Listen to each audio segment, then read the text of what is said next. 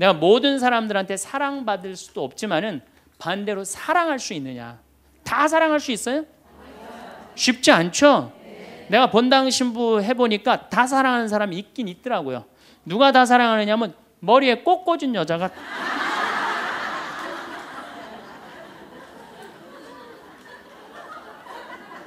이게 모두를 사랑한다는 게 쉬운 게 아니에요. 근데 우리는 뭐에 지금 세뇌가 되어 있느냐면 성당에 나오면 어떻게 해야 된다고 생각해요? 모두를 사랑해야 된다고 생각하지 않아요?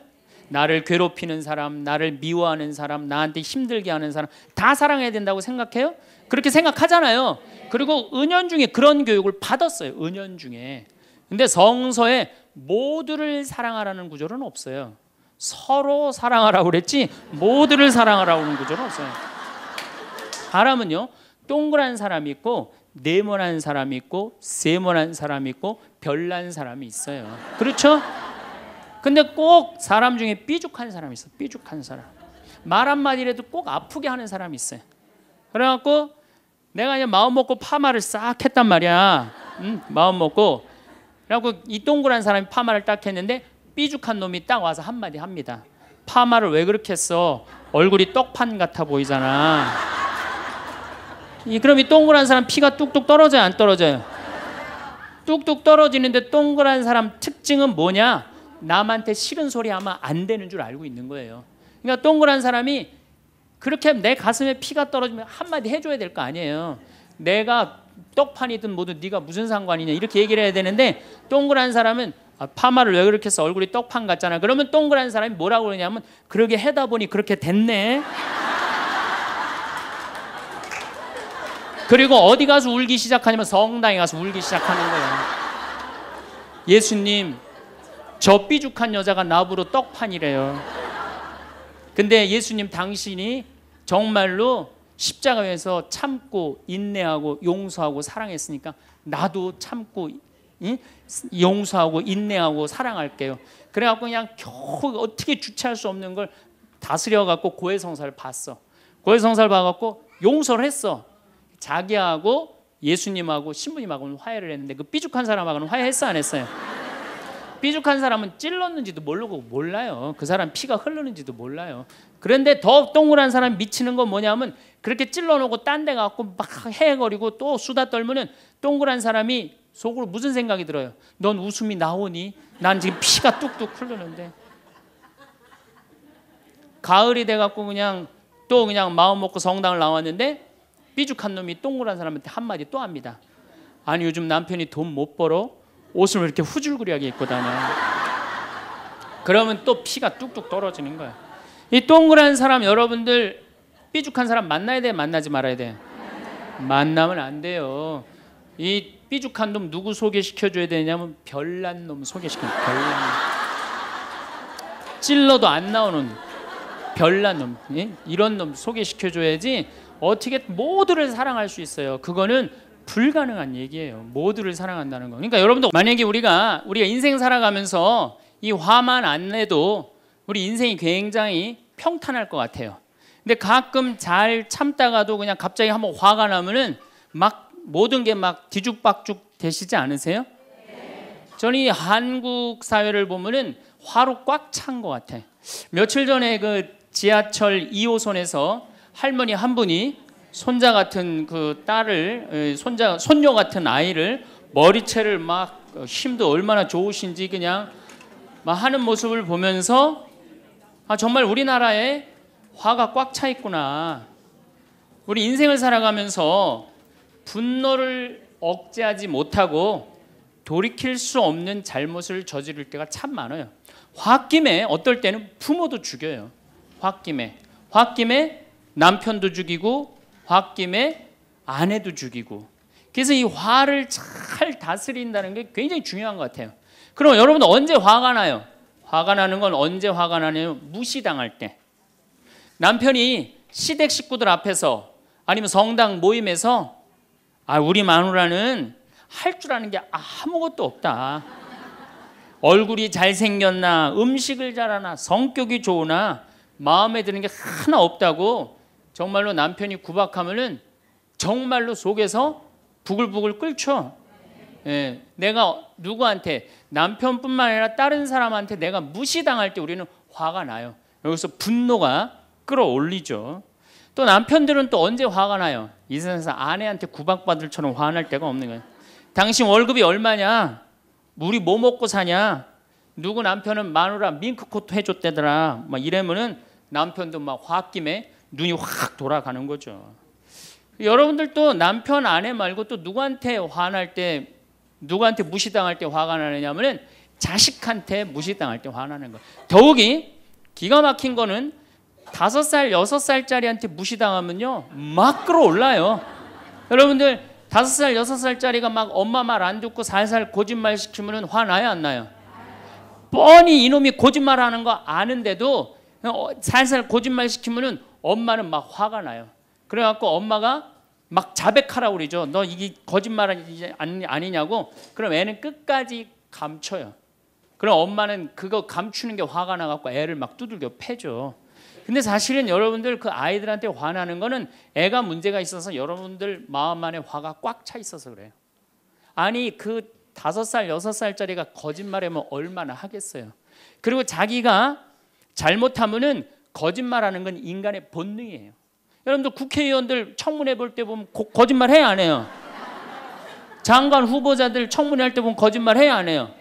아니 그렇게 대단한 자리에 올라간 사람도 거짓말 하는데 다섯 살 여섯 살짜리가 거짓말 한다고 그게 화가 나갖고 두들겨 패고 그러면 안 되죠.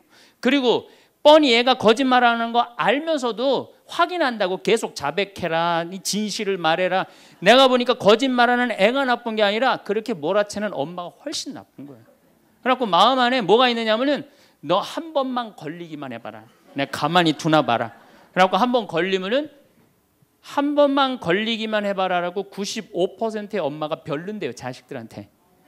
그리고 걸리면은 두들겨 패는 엄마가 한 50%가 두들겨 팬대요. 어렸을 때 자식들한테 이게 문제죠. 예. 또 누구 때문에 화가 나요, 여러분들? 죽지도 않는 시어머니 때문에 열받잖아요. 그냥 막 90, 100살이 됐는데도 그냥 안 죽고 그냥 건강하고 배, 배고프다 그러고 밥 내놓으라고 그러고 또 우리 또 할머니들은 누구 때문에 화나요? 내 마음 몰라주는 며느리 때문에. 그러니까 사실은 화는 어디서 가장 많이 나느냐면 가정 안에서 가장 많이 나는 것 같아요. 다른 데보다는 가정 안에서 자식 때문에 남편 때문에 부모 때문에 아니면 며느리 때문에 화가 나는 거죠. 화는 날 때 보면 작은 일로 시작해서 크게 터집니다. 되게 아무것도 아닌 일로 화를 내기 시작해서 나중에 크게 터져. 그 화나는 걸 보면은 다이나마이트 이렇게 이렇게, 이렇게 타 들어가는 거 보시죠. 도화선 싹 타 들어가다가 마지막에 터질 때는 어때요? 산도 무너뜨리고 막 굴도 막 만들어내고 그러잖아요.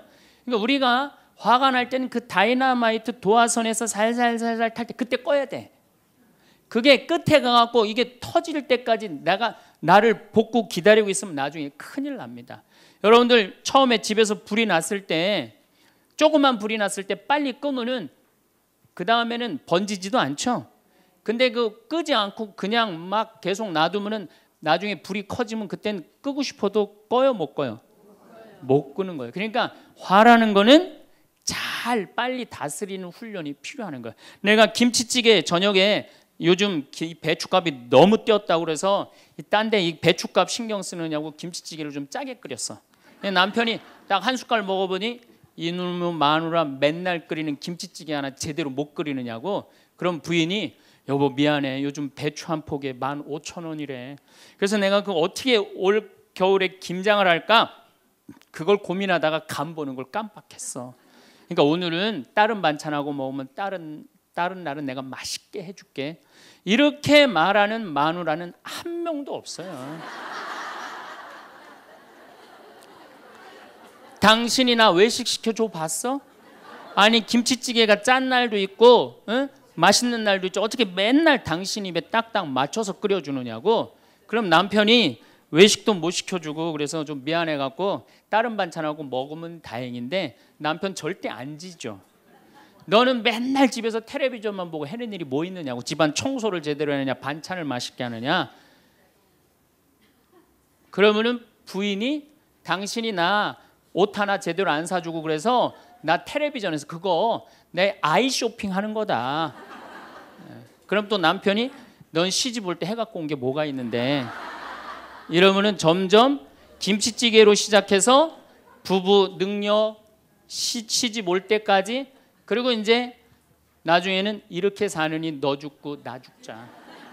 그래갖고 여러분들 뉴스 보도를 보면요 자세히 보면요 이런 뉴스가 굉장히 많이 나요. 아파트 15층에 느닷없이 14층에서 불이 나요.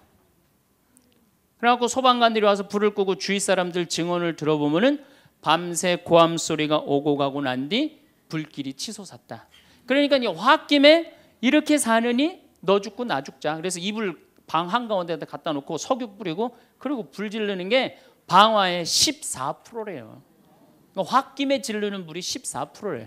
그 다음에 화라는 단어를 보면 불화자야. 여러분들 화가 나면 막 불이 나는 거야 속에서. 예, 이거를 다스리지 못하고 이거를 끄지 못하면은 우리가 점점 점점 크게. 근데 화는 내면 낼수록 문제가 해결될까요? 문제가 꼬일까요? 화는 내면 낼수록 문제가 꼬여요. 제가 20년 전에 제가 알던 분 시동생이야. 근데 이 양반이 굉장히 다혈질이었어요. 성탄절 전날 불법 유턴을 하다가 걸렸어요. 걸려갖고 정경이 딱 잡아갖고 불법 유턴했습니다. 벌점 15점에 벌금 7만 원입니다. 나는 안 했다. 내가 분명히 봤습니다. 이놈의 새끼 안 했다는데 왜 자꾸 그러느냐? 너 경찰서장이 누구냐? 누굽니다. 그래 마침 친구였나 봐요. 내 친구인데 너 가만히 안 놔두겠다고 귀싸대기를 때렸어요. 정경 귀싸대기를 했더니 정경이 가만히 있어요. 공무집행 방해로 철창에 집어넣어 버렸어요. 그래서 거기서 길길이 뛰다가 그 자리에서 뇌출혈로 죽었어요. 불법 유턴한 거 하나 때문에. 근데 우리는 그런 일들 참 많아. 옛날에도 이 저기 뭐야 공중전화 오래 한다고 그런 사건도 있었죠. 그냥 아무것도 아닌데 그냥 조금만 한 번만 내가 이 고개를 숙이면 되는데 저도 강의 다니느냐고 멀리 강의 갈 때 시간은 다가오고 차는 막히고 그러면 제가 불법 유턴도 많이 하고 빨간 분일 때 건너도 많이 가요. 정말로. 왜냐하면 나를 기다리는 분이 보통 500명, 1000명인 경우가 많잖아요. 서울 올 때가 제일 그럴 때가 많아요. 딱 걸리면은 저는 딱 문 내리고 로만 칼라 딱 보여주면서 제가 뭐라고 그러냐면 정말 미안하다. 내가 불법 유턴한 거, 내가 신호 어긴 거 인정한다. 그렇지만 내가 강의가 있어서 그러니까 좀 잘좀 봐줘라. 그런 경찰들이 대부분은요 침 뱉은 거, 안전벨트 안 한 거, 벌점 없는 걸로 끊어주지 굳이 그거 벌점 매기면서 끊어주는 경찰 없어요. 인생 살아가면서 고개를 한 번만 숙이면은 문제가 해결될 때가 너무 많아요. 근데 그 한 번을 숙이는 게 우리가 안 될 때가 참 많아요. 가끔 잘 하다가도 어느 날 안 숙여지는 날이 있죠. 그거를 숙이는 것을 훈련할 훈련이 된 사람이 성숙한 사람이에요. 그 사람이 정말로 어디 어디다 내놔도 그 사람 문제 없이 살 사람이에요. 예, 화날 때마다 그냥 막 집어 던지고 막 그러는 사람 주위에 친구 하나도 없어지죠. 또 우리가 언제 화가 나요? 식구 가운데 자기만 손해 보고 희생한다고 생각할 때 화나야 안 나요? 오빠는 대학 보내고 나는 고등학교밖에 안 보냈어. 그럼 부모님한테 막 화가 나요 안 나요? 나죠? 성당에서도 화날 때가 언제예요? 나는 성모에서 맨날 부엌에서 그냥 겉절이 김치 담그고 그냥 맨날 하는데 그냥 반찬 다 만들어 갖고 내놓으면은 생전 성당에도 안 보이던 여자가 그냥 싹 여우같이 차려입고 와갖고 그거 딱 차려놓은 거 딱 들고 신부님 앞에 딱 가서 거기서 그냥 해거리고 그거 주워 먹어본 거 보면은 이 식당에서 나는 그냥 완전히 그냥 식순이로 그냥 하다가 그냥 그거 보면 화 나요 안 나요? 나죠? 내가 화 내가 손해 본다고 생각할 때 화가 나는 거예요. 성당 공동체에서 제일 미치는 건 뭐냐면은 누군가 자기를 비난하고 다니고 있어. 근데 그 사람이 누군지를 모르겠어. 나를 두고 분명 욕을 하는데 그럴 때 화가 나요 안 나요? 날 때 많죠. 열 받는 분 계신가 보다. 내가 시집 가서 내 시동생 어버 키우고 대학 보내고 장가 보내고 신우이도 그렇게 시집살이 다 시집 다 내보냈어. 그래갖고 정말로 똥구멍이 찢어지게 가난한 집에 이 집에 와갖고 정말 다 이렇게 하고 다 먹고 살 만큼 해놨어. 그런데 환갑이 됐어. 그래갖고 야 내가 시집 와갖고 그렇게 잘해줬는데 내 환갑 때 다이아 반지를 해갖고 올 것이냐 유럽 여행 티켓을 갖고 오실 것이냐 기다리고 있는데 시동생 시누이들이 딱 환갑 때 왔는데 10만 원 봉투에 딱 넣어갖고 왔어. 그거 보면 열 받아요, 열 안 받아요? 열 무지하게 받죠. 네. 그래갖고 내가 너희들하고 인간관계를 갖나 봐라. 그리고 인간관계 끊고 사는 사람들도 많아요. 해준 게 돌아오지 않을 때. 그렇죠? 내가 잘해줬는데 돌아오지 않을 때. 근데 우리는 살아가면서 여러분들 다 여러분 이제까지 은혜 받은 만큼 다른 사람한테 은혜 갚으셨어요? 저는 신부 되기까지 많은 신부님들, 많은 수녀님들, 많은 교우들이 절 도와줬어요. 근데 신부 돼 갖고 일일이 그분들한테 쫓아다니면서 다 감사했는가? 생각해보니까 다 하지 못했더라고요. 나도 다 감사하지 못했는데 내가 그 감사를 받지 못한다고 화낼 필요는 없지 않는가 그런 생각이 들어요. 제가 신학교 다닐 때 우리 학장 신부님이 돌아가신 배문환 신부님이 영성훈화 할 때 아주 이해하지 못하는 훈화를 꼭 하셨어요. 여러분들은 본당 신부가 돼갖고 교우의 40%만 지지를 받아도 여러분들은 성공하는 신부입니다. 근데 전 신학생 때 이해가 안 갔어요. 신학생 때 왜 이해가 안 갔느냐면은 내가 신학생 때 인기가 얼마나 좋았느냐면은 막 방학 때 가면은 주일 학교 애들이 막 매달려 갖고 길을 못 갔어요. 지금이야 뭐 이상한 세상이 돼 갖고 그러지 못하지만은 25년 전만 해도 애들이 신학생들을 얼마나 매달리고 좋아했어요. 초등학교 애들이. 중고등학교 애들은 내가 방학 끝나고 신학교 돌아가면은 애인 군대 보내는 것처럼 그렇게 섭섭하고 편지 보낸다 그러고 학사님 보고 싶다 그러고 본당에서 아줌마들은 나 보면 죽어 죽어 좋아서 아 그런데 신부가 돼갖고 교우의 40%가 나를 지지해주지 않는다 신학생 때도 인기가 이 정도라면 본당 신부 돼갖고 인기가 더 높을 거 아니에요 그래서 신학교 그 영성 문화를 이해를 못했어요 근데 막상 제가 신부가 되고 보니 교우의 40% 지지받는 거는요 하늘의 별 따기보다도 어렵더라고요. 왜냐하면은 우리나라 지금 통계적으로 미사 참여율이 25% 나와요. 그러니까 정말로 그 신부님이 지지받는 신부님이다. 제대로 40% 지지받는 신부님이다. 그러면은 교우의 40% 미사 참여율 나와야 될 거 아니에요. 그러니까 교우가 1000명이라면 400명은 나와야 될 거 아니에요. 2000명이라면 800명이라면 나와야 되는데 2,000명 중에 800명 나오는 본당은 없어요. 2,000명 2,000명이라면 한 500명 정도, 600명 정도 나와요. 많이 나와요. 우리나라 평균적으로. 그러니까 40% 지지받는다는 게 어려워. 예수님은 나 환자 10명 고쳐줬는데 몇 명 돌아왔죠? 한 명 돌아왔어요. 그러니까 여러분들이 여러분들 주위에 있는 사람들 10명한테 잘해줬어. 10명한테 잘해줬는데 아홉 명이 돌아오지 않는다고 해서 섭섭할 필요가 없다는 얘기죠. 그한 명이라도 돌아오면은 다행인 거예요. 그러니까 모든 사람들한테 인정받는 일이 쉬운 일이 아니다. 많은 사람들 화나는 경우가 어떤 경우가 여러분들 화가 많으냐면 자기가 완전한 사람이라고 생각할 때, 자기 판단이 옳다고 생각할 때, 그걸 옳다고 믿을 때 화가 나요. 많은 분들이 어떤 경우가 있느냐면은 내가 관상 좀 볼 줄 아는데 그 사람 틀렸어. 아니면 내가 관상 좀 볼 줄 아는데 그 사람 진짜 괜찮은 사람이야. 이 중에 관상 못 보는 사람 어디 있어? 50년, 60년 살으면은 딱 보면 다 알지. 그렇죠? 그런데 그게 맞는 경우도 있고 틀리는 경우도 참 많아요. 근데 우리는 어떤 착각을 갖고 있냐면 내가 적어도 판단하는 건 맞다고 생각해요. 다 여기 저를 포함해서 여러분들 모두가 그런 생각을 해요. 근데 그게 허물어졌을 때 화가 나는 거예요. 그게 허물어졌을 때. 제가 지난달에 뉴욕에 강의를 갔었어요. 퀸즈 성당이라는 데서 강의를 했는데 아, 교우들이 진짜 많이 나왔어요. 정말로 꽉 찼어요. 강의를 하는데 정말로 반응이 아주 좋더라고요. 이 강의가 끝나고 이제 본당 신부님하고 사제관 올라가는데 따라오는데 이게 한국 사람이 안 따라오고 미국 여자가 따라오는 거예요. 미국 여자가 따라와 갖고 그러는 거예요. 신부님 자기 자기가 신부님 강의를 한국말을 잘 못 알아들어서 잘 알아듣지는 못하지만은 너무 감동을 받았다고 신부님은 정말로 하느님의 사람이라고 어우 나는 듣다 듣다 내 강의를 정말로 감동 감동 받다 못한 미국 여자까지 내 강의를 감동을 받는구나.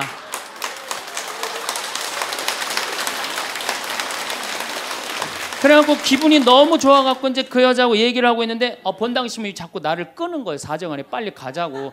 아 나 지금 지금 미국 여자하고 얘기하는데 지금 본당 신부님이 내 팔을 자꾸 끄는 거예요. 그래갖고 아니 신부님 나 좀 얘기 아 빨리 가자고 그 나를 그 본당 신부님이 가자 그랬는데 어떻게 가자 그랬더니 본당 신부님이 조금 지나가더니 신부님이 그러는 거예요 신부님 저 여자 이거라고 이거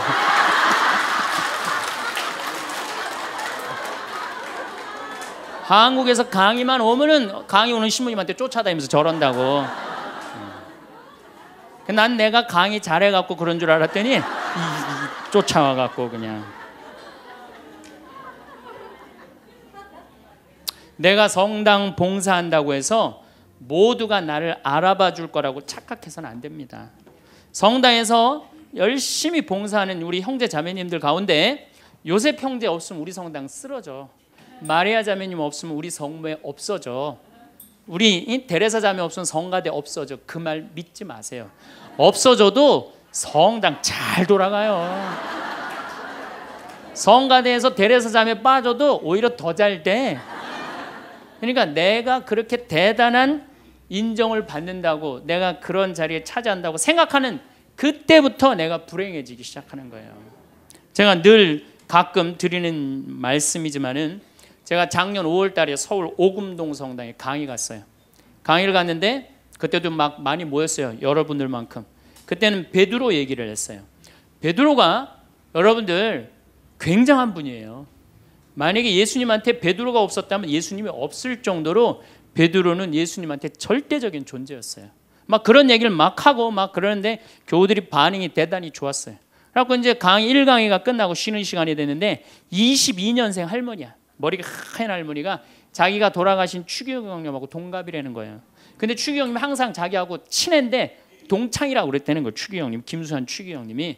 근데 자기는 그때 할머니가 88살 정도 됐던 걸로 기억이 나요.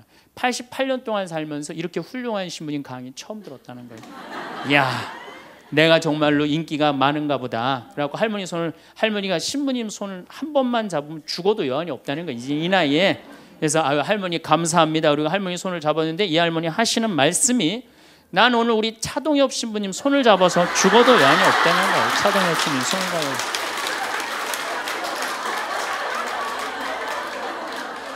그래서 제가 그랬죠. 할머니 저는 차동엽 신부가 아닙니다. 저는 황창현 신부입니다. 그렇게 분명히 말씀을 드렸는데 이 할머니는 황창현이라는 사람 알지도 못하는 거예요. 그래갖고 또 뭐 상담하고 싶다는 분들이 있어서 상담을 쭉 하고 있는데 저쪽에 있는 할머니가 안 가고 기다리고 계시더라고요. 사람들이 다 떠나는데 할머니가 또 오셨어요. 이 유명한 신부님 손 한번 우리 차동엽 신부님 손 한번 더 잡아보자고.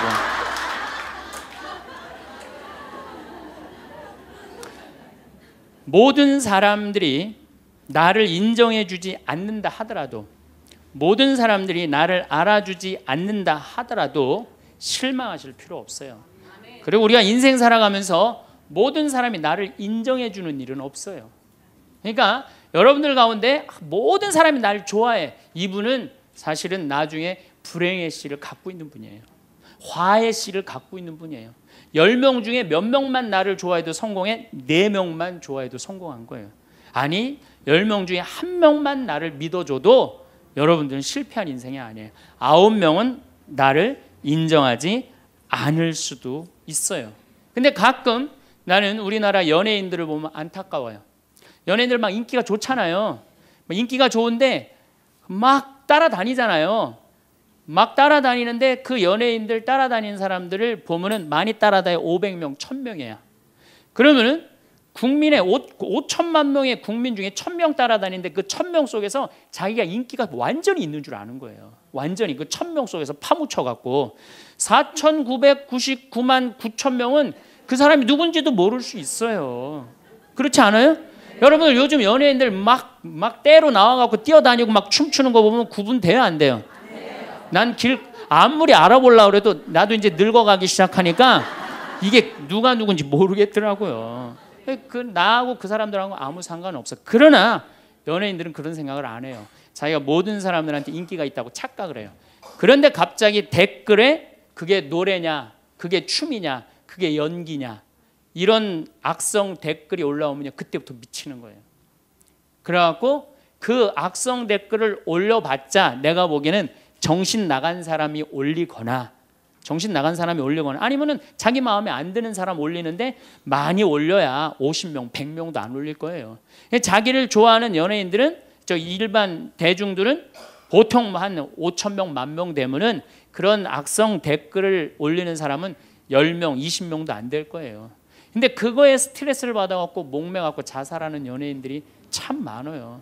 그럴 필요 없다는 거예요. 최진실 씨가 세상 떠난 지 벌써 이제 2년 됩니다. 참 안타까운 연예인이에요. 나는 최진실 씨하고 나이하고 비슷한 연배. 우리 어렸을 땐 인기 최고였어요. 정말로. 정말 앞으로도 더 연애 활동을 했으면 우리한테 큰 기쁨을 줬을 거야. 근데 최진실 씨를 좋아하는 사람은 국민이 한 나를 포함해서 한 3천만 명은 될 거예요. 근데 최진실 씨가 세상 떠날 때 악성 댓글을 한 사람 네 사람밖에 안 돼요. 너무너무 안타깝죠. 그러니까 우리가 살아가면서 여러분들도 여러분들한테 막 나쁜 소리라는 사람은 한둘이야. 근데 그 한둘도 내가 보기엔 제정신 가진 사람은 아니다. 그러니까 모든 사람들한테 내가 인정받지 못한다 그래서 화낼 필요는 없다. 제가 17년 전, 어, 벌써 18년 전이네요. 철산성당이라는 경기도 광명 보좌 신부를 했어요. 어, 보좌 신부를 했는데 거긴 교우가 14,000명이야. 14,000명. 예비자 교리반을 딱 맡았는데 100명이 딱 있는 거예요. 새로 신부는 됐지. 그냥 교리 교환을 신학교 때 얼마나 공부를 열심히 하고 준비를 열심히 했어요. 100명이 있으니까 기분이 너무 좋더라고요. 그래서 그냥 교리를 그냥 얼마나 열심히 했는지 몰라요. 근데 한 달이 지났는데 늘어나도 전찬을 판국에 아니 이게 줄어들기 시작하는 거예요. 90명으로 줄어드는 거예요. 두 달이 지났는데 80명으로 줄어드는 거야. 세 달이 지났는데 진짜 딱 반토막이 나더라고. 50명으로. 그랬더니 봉사자들이 맥주하고 안주를 사갖고 와서 나를 위로해 주는 거야. 신부님 실망하지 말아라. 원래 교리반이 이렇게 어중이 떠중이 다 떠나고 이렇게 오리지널만 3개월 지나면 딱 남는다. 예. 그리고 실망하지 말으셔야 되는 이유가 수녀님 반은 더 떨어졌다. 그러니까 실망하지 말아라. 그때 제가 뭐라 그랬냐면 여러분들은 요한복음 6장도 읽어보지 않았느냐. 요한복음의 6장에 무슨 얘기가 나오는 예수님이 5천 명 먹인 기적 얘기가 나와요. 근데 요한복음 4장에 보면 예수님이 죽어가는 고간의 아들을 살려요.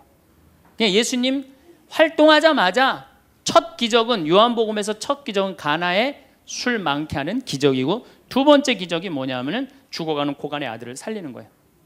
그 죽어가는 고간의 아들을 살. 여러분들 본당 신부가 새로 발령 받아 와서 내 아들이 암으로 막 죽어가.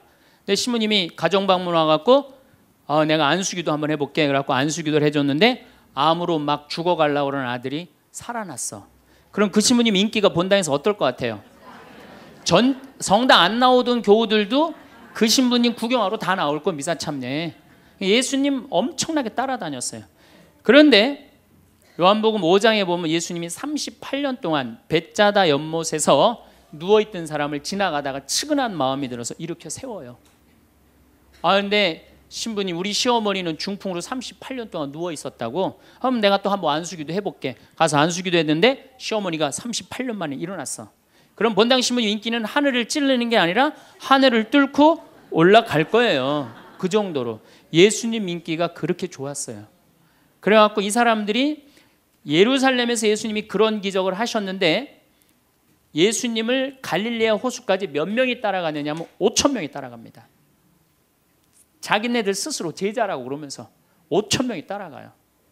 5천 명이 따라가는데 보니까 3일 동안 이 사람이 밥을 못 먹어. 그러니까 예수님이 빵 다섯 개, 물고기 두 마리를 5천 명을 먹여요. 그러니까 당시 유대인들이 뭐라 그러냐면 우리가 드디어 기다리던 왕이 왔다. 왕으로 억지로라도 모시자. 그래요. 그러니까 예수님이 딱 사라졌다가 저녁에 딱 나타나는데 갈릴레아 호수에 나타나는데 성서에 25에서 30 스타디온 정도 배가 떨어져 있었다고 그랬어요. 그럼 one 스타디온은 얼마냐? 한 200m 정도를 one 스타디온, 한 스타디온이라고.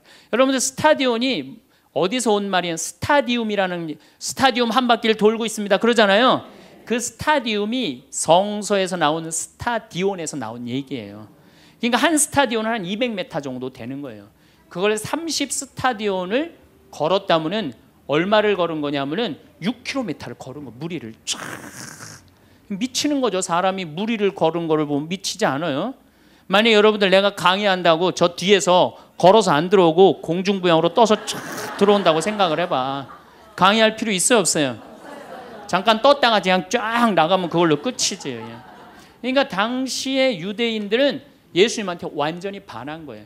근데 다음날 예수님이 이상한 말을 해요. 참으로 확 끼얹어요. 내가 진실로 진실로 너희에게 말한다.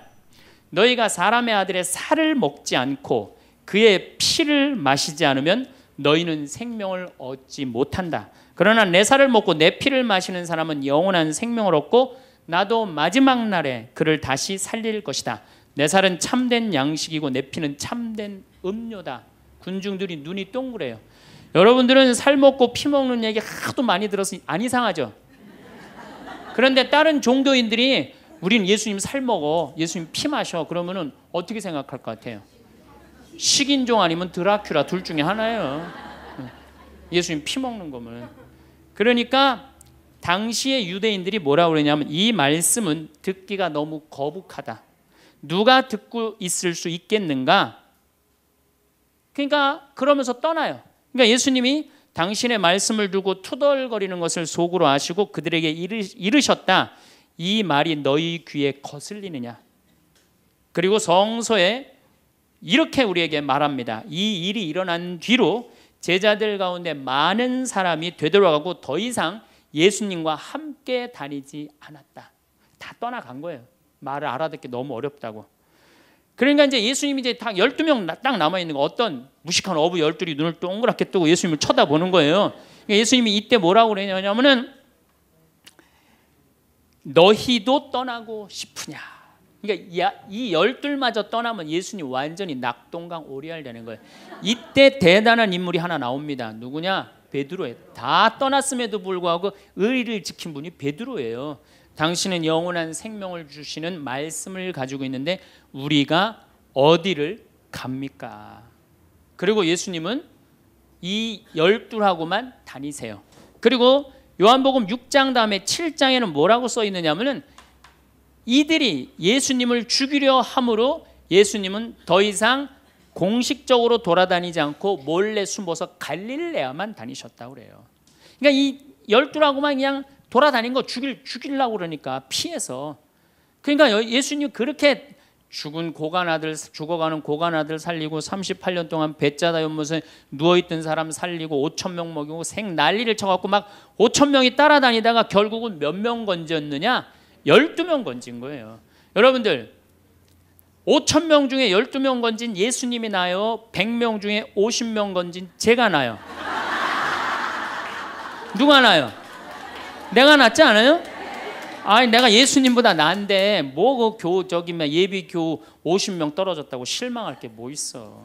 나는 가끔 한심한 레조 단장들이 있어요. 신부님, 우리 단원이 10명인데 오늘 2명밖에 안 나왔습니다. 그래서 둘이서 울면서 개응을 했습니다. 우리 레지오 해체해야 될까 봅니다. 이렇게 오는 단장이 있는데 한심한 단장이죠. 10명 중에 2명 나왔다 그러면 20% 지지받는 단장이야. 자, 5천 명 중에 12명 남긴 예수님이 나요. 10명 중에 2명 나온 단장이 나요. 누가 나?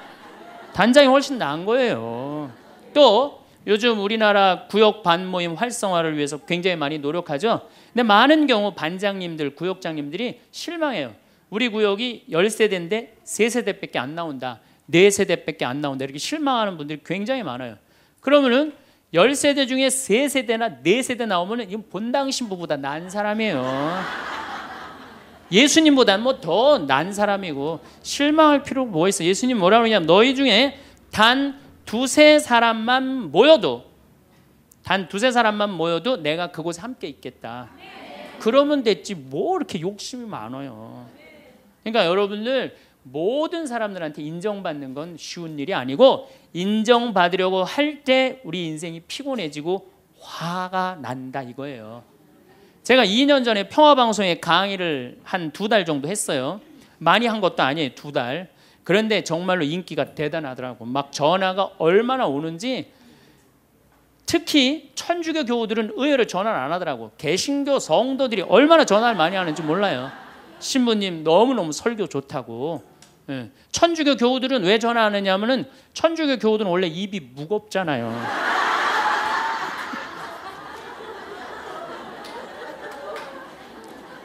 급기야는 목사님이 전화를 하셨어요.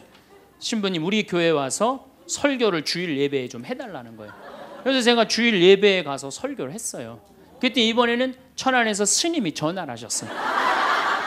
우리 절에 와서 설법을 해달라고.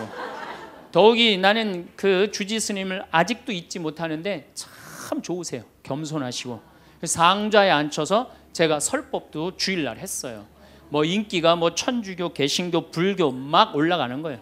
기분이 끝내줬는데 갑자기 전화가 한 통 왔어요. 평촌에서 사는 할머니야. 근데 이 할머니가 전화를 우리 직원한테 황창현 신부를 바꾸라고 전화가 온 거예요. 근데 문제는 황창현 신부님을 바꾸라는 건 좋은 말 하려고 전화한 거예요. 황창현 신부를 바꾸라는 건 따지려고 전화한 거예요. 전화를 딱 받았더니 당신은 정의구현 사재단이냐 딱 그렇게 물어보는 거예요. 그래서 난 정의구현 사재단이 아니다. 그랬더니 정의구현 사재단도 아닌데 왜 운하를 반대하느냐? 우리나라 경제가 살려면 운하를 해야 된다. 젊은 신부가 경제도 모르고 사회도 모르고 정치도 모르는 신부가 방송에 나와서 운하가 안 된다고 한 시간 동안 떠들면 되겠느냐? 그리고 당시 수원교구 주보에다가 운하 안 된다고 한 달을 주보에다 써내는데 그 60만 명, 70만 명이 있는 주보에다 그런 글을 쓰면 되느냐? 그리고 당신 앞에 행복론 강의도 하나도 재미없었다. 나와서 방송 나와서 강의하지 말아라. 그리고 전화를 다 끊는 거예요. 제가 기분이 좋았겠어 나빴겠어요? 기분은 나빴지만 그 할머니 때문에 화를 주체하지 못해서 내가 목을 매갖고 자살을 해야 되겠다 이 생각은 안 했어요. 생각이 다 틀린 거예요. 생각이 틀리고 상황이 다 틀린 거예요. 내 강의를 듣는 사람이 만 명이라면 만 명 중에 5천 명은 나하고 생각이 같을 수 있어요. 근데 5천 명은 나하고 틀릴 수 있어요. 5천 명이 틀리다고 그 5천 명 때문에 화낼 필요는 없다. 아 나하고 틀릴 수도 있구나. 이렇게 생각하면은 마음이 편안하거든요. 근데 그런 것 때문에 뭐 화를 내고 열낼 일이 뭐가 있어요. 또 한 번은 내가 노인에 대한 강의를 했어요. 우리 이제 안 죽는다. 우리 이제 100, 100살까지 산다. 110살까지 산다. 그러니까 자식들한테 재산 물려주지 말고 다 여러분 위에 쓰다가 죽어라. 그리고 통장에 얼마만 남기면 되냐? 500만 원만 남겨라. 500만 원만. 그렇게 마음껏 쓰다가 죽을 때는 돌아다니다 돌아다니다 지치면은 그냥 죽을 땐 꼴까닥 죽어라. 네, 이렇게 강의를 했더니 아 정말로 할머니들이 이번에는 전화를 무지하게 하는 거예요. 너무너무 내 노년을 확실히 알려줘서 고맙다고. 이번엔 순천에 있는 할아버지가 전화를 하셔서 신부님 저는 70 먹은 노인인데 침례 교회를 다닙니다. 근데 신부님 강론을 듣고 가슴이 뻥 뚫렸다는 거예요. 아, 내가 남은 인생 30년이나 남았는데 어떻게 살아야 되는지 너무너무 잘 들었다고. 근데 신부님이 다음 주에 이제 돈 다 쓰다가 꼴까닥 죽는 방법을 알려준다고 그랬는데 그 주간에 당신이 어딜 가갖고 못 들었대 내 강의를. 그래갖고 꼴까닥 죽는 방법을 알려달라고 전화를 했더라. 야 정말로 순천의 할아버지도 나한테 전화를 기분이 너무너무 좋더라고요. 근데 하느님은 참 짓궂게도 그 전화 끊자마자 이번에는 저 부산에서 전화가 왔어요. 황창현 신부를 바꾸라고. 전화를 딱 받았더니 당신이 황창현 신부냐고. 어, 내가 황창현 신부라. 당신 요즘 왜 그런 강의를 방송에서 나와서 해서 집안을 평지 풍파를 일으키느냐. 그러니까 내 강의를 듣고 시어머니일 거예요. 시어머니가 내 강의를 듣고 며느리를 불러서 한 소리 한 거지. 나 안 죽는데더라. 너 나 다 나 위에서 쓰다가 나 통장에 500만 원만 남길 테니까 나한테 유산 받을 생각 꿈도 꾸지 말아라. 그렇게 이제 얘기를 한 거야. 그러니까 그냥 열 받으니까 나한테 전화를 한 거죠. 그런 강의 하지 말라고. 그리고 그 다음에는 한 마디 더 하더라고요. 당신 강의하는 거 재수 없다고 그러죠.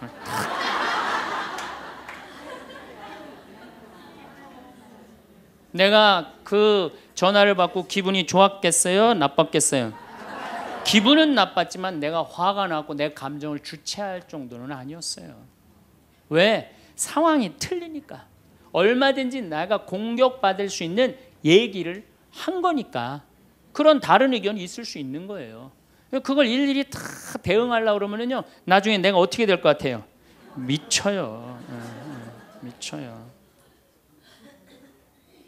여러분들 요즘 나는 가끔 텔레비전 보면서 총리들도 대통령도 막 신발 막 던지고 막 결함 막 던지고 그러잖아요. 대통령한테도. 예. 우리가 남이 나한테 평가하는 게 전부는 아닙니다. 자기 소신, 자기 확신, 자기 멋이 있으면은요 누가 뭐라 그래도 별로 거기에 흔들리지 않아요. 근데 그냥 남들 말에 막 귀 기울이고 그냥 거기에 신경 쓰는 사람은 조금만 뭐가 있어도 화를 내고 자기를 주체하지 못하는 거예요.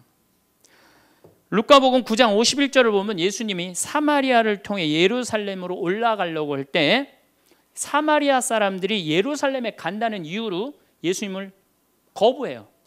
들어가지 못하게 동네를.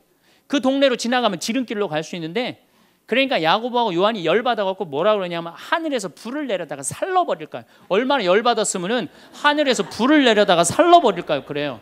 근데 예수님은 이 둘을 꾸짖고 돌아가세요. 아 예수님도 돌아가는데 우리가 화가 난다고 그냥 나 그냥 열 지르는 사람마다 전부 다 정면 돌파할 필요는 뭐가 있어요? 그렇지 않겠어요? 우리도 예수님처럼 돌아갈 상황이 되면 돌아갈 줄 알아야 됩니다. 세상 사람들이 다 나를 몰라준다 해도 화낼 일도 아니에요. 공자님은 뭐라 그러셨느냐? 진정한 성인은 자기를 몰라줘도 분노하지 않고 유유자적할 줄 아는 사람이 진정한 성인이라고 그랬어요. 내가 누군데 나를 몰라봐. 왕년에 내가 이 거리를 주름 잡던 사람인데 이 성당 지을 때 내가 어떻게 했는데 나에게 이럴 수가 있어. 내가 시집 와서 똥구녕이 찢어지게 가난한 이 집 이렇게 이렇게 놨는데 나를 무시할 수 있어? 이렇게 자꾸 자기 도치에 사로잡히면은요 나중에 다른 사람하고 부닥치게 되고 잘난 척하게 되는 그런 꼴이 된다. 그런 꼴이에요. 여러분들 반대로 모두를 사랑할 수 있어요? 내가 모든 사람들한테 사랑받을 수도 없지만은 반대로 사랑할 수 있느냐? 다 사랑할 수 있어요? 쉽지 않죠? 내가 본당 신부 해보니까 다 사랑하는 사람이 있긴 있더라고요. 누가 다 사랑하느냐면 머리에 꽃 꽂은 여자가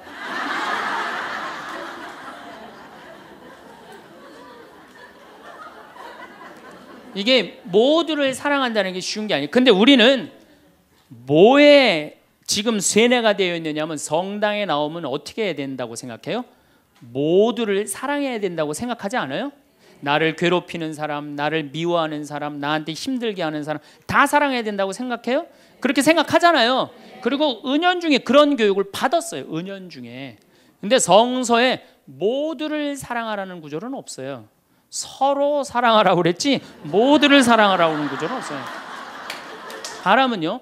동그란 사람이 있고 네모난 사람이 있고 세모난 사람이 있고 별난 사람이 있어요. 그렇죠? 근데 꼭 사람 중에 삐죽한 사람이 있어. 삐죽한 사람. 말 한마디라도 꼭 아프게 하는 사람이 있어요. 그래갖고 내가 이제 마음 먹고 파마를 싹 했단 말이야. 응? 마음 먹고. 그래갖고 이 동그란 사람이 파마를 딱 했는데 삐죽한 놈이 딱 와서 한마디 합니다. 파마를 왜 그렇게 했어? 얼굴이 떡판 같아 보이잖아. 이 그럼 이 동그란 사람 피가 뚝뚝 떨어져요, 안 떨어져요? 뚝뚝 떨어지는데 동그란 사람 특징은 뭐냐? 남한테 싫은 소리 하면 안 되는 줄 알고 있는 거예요. 그러니까 동그란 사람이 그렇게 내 가슴에 피가 떨어지면 한마디 해줘야 될 거 아니에요. 내가 떡판이든 뭐든 네가 무슨 상관이냐 이렇게 얘기를 해야 되는데 동그란 사람은 아, 파마를 왜 그렇게 해서 얼굴이 떡판 같잖아. 그러면 동그란 사람이 뭐라고 그러냐면 그러게 해다 보니 그렇게 됐네. 그리고 어디 가서 울기 시작하냐면 성당에 가서 울기 시작하는 거예요. 예수님 저 삐죽한 여자가 나부로 떡판이래요. 근데 예수님 당신이 정말로 십자가에서 참고 인내하고 용서하고 사랑했으니까 나도 참고 응? 용서하고 인내하고 사랑할게요. 그래갖고 그냥 겨우 어떻게 주체할 수 없는 걸 다스려갖고 고해성사를 봤어. 고해성사를 봐갖고 용서를 했어. 자기하고 예수님하고 신부님하고는 화해를 했는데 그 삐죽한 사람하고는 화해했어 안 했어요? 삐죽한 사람은 찔렀는지도 모르고 몰라요. 그 사람 피가 흐르는지도 몰라요. 그런데 더 동그란 사람 미치는 건 뭐냐면 그렇게 찔러놓고 딴데 갖고 막 헤거리고 또 수다 떨면은 동그란 사람이 속으로 무슨 생각이 들어요? 넌 웃음이 나오니? 난 지금 피가 뚝뚝 흐르는데. 가을이 돼갖고 그냥 또 그냥 마음 먹고 성당을 나왔는데 삐죽한 놈이 동그란 사람한테 한마디 또 합니다. 아니 요즘 남편이 돈 못 벌어 옷을 이렇게 후줄그리하게 입고 다녀. 그러면 또 피가 뚝뚝 떨어지는 거야. 이 동그란 사람 여러분들 삐죽한 사람 만나야 돼 만나지 말아야 돼. 만나면 안 돼요. 이 삐죽한 놈 누구 소개시켜 줘야 되냐면 별난 놈 소개시켜. 별난. 찔러도 안 나오는 별난 놈. 예? 이런 놈 소개시켜 줘야지 어떻게 모두를 사랑할 수 있어요. 그거는 불가능한 얘기예요. 모두를 사랑한다는 거. 그러니까 여러분들 오늘 이후로 나는 모든 사람을 사랑할 것이다. 그러면 나중에 누가 망가지냐면 내가 망가, 내가 망가져요. 예, 모두를 사랑하면서 자기가 완전히 망가지는 거예요. 아, 모두를 사랑하면서 기쁨은 다행인데 모두를 사랑하면서 그걸 끌어안느냐고 속에서 부글부글 끓어. 그냥 화가 꽉 차 있는 거죠. 동그란 사람, 네모난 사람, 세모난 사람, 별난 사람. 사람은 다 틀려요. 정말 제가 다 틀리다는 걸 얼마나 느끼느냐면은 내 친구들하고 냉면을 먹어도 내 친구 중에 아주 친한 친구가 하나 있는데 얘는 냉면을 먹으면은 달걀이 나오잖아요. 근데 걔는 흰자만 좋아해요. 근데 저는 노른자만 좋아해요. 저는 노른자만. 그래서 걔를 노른자를 빼놔요. 그럼 저는 노른자만 먹고 걔는 내 흰자 갖고 가고 사람이 정말로 틀리는 것 같아요. A형하고 B형하고 A병하고 O형하고 밥을 먹었어요. 넷이서 밥을 먹었는데 성격이 다른 거죠. 꼭 P의 문제가 아니라 유형 이렇게 뭐 별 유형이 다 있듯이 근데 보통 A병이 자기 하고 싶은 대로 한대잖아요. 그러니까 그냥 밥을 먹다가 승질이 났는지 어땠는지 숟가락을 내더니 확 나가버렸어요. 아 그랬더니 오지랖 넓은 O형이 궁금한 거예요. 앉아서 밥을 먹을 수가 없는 거예요. 제가 왜 나갔는지 숟가락 놓고 따라 나갔어요. 무슨 일인지 알아보려고. B형은 그러거나 말거나 주변에 신경을 안 써요. 나만 편안하면 되는 거야. 밥을 그냥 먹는 거예요. 계속 상관하지 않고. 그랬더니 소심한 A형이 밥이 안 넘어가는 거야. 그래갖고 아무 신경도 안 쓰고 밥을 먹는 B형을 쿡쿡 찔르면서 한마디 합니다. 혹시 제 A병 나 때문에 삐져서 나간 거 아니냐? 그러니까 신경 쓰지 말아야 되는 건데도 신경을 다 쓰는 거예요. 우리 이렇게 교우들 중에 굳이 내가 저 사람 이렇게 고민하고 괴로워하는 것까지 내 탓이 아닌데도 뭐 주 성당에서 뭐가 일이 잘못되면 다 누구 탓인 것 같아? 다 내 탓인 것 같아. 우리가 어디서 이게 교육을 받았느냐면은 루카복음 6장을 읽어보면은 뺨을 맞으면 다른 뺨을 돌려대고 겉옷을 달라 그러면은 속옷을 두고 원수까지도 사랑하라고 가르칩니다. 아, 원수까지도 사랑하라고 그러는데 정말 우리가 모두를 사랑해야 되는 거 아닌가 이런 생각 들잖아요. 그렇죠? 근데 예수님은 정작 다 사랑했을까요? 예수님 다 사랑하지 않으셨어요. 더욱이 열두 제자 중에 열두 제자 똑같이 사랑하지 않았어요. 열두 제자 중에 누구를 특별히 사랑했느냐면은 베드로, 야고보, 요한만 특별히 사랑했어요. 거룩한 변모 때 누굴 데리고 갔어요? 베드로, 야고보, 요한만 데리고 갔어요. 아니 그 기가 막힌 모습을 보여주려면 다 보여주지. 왜 세 명만 데리고 가? 나머지 아홉 명 기분 나쁘게. 그렇잖아요. 그리고 회당장 야이로의 딸 살리러 갈 때 누구만 데려갔느냐면 베드로, 야고보, 요한만 데려와요. 다른 사람은 그 부모 외에는 아무도 따라오지 못하겠다 그래요. 아, 못 따라간 제자들 섭섭할 것 같아, 안 섭섭할 것 같아요. 근데 여러분들은 아, 밥 먹으러 가는데 한 세 명만 데려가야 되는데 나머지 여섯 명 남아 있으면 찝찝해 안 찝찝해요? 앞으로는 그러지 마세요. 예수님이 겟세마니 동산에서 내 마음이 괴로워 죽을 지경이니 나와 함께 깨어 있어 줘라. 그렇게 하고 가까이에 누구만 불렀느냐면 베드로, 야고보, 요한만 불렀어요. 아, 예수님도 열둘 중에 세 명만 이렇게 사랑했는데 여러분들은 레조 단원들 열둘이면 열두 명 어떻게 다 사랑해? 그 중에 세 명만 사랑해도 누구하고 똑같아? 예수님하고 똑같은 거예요. 근데 놀랍게도 마태복음 18장에 이런 얘기가 나옵니다. 만약에 이웃이 잘못하면 우선 개인적으로 그러지 말라고 말하고 다음 한두 사람의 증인을 세우고 그래도 말 안 들으면 교회에 알리고 그래도 말 안 들으면 셀이나 이방인 취급을 하라고 그래요. 그러니까 끝까지 끌어안으라는 말도 하셨지만은 어떻게 말 안 들으면 뭐 무슨 취급하라고 그래? 셀이나 이방인 취급하라고 그래요.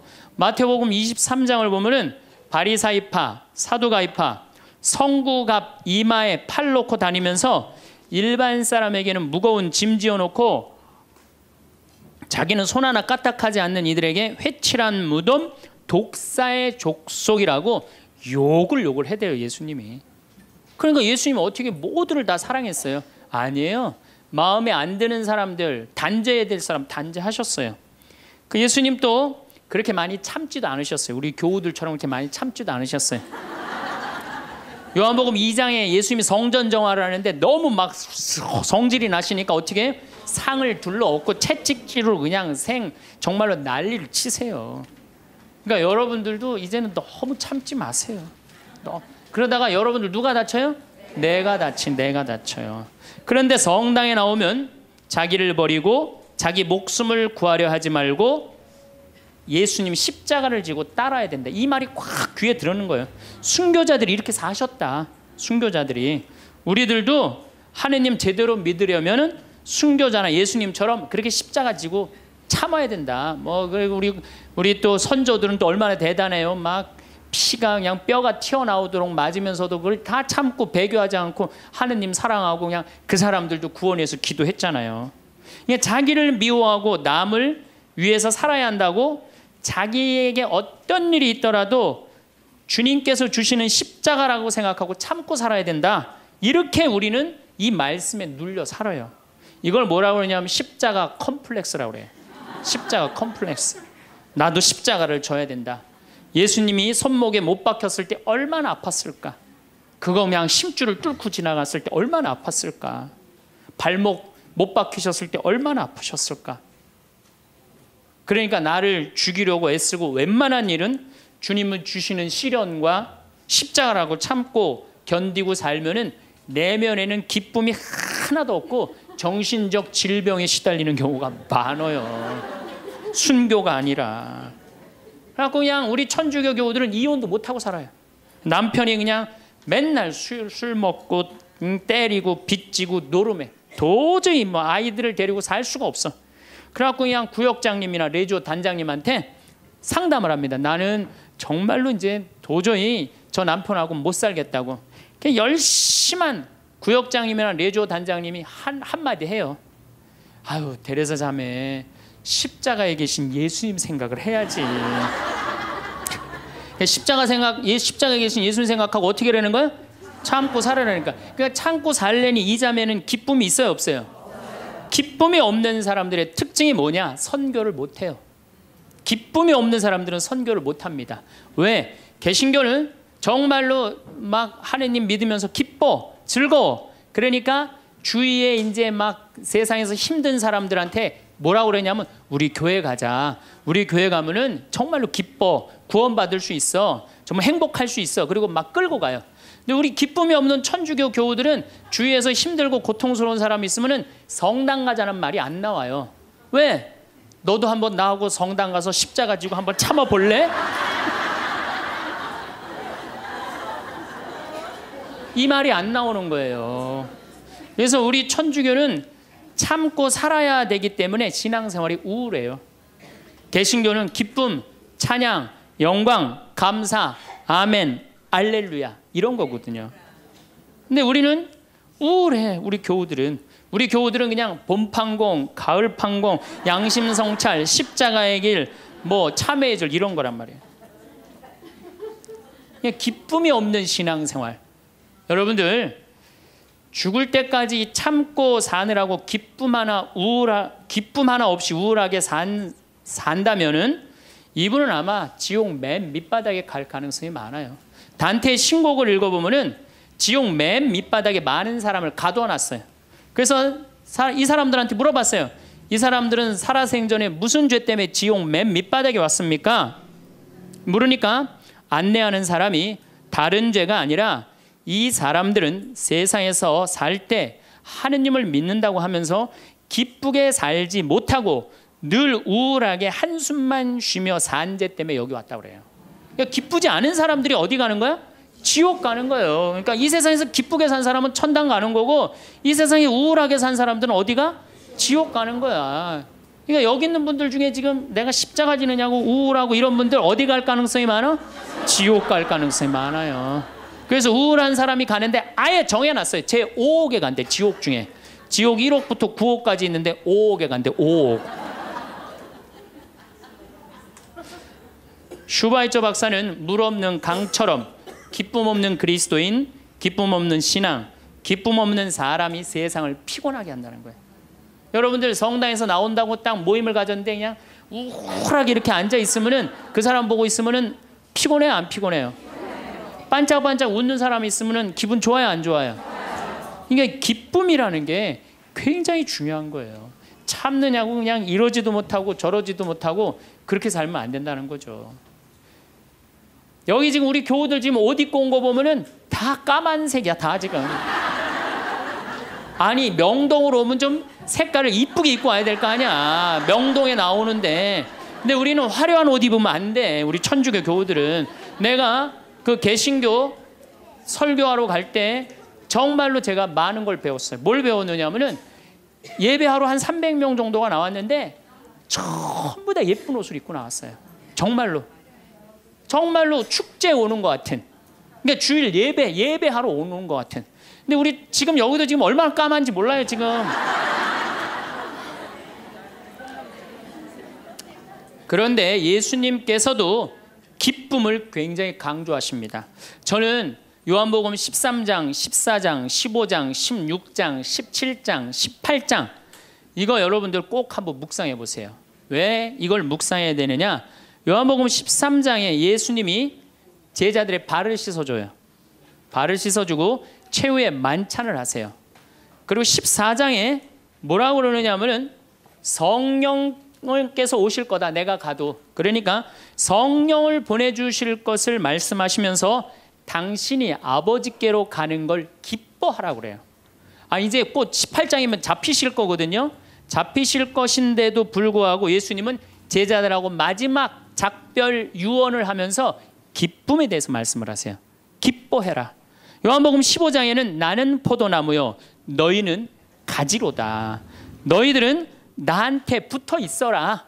그래야만이 많은 열매를 맺는다. 이 말씀을 하세요. 근데 11장에 이런 말씀을 하세요.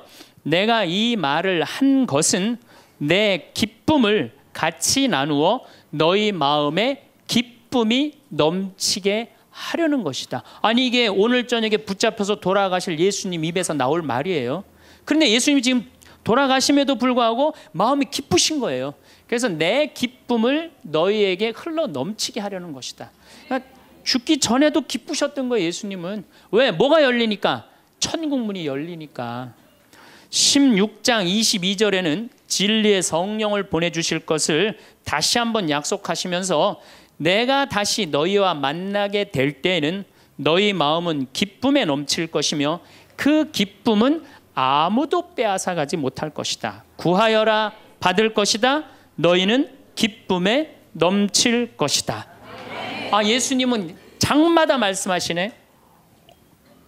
13장, 14장, 15장에 걸쳐서 16장에 걸쳐서도 말씀하시고 17장에 아버지 이 사람들이 하나 되게 해 주십시오. 아버지와 나는 하나입니다. 많이 들어봤죠? 네. 이 말씀 끝에 이렇게 말씀하세요. 지금 나는 아버지께로 갑니다. 아직 세상에 있으면서 이 말씀을 드리는 것은 이 사람들이 내 기쁨을 마음껏 누리게 하려는 것입니다. 성서에 보면 온통 기쁨밖에 없는 거 기쁨. 아니 지금 저 18장이면 잡으셔서 돌아가실 분이 마지막 유언에 마지막으로 하신 말씀이 뭐예요? 기쁨이에요, 기쁨. 그렇다면 여러분들은 신앙생활하면서 기뻐야 되지 않아요? 기뻐야 되는데 왜 이렇게 우울해? 왜 이렇게 청승을 떠냐 이거야. 데살로니가 전서 5장 16절에 유명한 얘기죠. 항상 기뻐하시오. 그렇죠? 끊임없이 기도하시오. 어떤 처지에서든 감사하시오. 저는요, 이 구절보다 더 중요한 구절이 있어요.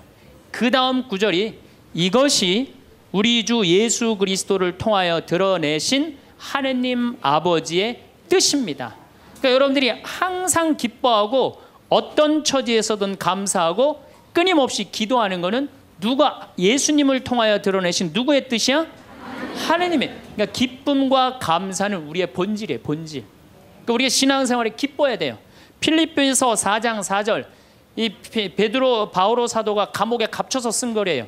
유명한 얘기예요. 주님 안에서 항상 기뻐하십시오. 다시 말합니다. 기뻐하십시오. 그래서 필리피서에 기뻐하라는 말을 16번이나 해요. 16번이나. 기, 그리스도 안에서 기뻐하라고. 그러니까 여러분들은 신앙생활 하면서 기뻐야 돼.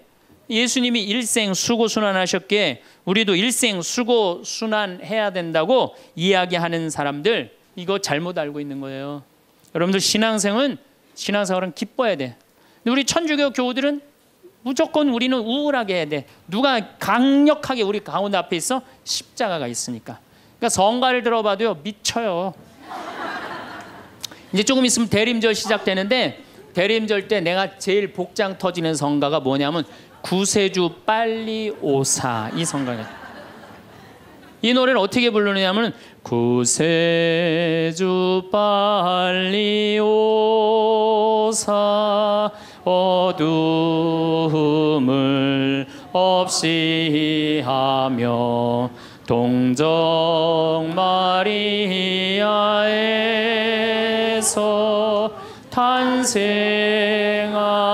탄생하옵소서 이렇게 부른단 말이야. 근데 이 노래는 이렇게 부르면 절대 안 돼요. 이 노래는 목 갖춘 마디로 시작해서 8분의 6박자야. 강량약, 중강량약. 이거 춤추듯이 불러야 되는 거예요.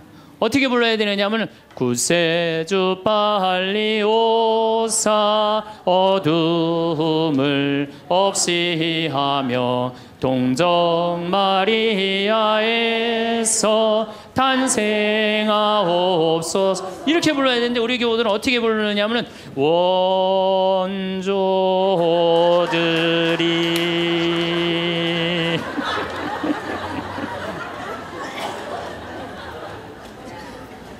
그러니까 그냥 구세주부로 빨리 가사는 구세주 빨리 오사라는 가사인데 하는 거 보면 장송곡이야 장송. 기쁨이 없는 거죠. 사실 저도 신앙을 키운 결정적인 동기는 십자가입니다. 중학교 때 성당에 가보면 나는 수원 조원동 주교자 성당에 다녔는데 십자가가 나무 십자가인데 큰 게 있었어요. 근데 그 예수님을 보면 너무 불쌍한 거예요. 어쩌면 우리, 우리를 사랑하시기에 저렇게 고통스럽게 지셨을까? 그냥 보면은 근데 우리 이 조원동 주교자 성당 옆에는 은퇴 신부님이 살았어요. 근데 어떤 신부님이 살았느냐면 하한주 신부님이라고 살았어요. 막 수염이 이렇게 하얀 수염이 나신 하한주 신부님. 이 신부님이 얼마나 무서웠느냐면은 우리 어렸을 땐 성체험할 때 그리스도의 몸은 아멘하고 혀로 내밀었잖아요. 혀를 안, 안 내밀면 입 벌리라고 소리 소리를 질렀어요. 그래갖고 그 신부님이 나와서 미사를 하면은 그 줄에는 아무도 안 갔어요. 다 보자 신부 줄에 가갖고 다 성체하고 그래. 근데 나는 중학교 2학년 때부터 신학교를 갈라고 그랬으니까 신부님 집에 놀러를 자주 갔어요. 아, 놀러를 가면 신부님 집 거실에 뭐가 써 있느냐면 님 쓰신 가시관이라는 시가 쓰여 있어요. 님의 전생애가 마냥 슬펐기에 님 쓰신 가시관을 나도 쓰고 살으리라. 이딘날 님이 날 보시고 이미 보시고 날 닮았다 하소서 이딘날 나를 보시고 임 닮았다 하소서 이 세상 다할 때까지 당신만을 따르리라. 아 그 시를 보는데 가슴에 팍 와닿더라고요. 님의 전생애가 마냥 슬펐기에 얼마나 이게 이 중학생 그 가슴에 와닿아요. 우리 님이 한 번도 기쁘지 않고 전생애가 마냥 슬펐기에 나도 님 쓰신 가시관을 나도 쓰고 살으리라. 얼마나 이게 가슴에 와닿아요. 여러분도 그렇지 않아요? 전생애가 고통스러웠더니 불쌍하지 않아 예수님? 그래갖고 나도 그 님의 전생애가 마냥 슬펐기에 님 쓰신 가시관을 나도 쓰고 살으리라 그거 하려고 신학교 들어갔어요. 아, 신학교 들어갔더니 이번에는 신학교에서 신상옥이라는 친구가 지금도 활동 열심히 하고 있죠. 이걸 곡으로 써놨는데 기가 막힌 거예요. 우리 저기 뭐야 신학생들이 파티하고 축제 끝나면은 맨날 맨 마지막에 우리 신학생들이 이렇게 어깨 동무하고 부른 노래가 이 노래예요. 비장하게 부르는 거죠. 왜? 이 저기 뭐야 이 세상 다 할 때까지 당신만 따른다고 신학생 포기하지 않고 신부로 살고 죽을 때까지 당신만 따르리라. 그러니까 어깨 동무하고 뭐 어떻게 부르느냐? 님은 전생애가 마냥 슬펐기에 님 쓰신 가시관을 나도 쓰고 살으리다. 이린 날 님이 보시고 날닮 았다 소서. 이린 날나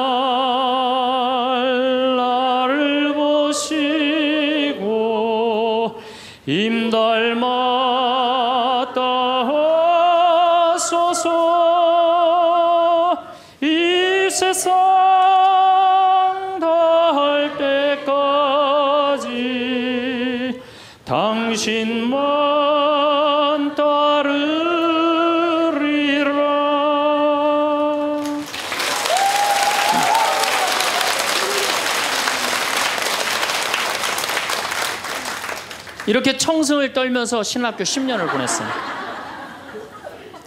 신부가 딱 되고 보니 내가 내 관점에서 성서를 좀 읽어보니까 더욱이 강원도 생태마을 아름다운 자연에서 하느님이 창조해 놓은 기가 막힌 자연에서 성서를 읽어보니까 우리 님께서 하나도 안 슬프게 사셨더라고요. 그리고 가시관은 언제 썼느냐 하면은 전생에 쓴 게 아니라 마지막 금요일 날 하루 쓴가 하루 하루밖에 안 썼더라고요. 전생애가 슬프긴 뭐가 슬퍼요.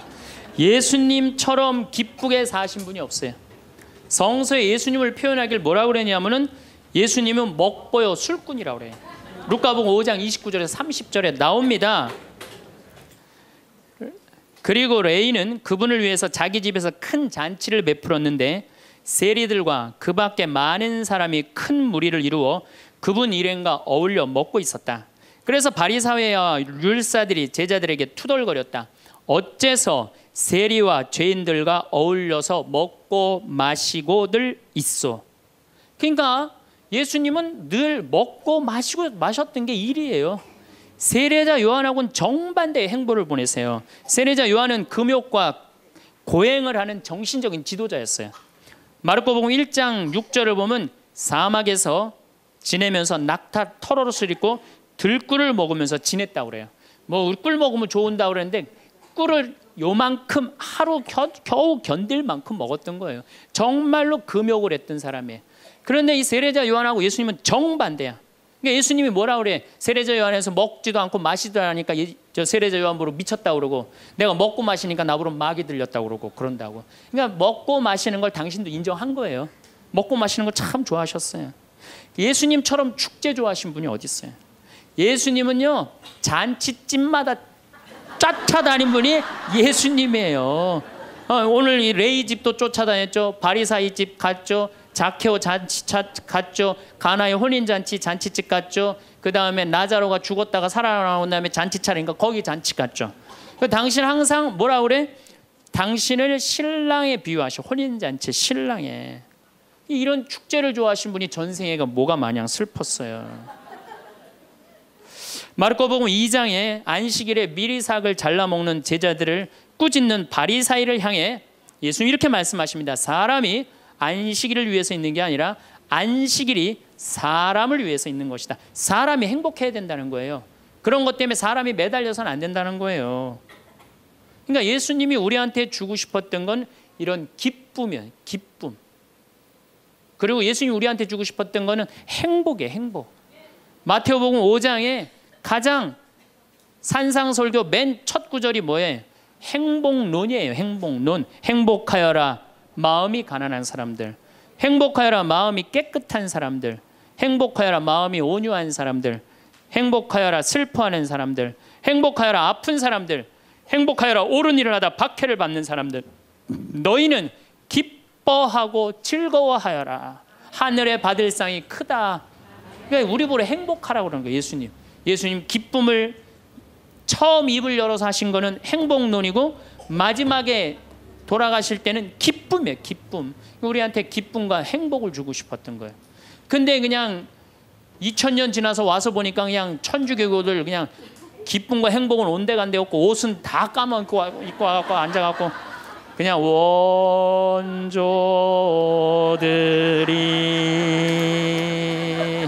범죄하 이러고 앉아 있으면은 예수님 복장 터지겠어요? 안 터지겠어요? 또 예수님 우리한테 주고 싶었던 게 행복, 기쁨뿐만 아니라 평화입니다. 이것도 우리 신앙생활에 아주 중요합니다. 예수님이 돌아가셨어요. 그리고 부활하셨어요. 3일 만에 부활하셨어요. 제자들한테 뭐라고 그랬냐면은 나는 3일 만에 다시 살아날 것이다. 근데 제자들은 이해를 못 했어요. 죽고 난 다음에 살아난다는 말을. 그래갖고 예수님 돌아가시는 걸 보고 다 도망가 버렸어요. 이제 우린 끝이다. 그래갖고 심지어 어떤 제자들은 고기 원래의 직업으로 돌아갑니다. 고기 잡으러 가요. 이제 우린 끝났으니까. 아이 그렇게 3년 동안 그렇게 가르쳐 놨는데 그렇게 배신했는데 얼마나 열받아요, 예수님은. 근데 예수님이 3일 만에 딱 살아나서 제자들 앞에 나타나요. 제자들이 당황스럽겠어요, 안 당황스럽겠어요? 어, 우린 끝났는 줄 알았는데 다시 나타나니까 얼마나 당황스러워요. 그리고 나타나려면 1년 후에 나타나면 덜 미안해잖아요. 배반은 해놨는데 3일 만에 나타나면 얼마나 미안해요. 마음이 기쁘기도 하고 혼란스럽기도 한 거야. 근데 예수님이 이렇게 말씀하십니다. 너희들 내가 3일 만에 살아난다고 그랬느냐 안 살아난다고 그러냐 왜 배반했느냐 이렇게 따지지 않으세요. 입을 열어 하신 말씀이 뭐냐면은 평안하냐. 내가 너희에게 평화를 주노라. 예수님이 우리한테 주고 싶었던 거는 우리가 아무리 배반하고 나쁜 짓을 했어도 예수님이 나하고 마주쳤을 때는 우리가 당황하지 말고 그렇죠. 미안해하지 말고 그러라고 뭐, 뭐 무슨 말부터 건네세요? 평안하냐. 내가 너희에게 평화를 주노라. 그러니까 예수님이 주고 싶었던 게 평화야. 자, 여러분들 내가 성당 다니는데 기쁘지도 않고 행복하지도 않고 행 기, 저기 평화롭지도 않아. 성당 다니는 이유가 있는 거예요, 없는 거예요? 없는 거예요. 그러지 않으면 뭐하러 성당을 다녀요? 예수님이 가장 주고 싶었던 건데. 또 예수님 우리한테 주고 싶었던 게 사랑이야.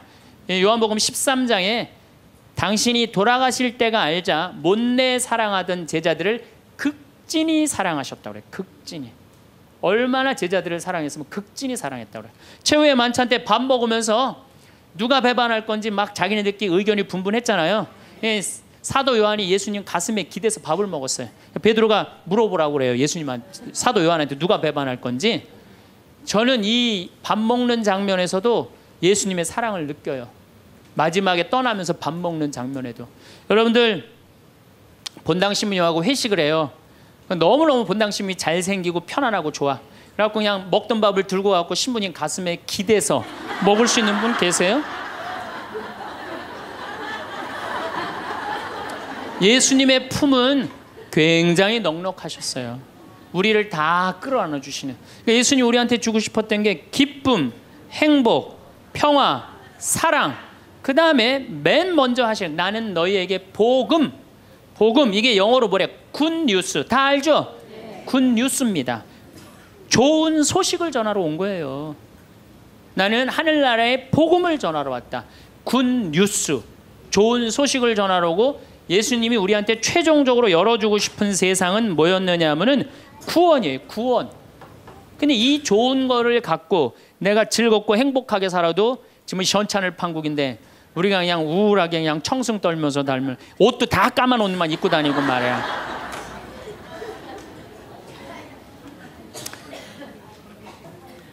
그러니까 우울하다 보니까 받은 은혜 감사는 안 하고 아직도 뭘 그렇게 달라 그래요. 개신교는 정말로 개신교 방송 한번 보세요. 다 손들어서 하나님께 찬양드리죠. 평화방송 보면요. 천주교 교들 보면 다 미사포 뒤집어 쓰고 땅바닥 다 쳐다보고 앉아요.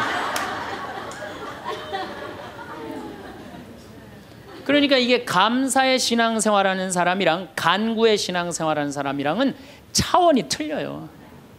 감사드리는 사람들, 찬양드리는 사람들은요, 그냥 저절로 뜨거워요. 그런데 간구 기도하는 사람, 기도해서 복을 받는다. 이게 기복 신앙이에요.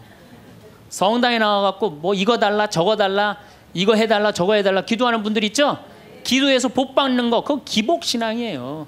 아, 우리 무당한테만 가갖고 기복 신앙 있는 거 아니에요. 성당에 나와서도 기복 신앙들 많습니다.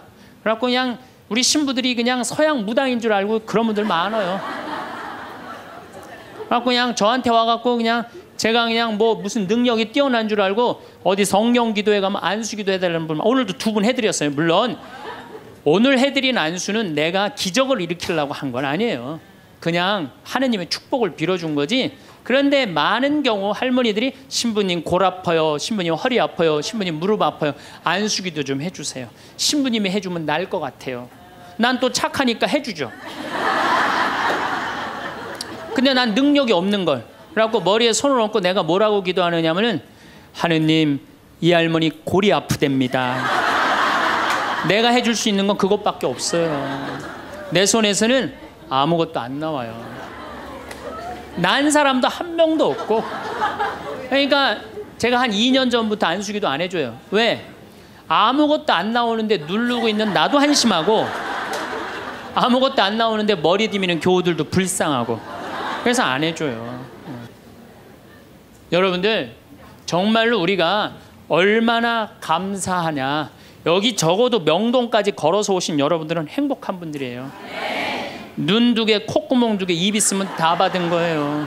정말로 여러분들 눈 하나 갈아 끼는데 얼마가 드느냐? 내가 조사를 확실히 해보니까 사실은 이거는 그렇게 하면 안 되는 건데 눈 하나 정말로 갈아 끼는데 그 장기 매매 시장에서 하나에 1억에 1억. 두 개면 2억에 2억. 여러분들 지금 이게 지금 얼마를 깔고 있느냐면 2억을 지금 눈에 깔고 있는 거 2억을 감사해 안 감사해요?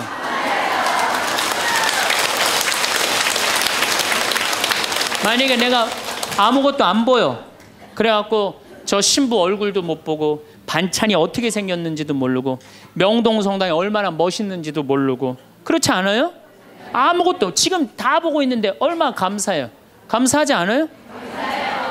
신장 하나 갈아 낀데 3천만 원, 간 갈아 낀데 7천만 원이에요. 이것만 대충 따져도 3억을 여러분들 여기 지금 깔고 있는 겁니다.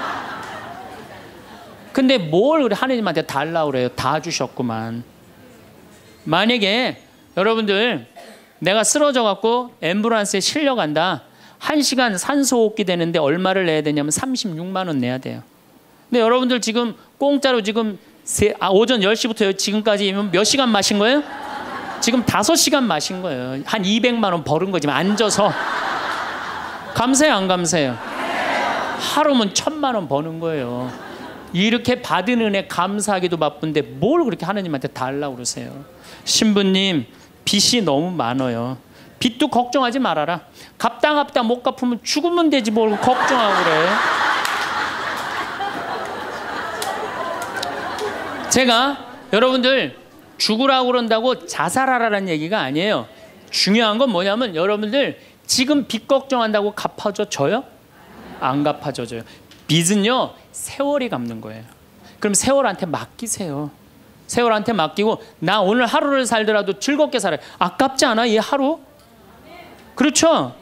그러면 오늘 하루 정말 즐겁고 행복하게 살다 보면은 빚도 시간 지나면 갚아지는 건데 그걸 그냥 끌어안고 그냥 그냥 주님께서 여러분과 함께 마음을 드높이 우리 주 하나님께 감사합시다. 말로는 맨날 마땅하고 옳은 일이라고 그래 말로는 미사 때마다 말로는 마땅하고 옳은 일이라 그래 주님께서 여러분과 함께 전능하신 천주 성부와 성자 성령께서는 여기 모인 모든 에게 강복하소서. 미사가 끝났으니 가서 복음을 전합시다. 떠날 때도 감사하다고 그래. 떠날 때도. 성당 떠날 때도 감사하다고 그러고 감- 정말 감사하느냐. 마음 안에 본질적으로 내가 두 다리 있고 눈 있고 코 있으면요 여러분들 다 받으신 거예요 근데 우리 천주교 교우들은요 감사하는 그 본질적인 게 안 되는 거예요 이 하느님이 모든 것 내가 다 누리고 사는데 저는 그 지선아 사랑해라는 그 시를 보면서요 가슴이 정말로 미어졌어요. 이 이화여대 다니던 지선이라는 이 아가씨는 얼굴도 정말 예쁘더라고요. 그런데 어, 술 먹은 그 차가 쳐갖고 오빠가 학교에서 데리고 오는데 불이 난 거예요. 그리고 열일 열한 번을 수술을 한 거예요. 온 몸에 화상이 입어갖고. 근데 이 친구가 시를 썼는데 기가 막힌 시를 썼어요.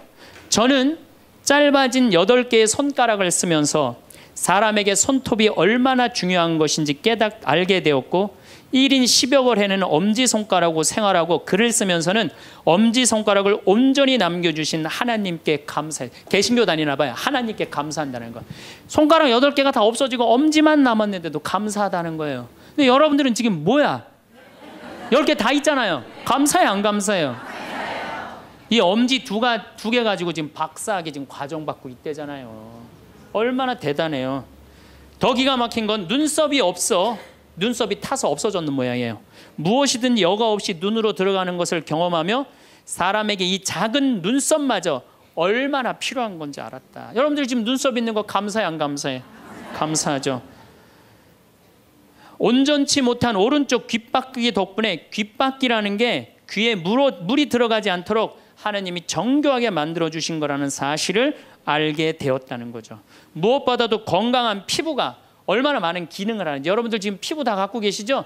그 친구는 다 타 없어서 피부가 없어요.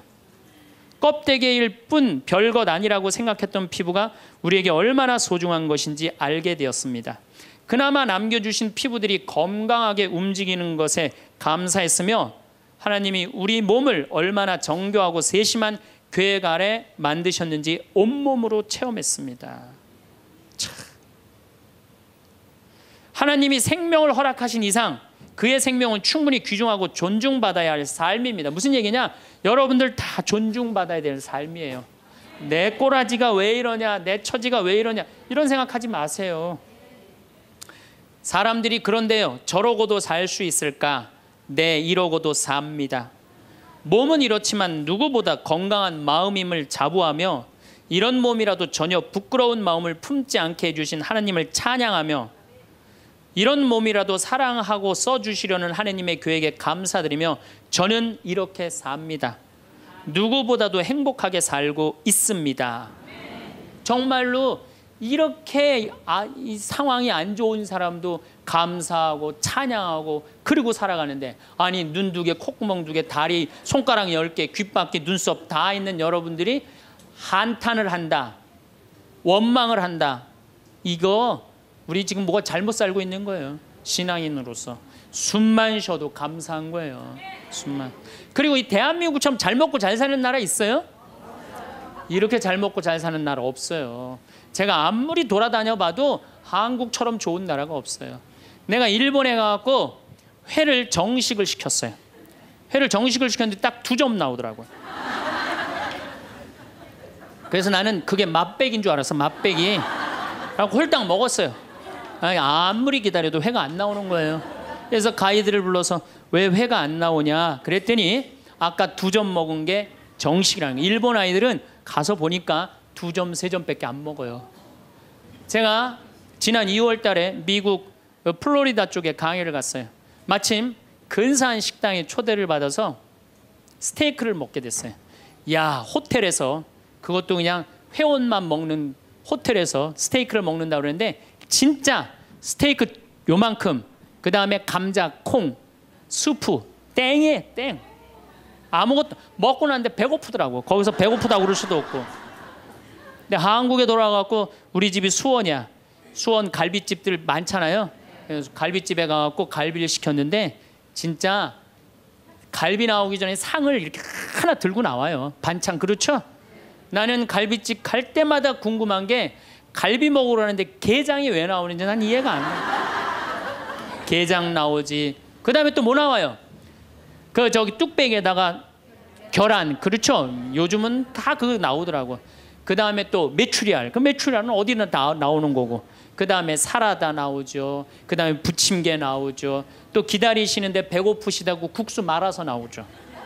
그것만 먹어도 배불러요 사실은. 그리고 이제 갈비가 네 명이 가면 또 딱네 4인분 나오면 그냥 그거 먹으면 배가 빵빵해요. 근데 우리는 배 빵빵하면 안 돼요. 배가 터질 때까지 먹어야 돼. 2인분을 더 시켜요. 그래갖고 그냥 배가 터질 때까지. 그래갖고 그냥 정말 배가 터지기 일보 직전이야. 그런데 대한민국에만 나오는 장면이 하나 있어요. 배가 터질 것 같이 먹었고 갈비뼈가 다 널브러졌으면은 아줌마 하나가 쓱 나와서 이렇게 먹, 물어봅니다. 냉면을 먹을래? 된장찌개를 먹을래?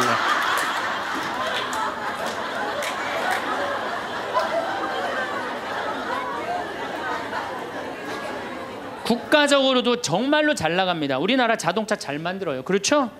텔레비전 잘 만들어요. LED 텔레비전이라고 미국 시장 96% 휩쓸고 있어요. 자동차도 정말로 도요타 지금 막 추월하려고 그러는 판이에요. 반도체 잘 만들죠. 배 잘 만들죠.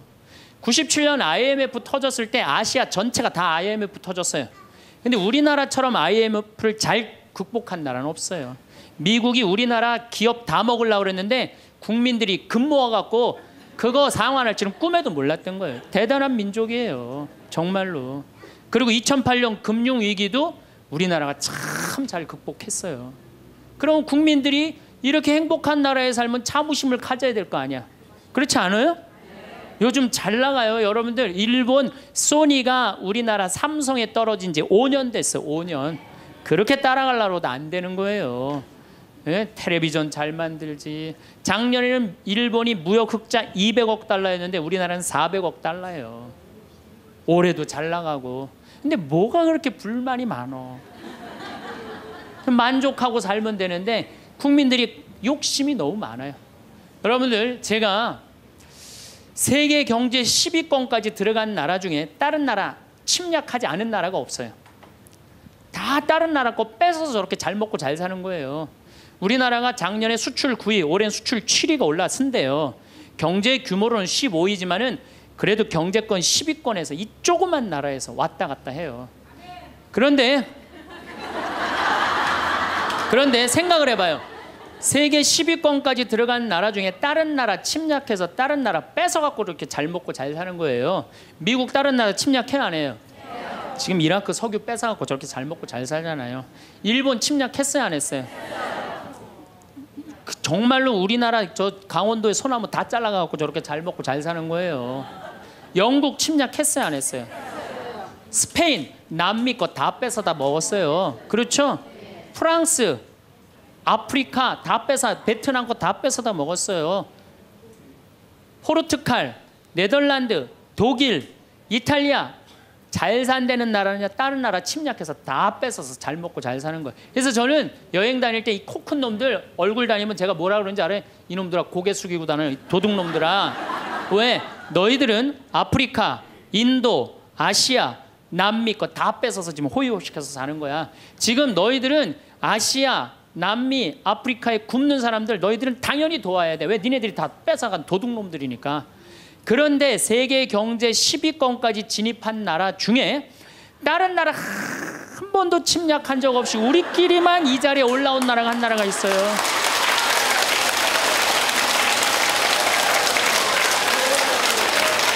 그게 바로 우리나라예요, 우리나라. 여러분들 정말로 저는 대단하다고 생각해요. 그래갖고 이 대단한 사람들이 모여갖고 살아갖고 우리나라 이름이 뭐냐면 대한민국, 대한민국, 대한민국. 그러면 감사해야지, 행복해야지. 그런데 왜 176개 국가 중에 행복 지수가 102등이야. 2007년 기준으로 작년에 많이 올라서 65위로 그래도 그래도 자살률은 세계 1위예요. 아직도 국민들이 욕심이 너무 많아서 그래. 감사를 모르고 나눌 줄을 모르는 거. 이제는 먹고 살만 했으니까 먹고 살만하게 됐으니까 이제는 우리 국민들이 자부심도 가지고 정신적인 성숙도 가지고 나눌 줄을 아는 이 단계에 이젠 들어서야 돼요. 근데 이걸 누가 해야 돼? 우리 천주교 교우들이 앞장서서 해야 돼. 근데 저렇게 맨날 이 까만 옷만 앉아 있고 있으니 이거 어떻게 하면 좋아? 어, 제가 사는 강원도 평창 생태 마을에는 제가 황토집을 전해서 암 환자들이 많이 오십니다. 근데 벌써 한 3년 전 얘기예요. 3년 전에 우리 집에 어, 암 환자 자매님 한 분이 오셨어요. 한 분이 오셨는데 이분이 5월 달경에 오셨는데 아, 완전히 얼굴이 새카마신 분이에요.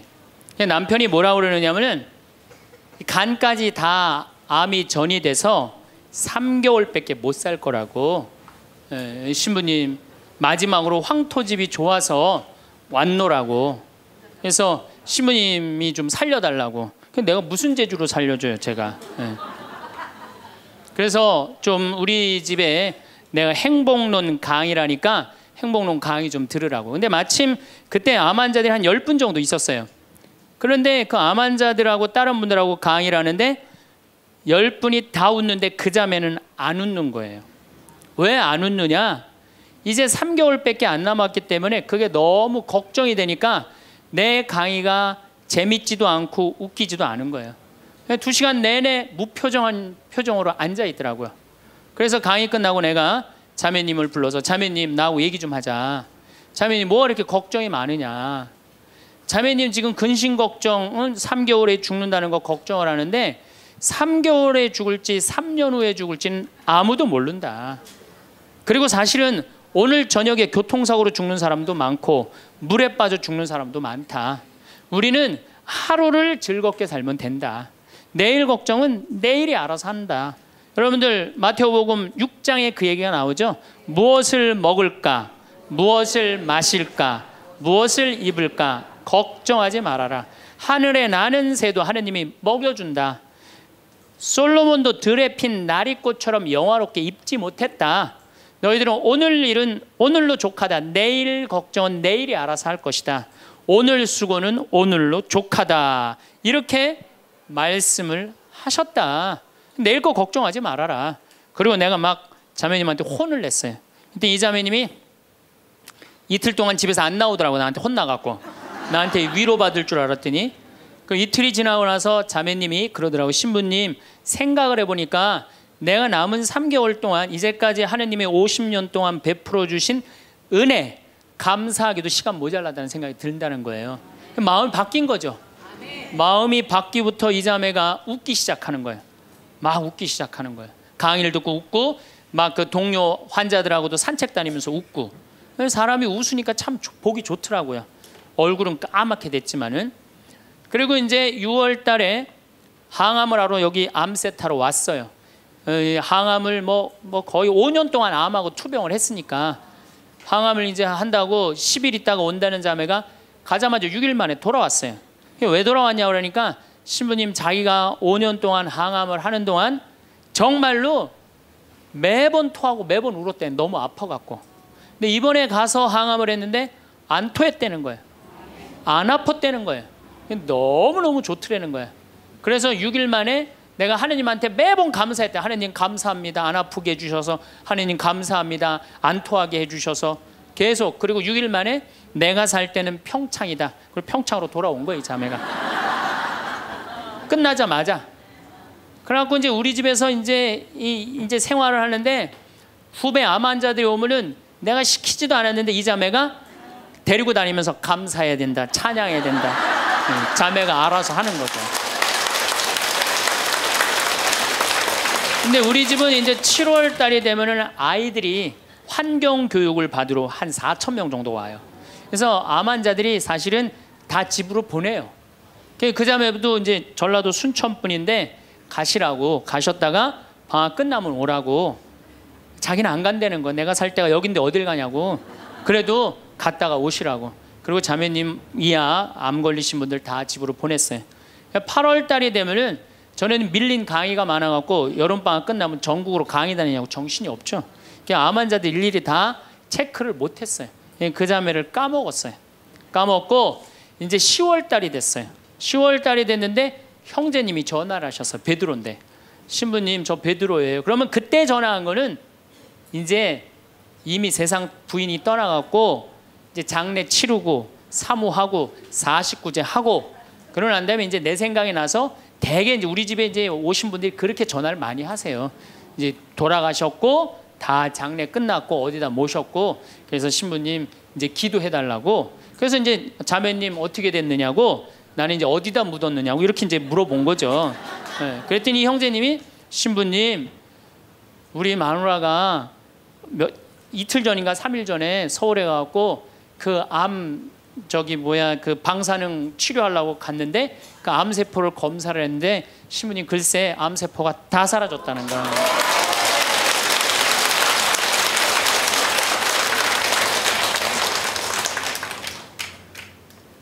마음을 어떻게 먹느냐에 따라서 굉장히 많이 틀려요. 물론 또 하느님이 불러가시면 어쩔 수 없는 거고 저는 하느님이 불러가는 것도 나쁘지 않다고 생각해요. 예, 불러가면 얼마나 좋아요. 요즘 그 미국에서 어떤 박사가 이제 죽어 죽었다가 다시 살아난 사람들 조사를 해봤대잖아요. 죽으면은 죽었다 나도 이제 그 본당 사목하면서 죽었다 살아난 사람들 얘기를 들어보면 아주 거의 똑같아요. 딱 죽을 때 그냥 터널 같은데 빛을 빨리 올라간다는 거예요.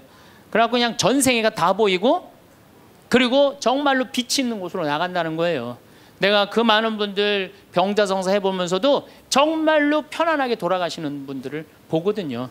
그러니까 사실 살아도 좋고 죽어도 좋은 거예요. 뭐 이렇게 걱정할 게 많아 믿는 사람들이 그렇지 않아요? 어쨌든 그래도 살아 있는 게 낫지 아직까지는 그렇잖아요. 응. 그 여러분들 죽는 거 걱정하지 마세요. 절대 죽기 전까지는 안 죽어요. 죽기 전까지는 걱정하지 마세요.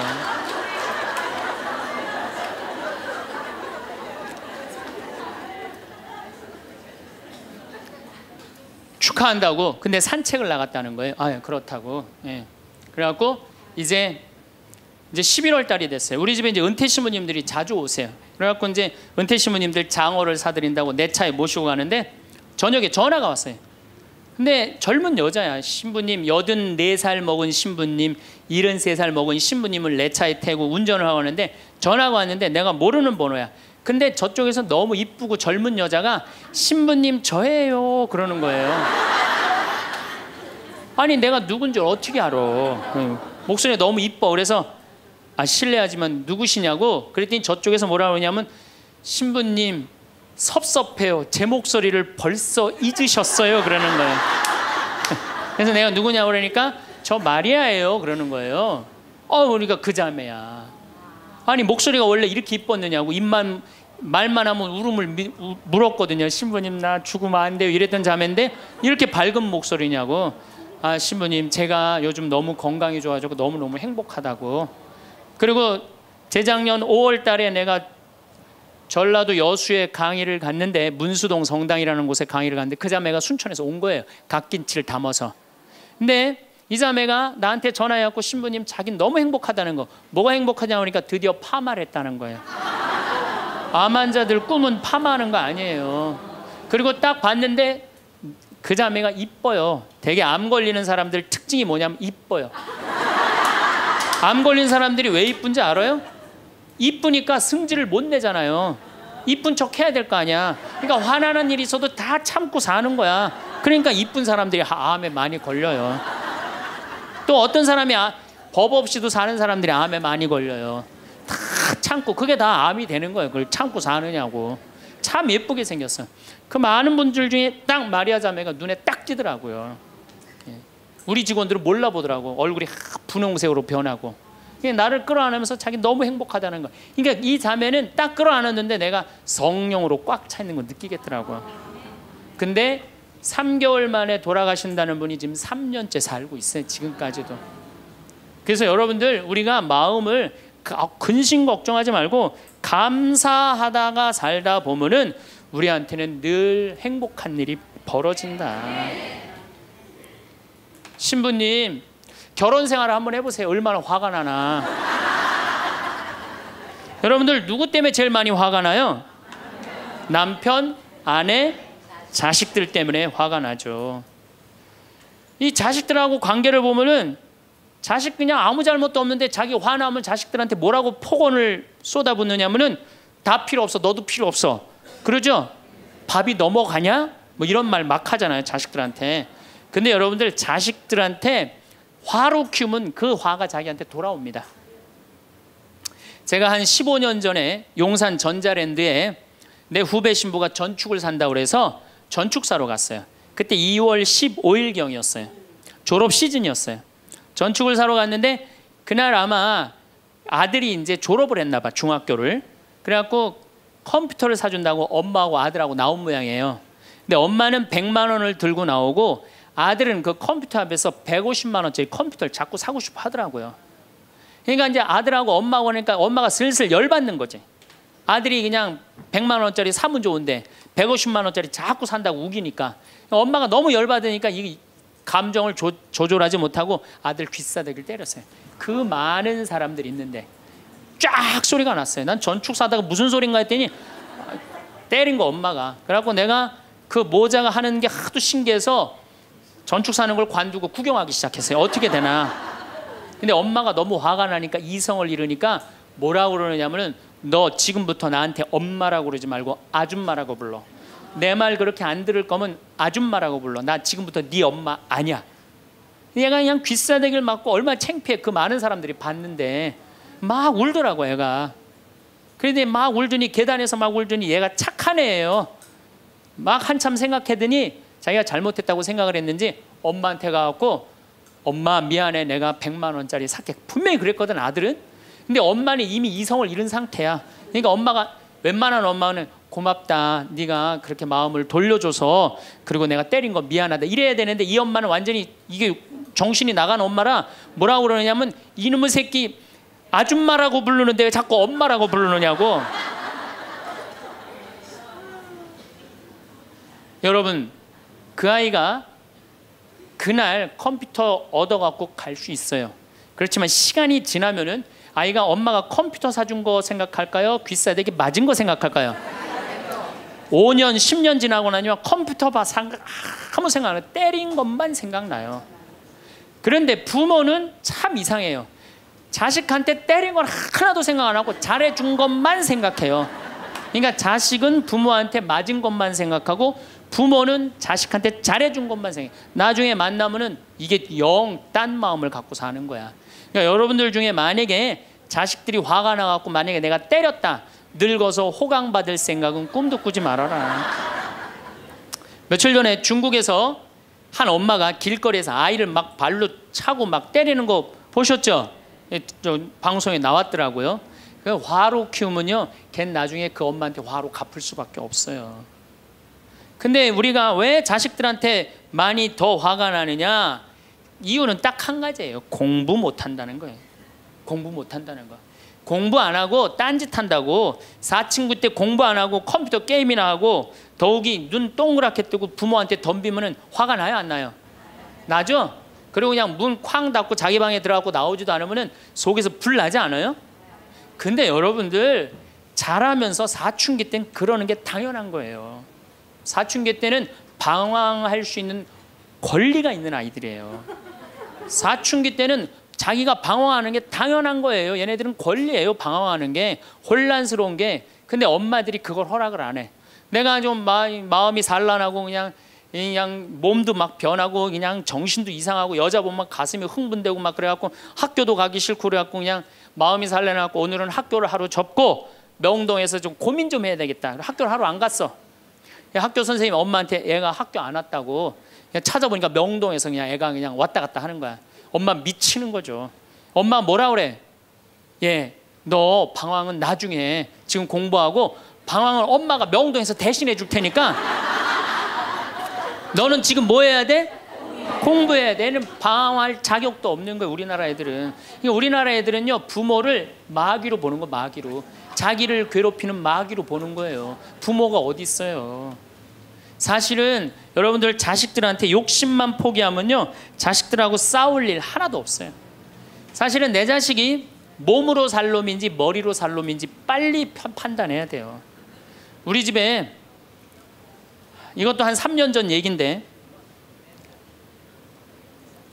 요셉이가 왔어요. 고등학교 졸업하고 대학을 떨어진 아이예요. 근데 그냥 대학을 떨어진 집에서 컴퓨터 게임만 하는 거예요. 엄마가 미치는 거지. 애를 보면 대학도 안 들어갔지 새벽 4시까지 컴퓨터 게임하지 낮에는 1시에 일어나지. 그냥 미치는 거죠. 그래갖고 나한테 데리고 왔어요 강원도 평창에. 근데 살이 얼마나 쪘는지 애가 살이 너무 찐 거예요. 그래갖고 그냥 눈이 살이 쪄갖고 이 눈두덩이가 안 보이는 거예요. 신부님 우리 애가 문제라고 공부는 안 하고 컴퓨터 게임만 한다고. 그래갖고 그냥 내가 애를 보니까 이 눈두덩이 찢어진 눈두덩 사이로 개 눈을 자세히 들여다보니까 애는 문제가 없더라고요. 애는. 근데 애가 살이 얼마나 쪘는지 100kg인지 110kg인지 120kg인지 130kg인지 알 길이 없는 거야. 왜 우리 생태 마을의 저울은 100kg까지밖에 재는 게 없거든. 올라가면 막 뱅글뱅글 도는 거 저울이. 그래서 내가 아, 고추 빨 때 방앗간에 나갈 때 달아봐라. 그래서 달아봐. 그랬더니 얘가 몇 킬로가 나냐? 130킬로가 나서 130킬로. 그래갖고 일단은 하여튼 놔두고 가라고. 그래갖고 이제 엄마 갔어요. 엄마 가고. 근데 애가 참 건강한 애예요. 정신도 맑은 애 아이고 부모 입장에서 문제인데 내 눈에는 문제가 아니더라고. 너 밭에 나가서 일 좀 해라. 그래갖고 이제 다 큰 애니까 밭에 나가서 일을 하고 일주일 지나고 난 다음에 관리장한테 물어봤어요. 걔 어떠냐고 요셉이 그랬더니 관리장이 넘버 원이라는 거예요. 엄마는 문제라고 데리고 왔는데 우리 생태 마을의 관리장은 넘버 원이라는 거. 일도 잘하고 성격도 좋고 기가 막히더라고. 뭐, 뭐 어떻게 일을 잘하냐 하니까 애가 힘이 좋아갖고 물건도 잘 게으름을 안 핀다는 거예요. 게으름을. 여러분들 얘가 몸으로 살래요? 머리로 살래요? 몸으로 살래죠? 몸으로 살래를 머리로 살라 그러면 얘가 머리가 돌 것 같아 안 돌 것 같아요? 그러니까 내가 몸으로 살지 머리로 살지 빨리 구분할 줄 알아야 돼요. 그래갖고 애가 너무 괜찮으니까 6월 달에 우리 생태 마을에 앞에 강이 흐른단 말이에요. 거기서 래프팅을 합니다. 그래서 래프팅 가이드를 자격증을 따라고 그랬어요. 그랬더니 우리 래프팅 가이드 팀장이 신부님 다른 아이는 다 따도 얘는 못 땁니다. 왜냐하면 이 가이드 자격증 체육학 가이들이 따는 거거든요. 배를 뒤집었다가 폈다가 강물에 뛰어 들어갔다가 강물에 또 올라오고 그래야 되는데 130kg짜리가 강물에 한번 빠지면 그만이지 어떻게 자격증을 땁니까? 그래도 우리가 협회 사람들하고 잘 아니까 좀 어떻게 좀 어떻게 좀, 좀 따게 좀 해라. 그래갖고 가이드를 자격증을 보냈는데 그 금요일 날 따갖고 왔어요. 기가 막힌 거죠. 어떻게 땄냐 그러니까 그 주간에 비가 오지 않아갖고 배가 강바닥에 단 거야. 그래갖고 그냥 들어왔다 나갔다 들어왔다 나갔다 자격증 따갖고 왔어요. 그리고 아이가 가이드를 하는데 인기가 최고예요. 최고. 너무너무 잘하는 거 아이가. 그래갖고 이제 9월 달에 엄마가 와서 보니까 아들이 130kg짜리니까 116kg가 된 거야. 그러니까 살이 홀쭉 빠지고 눈빛이 초롱초롱해진 거야. 그러니까 엄마가 가자 공부하러.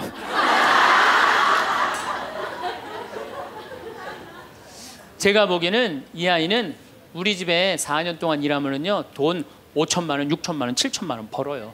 왜냐하면 우리 집에 일하면 돈 주거든요.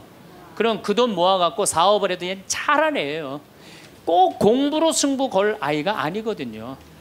그럼 신부님 우리 애가 몸으로 살렌지 머리로 살렌지 기준이 어떻게 됩니까? 반에서 10등 안에 안 드는 놈들은요 다 몸으로 살 놈들이에요. 여러분들 자식들 중에 반에서 10등 안에 안 드는 애들은 다 몸으로 살 애들이야. 독일은 초등학교 졸업하면서 중학교 올라가면서 갈릅니다. 대학 들어가래 아니면 기술 배우래. 그래갖고 갈러도 학교 선생님이 갈러놔도 우리 애가 왜 이 머리가 나쁘냐 이렇게 따지는 부모 하나도 없대요. 그러니까 그 독일 사람들은 그게 내 아이가 몸으로 살고 손으로 기술로 하는 걸 좋아한대요. 그리고 그렇게 아이가 살도록 도와준대요. 근데 우리는 만약에 그렇게 했다 내가 교장 선생님들 교감 선생님들한테 강의 한 번 간 적이 있어요 연수원에 가서 그랬더니 교감 선생님들이 만약에 우리가 그런 결정을 하면 지금 학부형들한테 맞아 죽는다는 거예요 우리나라 부모님들이 욕심이 너무 많은 거예요 자식들한테. 그러니까 자식들이 희생당하는 거죠. 자식들이 희생당하는 거예요. 그러니까 독일은 대학을 졸업하는 비율이 아이들의 한 25% 정도밖에 안 된대요. 대학을 졸업하는 아이들이. 들어가는 애들도 많지 않고 미국은 뉴욕 잘 사는 데가 대학 졸업하는 비율이 60%예요. 60%. 그런데 우리나라는 대학에 지금 입학하는 게 몇 프로냐면 92%예. 아무나 다 대학 가는 거예요. 아무나 다. 그러니까 독일은 몸으로 살 애들이 80, 75%야. 그렇죠? 그 다음 미국은 몸으로 살 애들이 40에서 50% 정도 돼요. 우리나라는 92%가 대 미국은 또 미국이나 캐나다는 60%가 대학에 들어가도 졸업하는 건 그 중에 반밖에 못 해요. 다 졸업 못 해요. 그래서 그쪽에 가 보니까 입학은 물어봐도 졸업은 물어보는 게 아니래요. 졸업하는 게 그렇게 어렵다는 거예요. 근데 우리는 92%가 들어가면 91% 거의 다 졸업을 하는 거야. 우리는 몸으로 살 애들이 8%밖에 안 돼. 머리로 살 애들이 92%고. 공장에 농장에 일할 사람들이 있어요? 없어요. 그러니까 이 나머지 92% 중에 취직을 다 합니까? 4, 50%밖에 못 해요. 그러면 나머지 40%는요. 한량으로 남는 거예요. 취직도 못 하고. 그럼 그거 그 자식 보고 있으면 속에서 불이 나요, 안 나요? 불이 나죠? 근데 누가 잘못한 거예요? 부모가 잘못한 거예요. 처음부터 너는 머리로 안 될 것 같으니까 우리 몸 쪽으로 가자. 그래갖고 농사를 가르치든지 기술을 가르치면 은 걔 벌써 취직해갖고 일했을 거예요. 근데 다 우리의 삐뚤어진 욕심 때문에 아이도 망가뜨리고 부모도 망가지고 그래갖고 돈 쏟아 넣느냐고 노후 대책연금도 못하고 그러니까 그냥 전 국민이 그냥 화 속에서 사는 거예요. 그러니까 저는 정말로 우리나라 이 교육 제도가 화의 근원이라고 생각해요. 그렇다면은 자식 때문에 화나죠. 그런데 이 부부라도 서로 사이가 좋으면은 좋은데 엄마들이 자식한테 미쳐갖고 남편한테 신경 써야 안 써요? 안 쓰죠? 남편이 외로운지 힘든지도 몰라요. 근데 자식들은 부부가 막 사랑스럽고 이렇게 다정하게 지내는 부모를 본 자식들은요 안정스럽게 자란대요. 근데 부부가 맨날 싸우고 막 이러는 자식들은요 굉장히 불안정하게 자란다는 거예요. 그래서 저는 정말로 감사한 게 저는 고등학교 졸업할 때까지 부부는 안 싸우는 건 줄 알았어요. 부부는 한 번도 부부 싸움을 본 적이 없어요 저는. 근데 내 고등학교 때 친구가 아이 뭐 술 먹자고 고등학교 때 그 왜 그러냐 그러니까 엄마 아버지가 엄마를 때려갖고 눈탱이가 밤탱이가 됐다는 거예요. 자기 너무 너무 괴롭다는 거예요. 그래서 저는 그때 충격 받았어요. 뭐 어떻게 부부가 싸우느냐 그런 충격을 받았어요. 저는 왜냐하면 나는 우리 어머니 아버지 싸우는 걸 한 번도 못 봤거든요. 그래서 내가 그 얘기를 얼마 전에 우리 형제들이 다 모였을 때 나는 어머니 아버지 싸우는 걸 한 번도 못 봤다. 그랬더니 우리 형제들이 이구동성으로 딱 한마디 하더라고요. 신부님이 집에 붙어 있은 적 있어야지 그걸 보는 거 아니냐.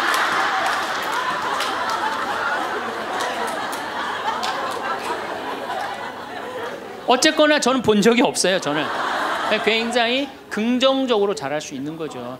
근데 우리나라 남자들은 참 불쌍해요. 돈은 죽어라 벌지만 그 돈을 마음 느긋하게 써볼 수가 없어요. 그렇죠? 자식들 학원비에 대학 등록금 되다 보면은 30에 결혼해서 시집 장가 갈 때까지 60대까지 노예같이 사는 게 대한민국 남자들이에요. 이 남자들 짜증 나겠어요, 안 나겠어요? 화가 나겠어요, 안 나겠어요? 날 수밖에 없어요. 그런 남편들을 신경 한번 써줘 봤어요. 정말로 정말 남편 정말 정말로 남편을 왕대조 패 줘봤느냐고 여러분들 길 가는 사람이 여러분들 만 원 주는 사람 있어요? 길 가는 남자가 당신 예쁘다고 만 원 주는 남자 봤어요? 근데 여러분들 남편은 그냥 한 달에 뼈가 빠지게 벌어갖고 200만 원이든 300만 원이든 400만 원이든 갖다 바치잖아요. 그러면 그 남편한테 감사해야 될 거 아니야. 근데 그냥 감사는 안 하고 뭘 뭐 그냥 남의 김치찌개도 그냥 제대로 안 하면 그냥 못 끓이고 그냥 자식이라고 있는 거 학원 다니다 보면은 밤 12시에 얼굴 보기도 힘들어요. 아버지가 자식을 키우고는 있지만은 다정한 자식을 구경하기가 힘들어요. 또 사춘기만 되면 이 자식들이 아버지한테 부드럽게 합니까? 반항하고 틱틱거리고 그러면은요. 우리나라 남자들은 갈 데가 없는 거야. 그래서 40대 남자들이 자살률이 세계에서 1위인데 우리나라 여자보다 몇 배가 많이 죽느냐면 세 배가 많이 죽어요. 우리나라 40대들은 갈 데가 없는 거예요. 갈 데가 외로운 거죠. 또 여성들도 마찬가지야. 난 우리나라 여자들도 불쌍해. 이게 다 교육 때문에 그래. 교육 때문에. 자식이 막 사춘기 때 막 생 난리를 치고 막 그럴 때 여러분들은 몇 살이 될까요? 마흔다섯, 왔다 갔다 하죠? 그럼 여러분들은 자식은 사춘기지만 여러분들은 뭐예요? 갱년기야. 그러니까 갱년기가 되면 사실은 굉장히 케어가 필요한 거예요. 여러분들 굉장히 돌봄이 필요한 나이예요. 막 피부 처져요, 안 처져요? 눈두덩 처져요, 안 처져요? 눈가 처져요, 안 처져요? 볼 처져요, 안 처져요? 이빨 처져요, 안 처져요? 그러니까 그렇게 처지는 거 거울에 이렇게 보고 앉아 있으면 어떤 얼굴이 되냐면 이런 얼굴이 돼요.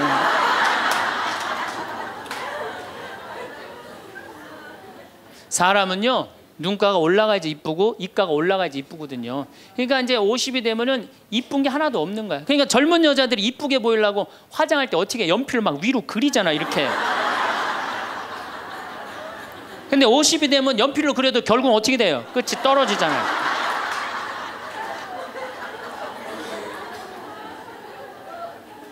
하지만은 우리나라 이 갱년기의 여성들은 자신의 고통, 번뇌 뒤로 하고 감추고 희생합니다.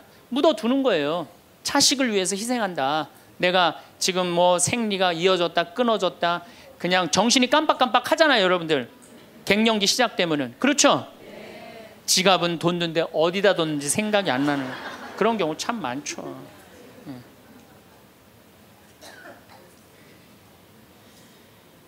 그러니까 자기만 희생한다고 생각을 하니까 화가 나는 거예요. 화가 나는 거. 더욱이 50이 되면은 뭐에 걸리느냐 빈둥지 증후군에 걸려요.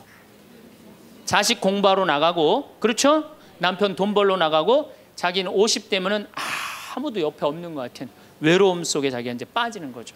그러면 이제 자식 보면 막 화가 나는 거예요. 남편 봐도 화가 나고 몸에는 막 테스토스테론이 나와가고 힘은 흘러 넘치고 그러니까 막 소리소리 지르는 거야. 그러니까 50 넘은 여자 중에 여자 같은 여자는 없고 전부 다 깡패 같은 여자들만 있는 거예요. 50 넘은. 그래서 나는 이 부부들 보면은 참 재미난 게 성당에서 내가 보면 얼굴도 예쁘고 정말로 상냥해요.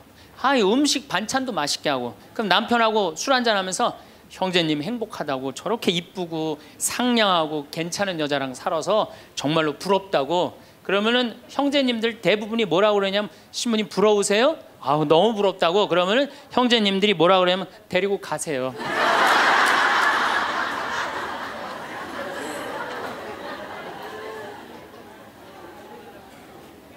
그래서 부부가 서로 사랑하지 못하고 자식하고도의 애정을 쌓지 못하고 그러니까 우리가 이제 화가 꽉 차 있는 거예요. 그러니까 이 화가 꽉 차 있으니까 정말로 상상하지 못하는 일들이 벌어지는 거 우리 사회 안에서 막 막 서로 죽이고 뭐 내다 버리고 뭐 이런 일들이 벌어지는 거죠. 그러면은 화가 나면은 어떻게 이 화를 컨트롤을 해야 되느냐? 화를 다루어야 되느냐? 지금부터 그 얘기를 말씀드리겠습니다. 여러분들 화가 나면 예수님만 보면 돼요. 우리가 인생이 답답할 때 누구만 보면 돼요? 예수님만 보면 됩니다. 요한복음 8장에 가늠한 여자 얘기가 나옵니다. 자, 요한복음 8장에 가늠한 여자 얘기가 나와요. 당시 2000년 전에 여자가 가늠을 했다. 이건 당시 중동 지역에서는 어떻게 했느냐면 돌로 쳐서 그 여자가 돌에 맞아갖고 쓰러져갖고 돌 무더기를 만들어서 죽여요. 이번에도 중동에서 그런 일이 있었죠. 사진을 보니까 진짜 돌 무, 무덤을 만들어 버려. 돌 무덤을 만들어 버리더라고요. 근데 이 여자가 간음을 하다가 그 이번에 이 중동에서 그런 분은 남자하고 팔짱 끼고 나갔는지 그냥 나, 외출했다고 그거 이유 하나로 그 처벌을 당했어요. 근데 이 여자는 현장에서 붙잡혔어. 중동에서 이 여자들은요 다 싸고 다녀요. 싸고 다녀요. 그만큼 여자를 사람 취급을 안 해요. 그런데 이 여자가 간음을 했어. 그러니까 남자들이 막 화가 날 날 것 같아 안 날 것 같아요. 너무 너무 화가 나는 거지. 이 여자는 여러분들 예뻤겠어요, 안 예뻤겠어요? 예뻤을 거예요. 왜냐하면 당시에 간음을 한다는 건 목숨을 걸었기 때문에. 이 여자 몸매는 어땠을 것 같아요? S 라인에 S 라인. 이게 벤지 엉덩이인지 구분도 안 되는 여자고 가늠할 수가 없어요. 예쁜 여자가 다른 남자하고 대낮에 가늠하다가 붙잡혔다. 남자들이 흥분할 수밖에 없어요. 그래갖고 막 눈이 뒤집어져 갖고 예수님은 안 그래도 예수님한테 별렀어요. 왜?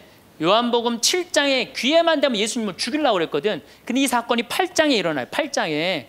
그러니까 모두를 용서해라, 사랑해라 이런 분하고 율법 1.1핵도 없어지면 안 된다. 이 그러니까 율법 학자들이 예수님 앞에 이 여자를 패댕기를 치는 거예요. 당신이 가르 이 여자 간음했는데 어떻게 하면 좋으냐고. 근데 예수님이 보니까 이 사람들이 이 남자들이 너무너무 흥분해 있는 거야. 눈이 뒤집어진 거예요. 보니까 흰 눈동자 95%, 까만 눈동자 5%야. 눈이 확 뒤집어져 있는 거야. 근데 예수님은 참 지혜로우셔요. 흥분한 사람하고는 얘기를 안 하시는 거예요. 여러분들 두 사람이 막 싸워. 내가 말리로 들어갔어. 말리로 들어갔고 말리로 들어가면 나중에 흥분한 사람들 속에 뛰어 들어가면 나중에 몇 명이 싸워요? 세 명이 싸워요. 이게 눈은 눈에 뵈는 게 없을 때는요. 아무리 좋은 말도 귀에 안 들어오는 거예요. 눈에 뵈는 게 없을 때는. 예수님 딱 보니까 아니 이 사람들이 완전히 흥분해 있어. 그러니까 상대 안 합니다. 어떻게 하냐면 대꾸도 안 하고 바닥에다 뭘 쓰세요. 땅바닥에 뭘 쓰세요. 참 위대한 행동이죠. 흥분을 가라앉을 때까지 흥분이 가라앉을 때까지 기다리시는 거죠. 저는 제 소원이 하나 있어요.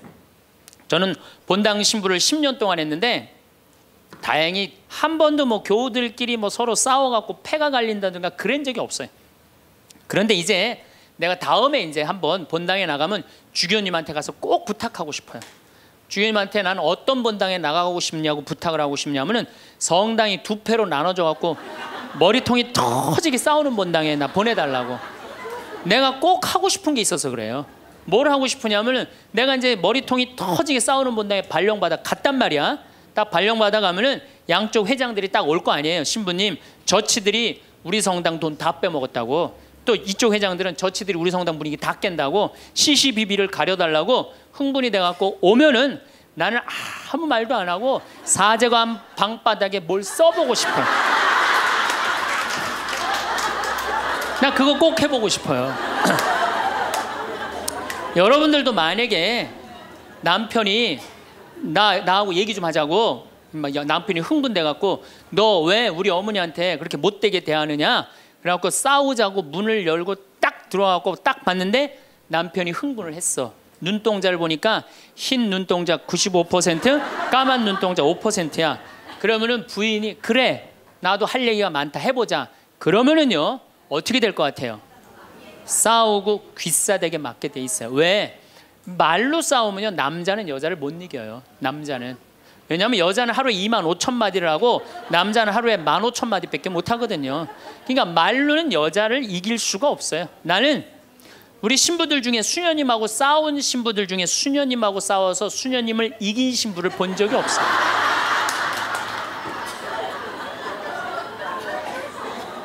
말로는 안 되는 거예요. 그러니까 여러분들 남편이 흥분해 갖고 딱 나하고 얘기하자 그러면 여러분들은 아무 대꾸하지 말고 방바닥에 뭘 쓰세요. 뭐 할 때까지?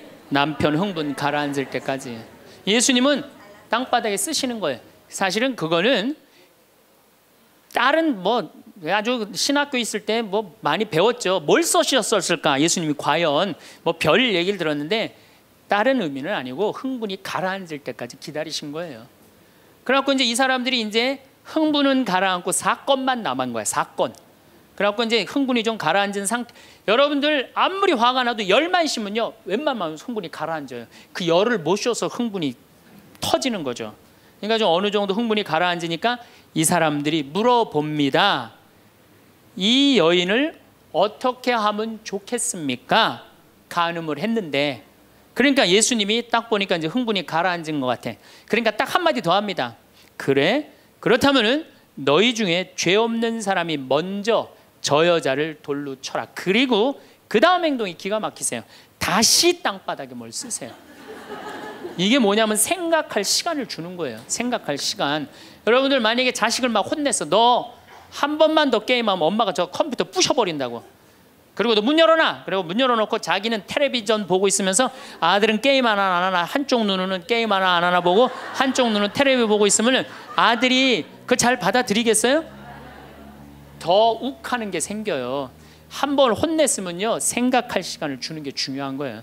그러니까 예수님은 생각할 시간을 주는 거예요. 너희 중에 죄 없는 사람이 먼저 저 여자를 돌로 쳐라. 그리고 난 다음에 예수님 다시 땅바닥에 뭘 쓰십니다. 그런데 언제까지 기다려 주시느냐면 다 떠날 때까지 기다리는 거예요. 중간에 고개 안 돌리시고. 그리고 다 떠났어. 다 떠나고 나니까 그때서 고개를 들어서 혼자 남은 여인한테 물어봅니다. 여인아, 네 죄를 묻던 사람들이 어디 갔느냐? 아무도 없습니다, 주님. 그래? 그들이 만약에 네 죄를 묻지 않았다면 나도 네 죄를 묻지 않으마. 이거 기가 막힌 얘기예요. 왜? 예수님은 죄를 묻을 수 있는 권한이 있으신 분이에요. 얼마든지 그 여자를 징계할 수 있어요. 그렇지만 다른 사람이 묻지 않았기 때문에 나도 묻지 않겠다. 아, 기가 막히지 않아요? 예수님은 세 사람을 용서합니다. 첫 번째 죽이자고 덤비는 바리사이들을 용서하고 가늠한 이 여인을 용서하고 그 다음에 율법의 1.1획도 나는 어, 어기로 온 것이 아니다 없애러 온 것이 아니다 이렇게 가르친 당신까지 용서한 거야. 다시 말해서 흥분이 가라앉으면요 문제 해결은 다 돼요. 흥분한 상태에서 여러분들이 문제 해결하려면 해결이 안 된다는 얘기예요. 그렇다면 이 흥분은 화는 어떻게 하면 조절할 수 있느냐? 첫 번째 숨을 잘 쉬어라 이거는 모든 화를 조절하는 책을 읽어보면요. 첫 번째로 나오는 게 숨을 잘 쉬어라요. 화가 나면은 숨이 가빠져요, 안 가빠져요? 가빠지죠? 씩씩거린다 그러죠? 이게 숨을 어떻게 주체하지 못해서 그러는 거예요. 근데 여러분들 숨은 창세기에 보면은 하느님이 인간을 창조하시고 뭘 불어넣었다 그래요? 숨을. 그러니까 우리가 숨을 쉰다는 건 생명을 쉬는 거예요. 생명을. 그러니까 숨을 잘못 쉬면 생명을 잘못 다루는 거하고 똑같은 거예요. 근데 숨은 어떻게 내 몸으로 들어와서 코로 들어와서 심장으로 해서 이 위로 해서 그 다음에 단전 배꼽 아래로 해서 간으로 해서 폐로 이렇게 돌아서 나가는 게 숨이에요. 그래갖고 온전히 산소 공급이 온 장기 안에 다 돼야 돼. 근데 화가 나면 여러분들 숨을 어디다 걸어놓고 쉬어요? 목에다 목줄서 딱 걸어놓고 싸우잖아요 남편하고 싸울 때. 예? 내가 시집하고 당신한테 해준 게 뭐가 있어? 외식을 해줘서 설거지를 해줬어 그렇다고 여행을 시켜줘서 밍크 코트를 사줘서 다이아를 사줬어 어? 그럼 얼굴이 빨개져 안 빨개져? 왜 빨개지느냐면 이게 내려갔다 와야 되는데 여기만 딱 차 있으니까 점점 점점 풍선처럼 부풀러 오르는 거예요. 그렇게 한 시간을 소리 소리 지르고 싸우면은 한 시간 동안 여기 산소 통합니까 안 통합니까? 안 통하면 여기가 무슨 병이 드느냐면 화병이 드는 거. 그래서 드는 병이 화병이에요. 그러니까 싸울 때 어떻게 싸워야 되냐면 숨을 쉬고 싸워야 되는 거야. 싸울 때. 어떻게 싸워야 되면 당신이 말이야 시집 와갖고 나한테 해준 게 뭐가 있어? 설거지를 해줬어. 그렇다고 외식을 시켜줬어.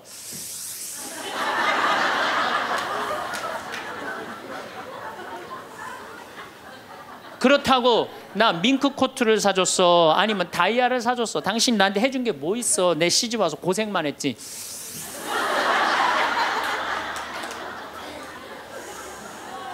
그렇다고 내가 하느님 그렇게 열심히 믿었는데 어, 예수님 태어난 어? 나자렛을 보내줬어. 갈릴레아를 보내줬어. 나 이 집에서 종처럼 일만 했는데 당신 뭐가 있다고 나한테 소리를 질러 그래?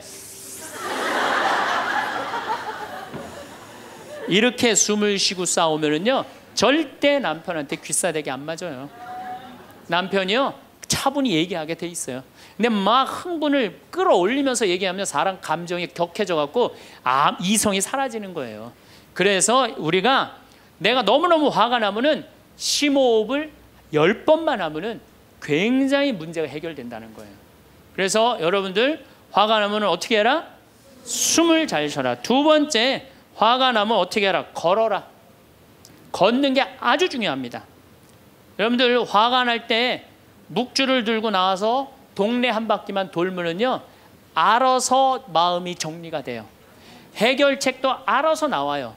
두 시간, 세 시간만 걸으면은요 완전히 차분해져서 들어가요. 그러니까 화가 나면 그 자리에서 떠나야 되는 거 무조건. 떠나는데 가만히 있으면 더 이게 일어나거든요. 그래서 이 꼼포스텔라라고 스페인의 야고보 성인 무덤 가는 800km 그게 세계적으로 그렇게 인기가 좋은 게 왜 인기가 좋으냐 하면은 그 걸으면서 사람이 치유가 다 되고 마음 정리가 다 되기 때문에 그러는 거예요. 그러니까 걷는 거는 건강에도 좋지만은 마음을 정리해 주는 게 걷는 거예요. 그래서 여러분들 정말로 화가 나면 어떻게 걸으세요. 그리고 정말로 큰 숙제가 있다. 내 인생에 큰 숙제가 있다. 그러면은 도보 성지순례를 하세요. 도보 성지순례를. 저는 우리 교우들이랑 이 세남터에서부터 미리네까지 전체 교우가 밤 8시면 모여갖고 새벽 3시, 4시까지 저 미리네까지 걸었어요. 그 목요일, 금요일, 토요일, 일요일 4일을 걸었는데 그 한 4, 500명 되는 교우들이 나한테 체험, 은혜 받은 얘기를 하는데 이건 보통 은혜 받은 게 아니에요. 허리 아프던 사람은 허리 다 낫고 위장 아프던 사람 위장 다 낫고 마음 복잡한 사람 마음 정리되고 사업이 막 안 돼 갖고 괴로워하던 사람은 빛을 보고 걷는 게 그렇게 우리 인생에 중요한 거예요. 그래서 내가 정말 문제가 있다. 새남터서부터 걸으세요. 새남터 우리 김대원 신부님 시신 모시고 미리네까지 원선쇼 할아버지가 그땐 청년이었지만 갔잖아요. 그 생각하고 걸으면은요 여러분들 은혜 많이 받으실 거예요. 그러니까 화가 나면 어떻게 해라? 숨을 잘 쉬고 그 다음에 어떻게 해라? 걸어라. 그 다음에 화가 나면 화를 조절하는 방법 중에 세 번째는 잘 먹어라. 이게 먹는 게 화를 먹는 경우가 너무 많아요. 인스턴트 음식 그렇죠? 이거 잘못 먹으면요 다 화가 들어 있는 거예요. 그리고 고기 너무 많이 먹으면요 화냅니다. 여러분들 사슴 싸나워요 안 싸나워요? 안 싸납죠? 사자 싸나워요 안 싸나워요? 싸납죠? 사자 뭐 먹어요? 고기 먹죠? 사슴 뭐 먹어요? 풀 먹죠? 내 아들이 나한테 덤비는데 막 리모컨 던지고 막 자기 막 방문 부시고 그러면은요 애가 성격이 나빠서 그런 게 아니에요. 아 내가 고기를 너무 많이 먹여서 그렇구나. 그래갖고 걔를 뭘 먹이냐면 6개월 동안 풀만 먹여보세요. 6개월만 지나면 완전히 온순해집니다. 그리고 여러분들 우리가 먹는 게 화가 너무 많아요. 급 아주 비근한 예를 하나 드릴게요. 달걀을 예를 드릴게요. 달걀을 여러분들 닭들 어떻게 달걀을 낳아요? 우리 지금 여러분들 보통 드시는 닭들 다 가, 가둬놓고 하죠? 재웁니까 안 재웁니까? 안 재우죠?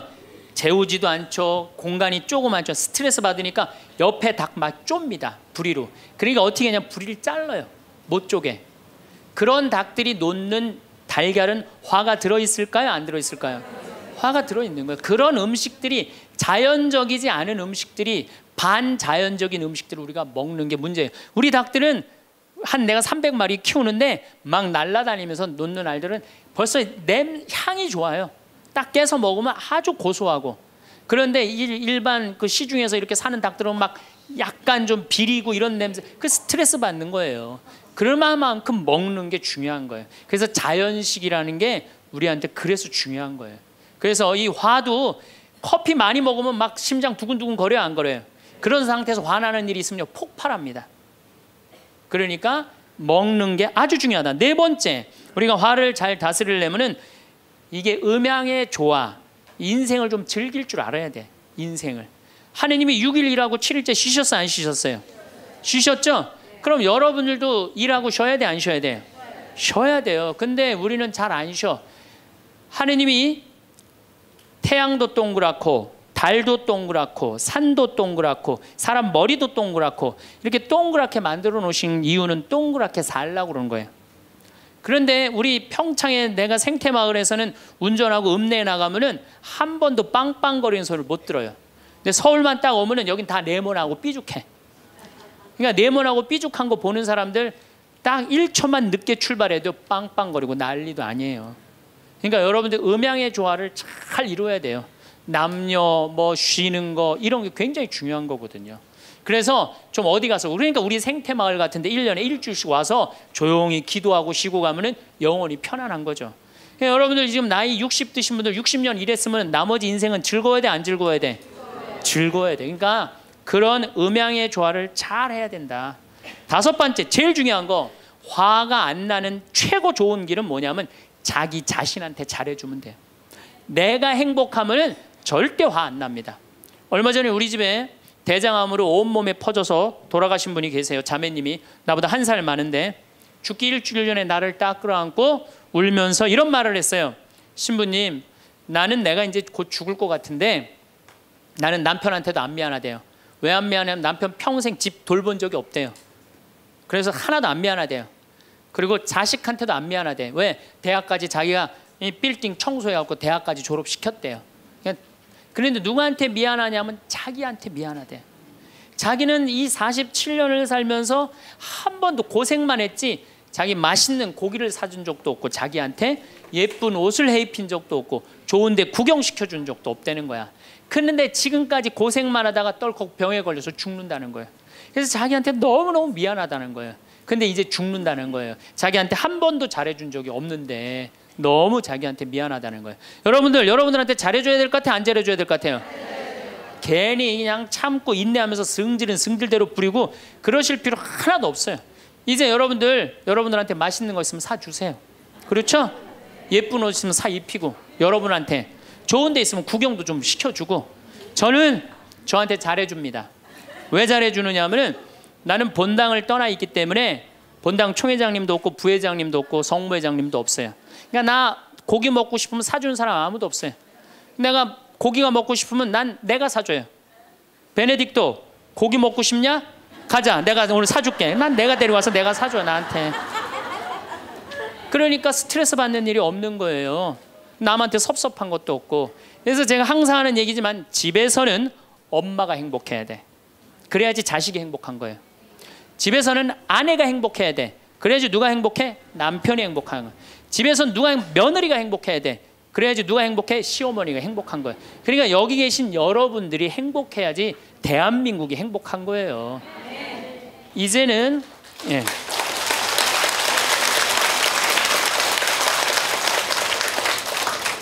자기한테 잘해주는 걸 비신앙적이라고 생각하지 마십시오. 온 세상을 얻는다 해도 자기 목숨을 잃으면 아무 소용이 없다. 그러셨죠? 그러니까 여러분들한테 잘해주시고 내가 행복해야지 그 행복을 가지고 온 세상에 나눠줄 수 있다는 사실 잊지 마시고 여러분들 행복하시기 바랍니다. 주위의 소중한 분들에게도 공유해 주시면 좋을 것 같습니다. 한 번 더 들으시면 가슴에 더욱 새겨질 것입니다. 반복 재생합니다. 만약에 우리가 우리가 인생 살아가면서 이 화만 안 내도 우리 인생이 굉장히 평탄할 것 같아요. 근데 가끔 잘 참다가도 그냥 갑자기 한번 화가 나면은 막 모든 게 막 뒤죽박죽 되시지 않으세요? 저는 이 한국 사회를 보면은 화로 꽉 찬 것 같아. 며칠 전에 그 지하철 2호선에서 할머니 한 분이 손자 같은 그 딸을 손자 손녀 같은 아이를 머리채를 막 힘도 얼마나 좋으신지 그냥 막 하는 모습을 보면서 아 정말 우리나라에 화가 꽉 차 있구나. 우리 인생을 살아가면서 분노를 억제하지 못하고 돌이킬 수 없는 잘못을 저지를 때가 참 많아요. 홧김에 어떨 때는 부모도 죽여요. 홧김에 홧김에 남편도 죽이고 홧김에 아내도 죽이고 그래서 이 화를 잘 다스린다는 게 굉장히 중요한 것 같아요. 그럼 여러분 언제 화가 나요? 화가 나는 건 언제 화가 나냐면 무시당할 때. 남편이 시댁 식구들 앞에서 아니면 성당 모임에서 아 우리 마누라는 할 줄 아는 게 아무것도 없다.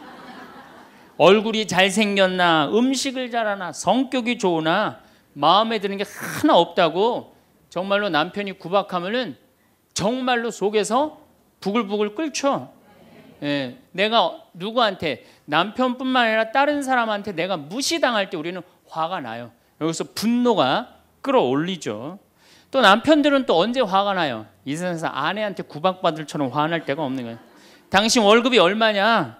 우리 뭐 먹고 사냐?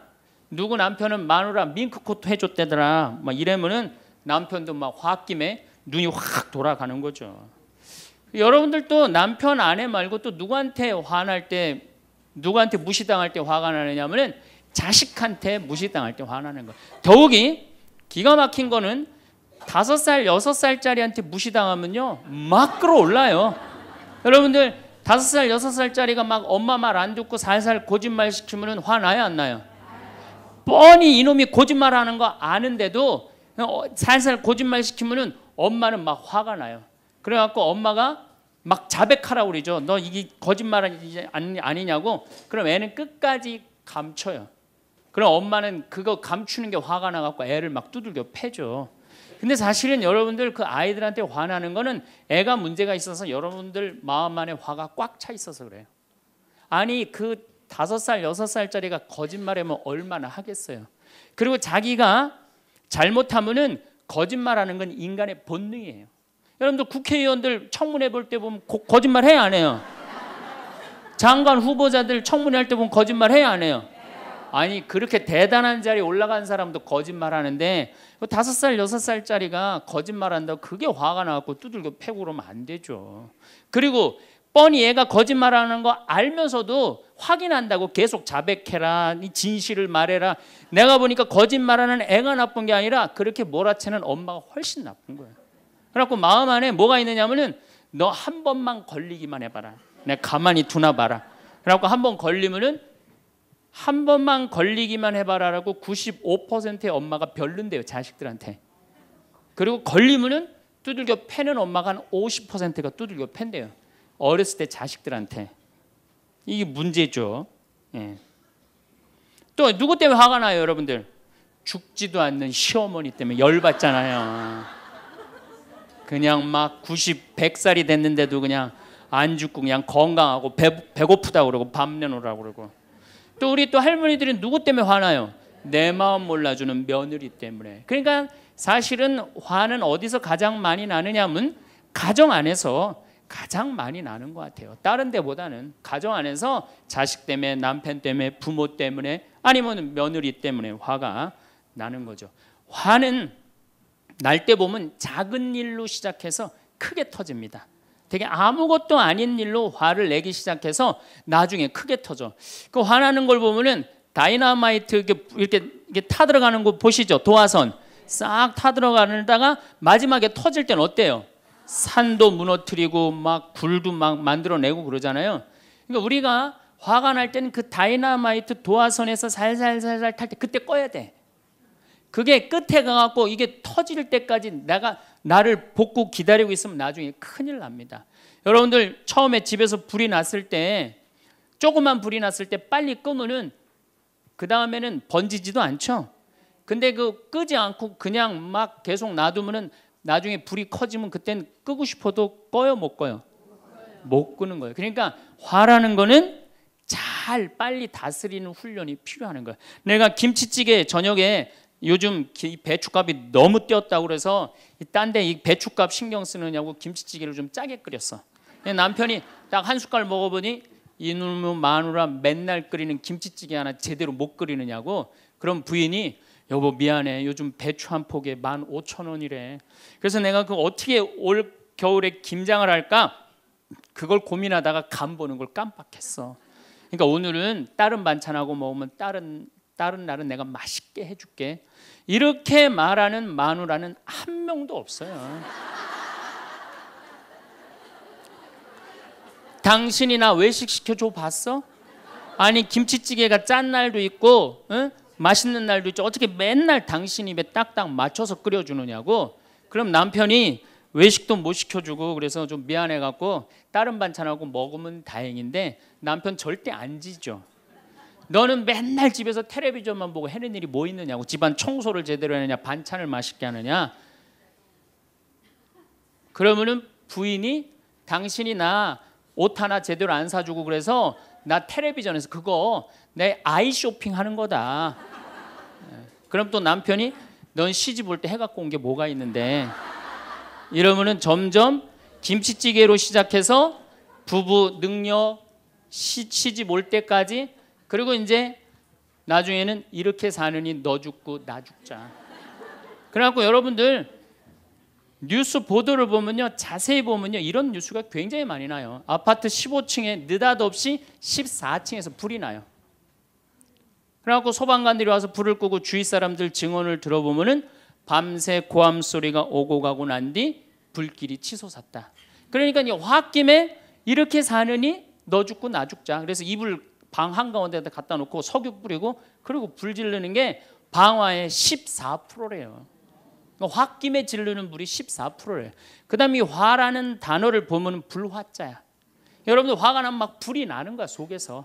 예, 이거를 다스리지 못하고 이거를 끄지 못하면은 우리가 점점 점점 크게 근데 화는 내면 낼수록 문제가 해결될까요? 문제가 꼬일까요? 화는 내면 낼수록 문제가 꼬여요. 제가 20년 전에 제가 알던 분 시동생이야. 근데 이 양반이 굉장히 다혈질이었어요. 성탄절 전날 불법 유턴을 하다가 걸렸어요. 걸려갖고 정경이 딱 잡아갖고 불법 유턴했습니다. 벌점 15점에 벌금 7만 원입니다. 나는 안 했다. 내가 분명히 봤습니다. 이놈의 새끼 안 했다는데 왜 자꾸 그러느냐?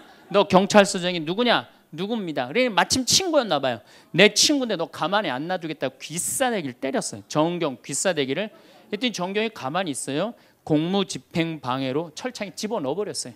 그래서 거기서 길길이 뛰다가 그 자리에서 뇌출혈로 죽었어요. 불법 유턴한 거 하나 때문에. 근데 우리는 그런 일들 참 많아. 옛날에도 이 저기 뭐야 공중전화 오래 한다고 그런 사건도 있었죠. 그냥 아무것도 아닌데 그냥 조금만 한 번만 내가 이 고개를 숙이면 되는데 저도 강의 다니느냐고 멀리 강의 갈 때 시간은 다가오고 차는 막히고 그러면 제가 불법 유턴도 많이 하고 빨간 분일 때 건너도 많이 가요 정말로 왜냐하면 나를 기다리는 분이 보통 500명, 1000명인 경우가 많잖아요. 서울 올 때가 제일 그럴 때가 많아요.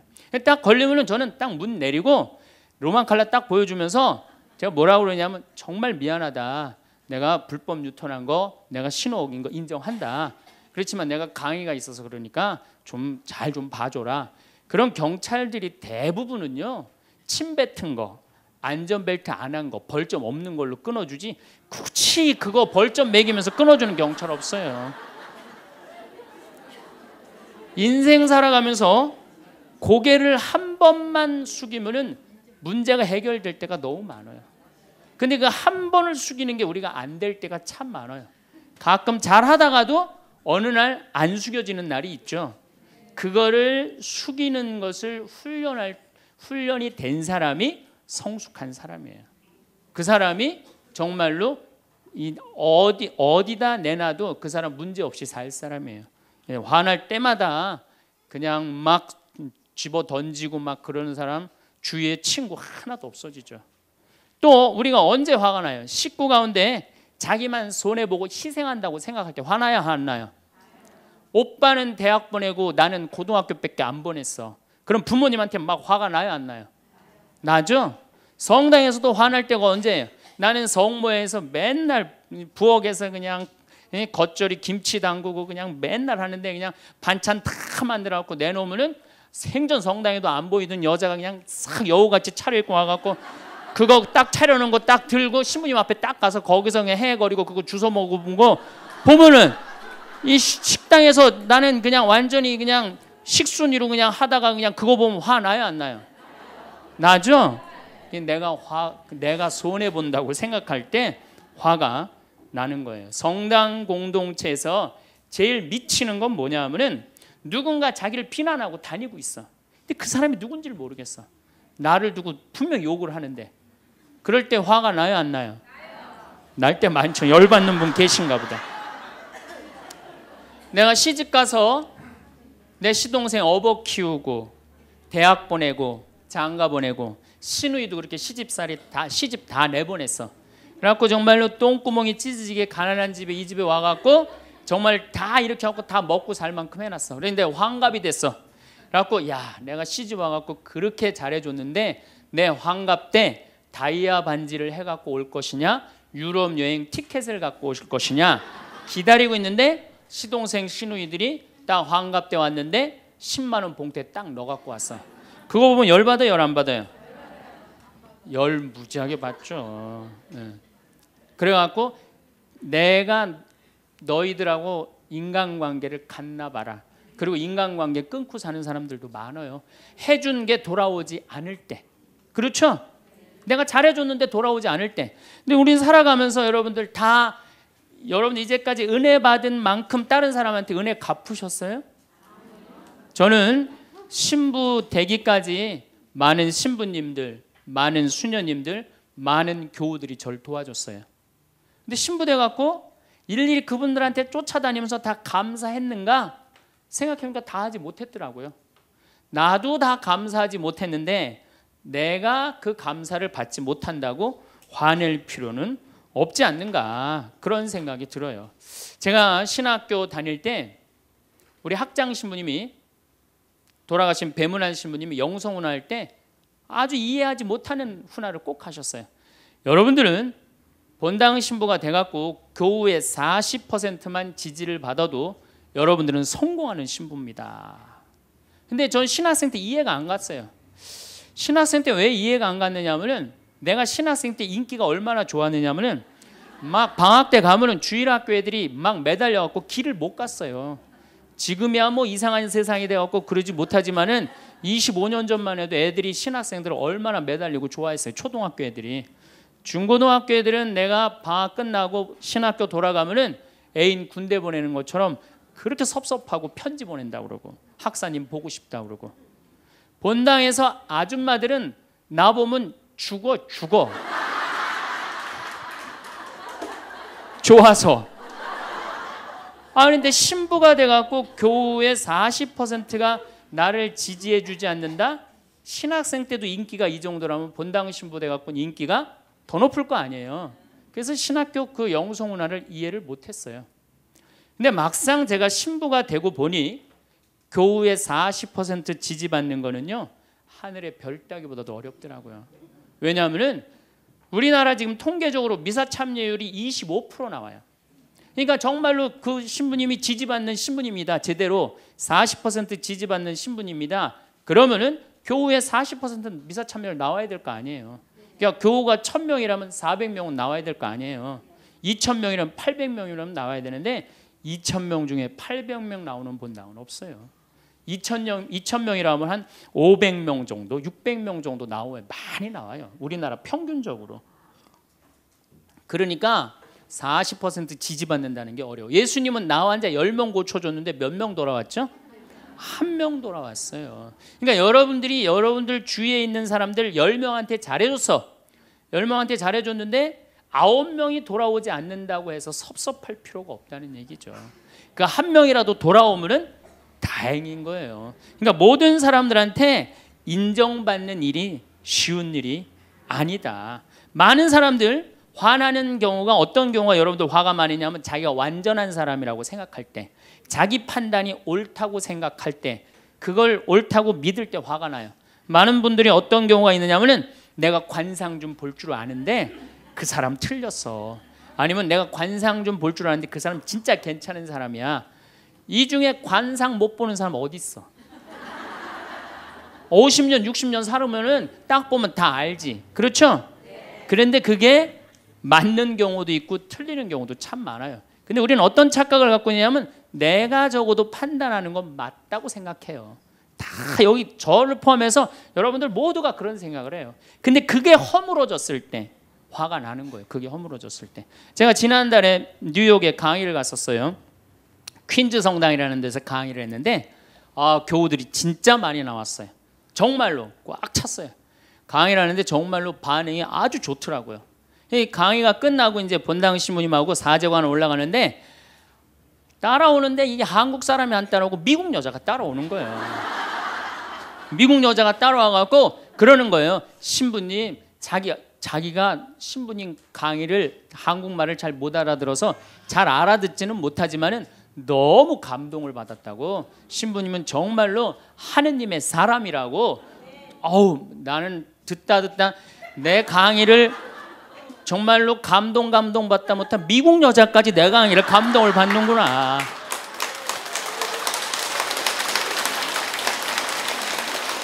그래갖고 기분이 너무 좋아갖고 이제 그 여자하고 얘기를 하고 있는데 어, 본당심이 자꾸 나를 끄는 거예요 사정 안에 빨리 가자고.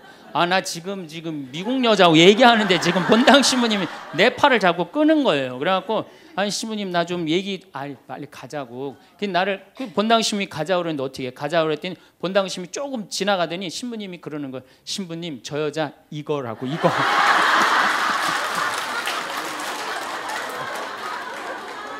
한국에서 강의만 오면은 강의 오는 신부님한테 쫓아다니면서 저런다고. 음. 난 내가 강의 잘해갖고 그런 줄 알았더니 쫓아와갖고 그냥. 내가 성당 봉사한다고 해서 모두가 나를 알아봐 줄 거라고 착각해서는 안 됩니다. 성당에서 열심히 봉사하는 우리 형제 자매님들 가운데 요셉 형제 없으면 우리 성당 쓰러져. 마리아 자매님 없으면 우리 성모에 없어져. 우리 데레사 자매 없으면 성가대 없어져. 그 말 믿지 마세요. 없어져도 성당 잘 돌아가요. 성가대에서 데레사 자매 빠져도 오히려 더 잘 돼. 그러니까 내가 그렇게 대단한 인정을 받는다고 내가 그런 자리에 차지한다고 생각하는 그때부터 내가 불행해지기 시작하는 거예요. 제가 늘 가끔 드리는 말씀이지만은 제가 작년 5월 달에 서울 오금동 성당에 강의 갔어요. 강의를 갔는데 그때도 막 많이 모였어요. 여러분들만큼. 그때는 베드로 얘기를 했어요. 베드로가 여러분들 굉장한 분이에요. 만약에 예수님한테 베드로가 없었다면 예수님이 없을 정도로 베드로는 예수님한테 절대적인 존재였어요. 막 그런 얘기를 막 하고 막 그러는데 교우들이 반응이 대단히 좋았어요. 그래갖고 이제 강의 1강의가 끝나고 쉬는 시간이 됐는데 22년생 할머니야. 머리가 하얀 할머니가 자기가 돌아가신 추기경 형님하고 동갑이라는 거예요. 근데 추기경 형님 항상 자기하고 친한데 동창이라고 그랬다는 거예요. 추기경 형님, 김수환 추기경 형님이. 근데 자기는 그때 할머니가 88살 정도 됐던 걸로 기억이 나요. 88년 동안 살면서 이렇게 훌륭한 신부님 강의 처음 들었다는 거예요. 이야, 내가 정말로 인기가 많은가 보다. 그래갖고 할머니 손을 할머니가 신부님 손을 한 번만 잡으면 죽어도 여한이 없다는 거 이제 이 나이에. 그래서 아유 할머니 감사합니다. 그리고 할머니 손을 잡았는데 이 할머니 하시는 말씀이 난 오늘 우리 차동엽 신부님 손을 잡아서 죽어도 여한이 없다는 거예요. 차동엽 신부님 손을 잡아서.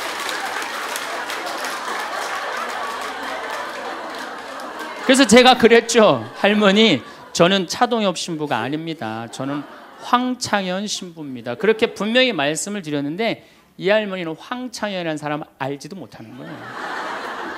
그래갖고 또 뭐 상담하고 싶다는 분들이 있어서 상담을 쭉 하고 있는데 저쪽에 있는 할머니가 안 가고 기다리고 계시더라고요. 사람들이 다 떠나는데 할머니가 또 오셨어요. 이 유명한 신부님 손 한번 우리 차동엽 신부님 손 한번 더 잡아보자고.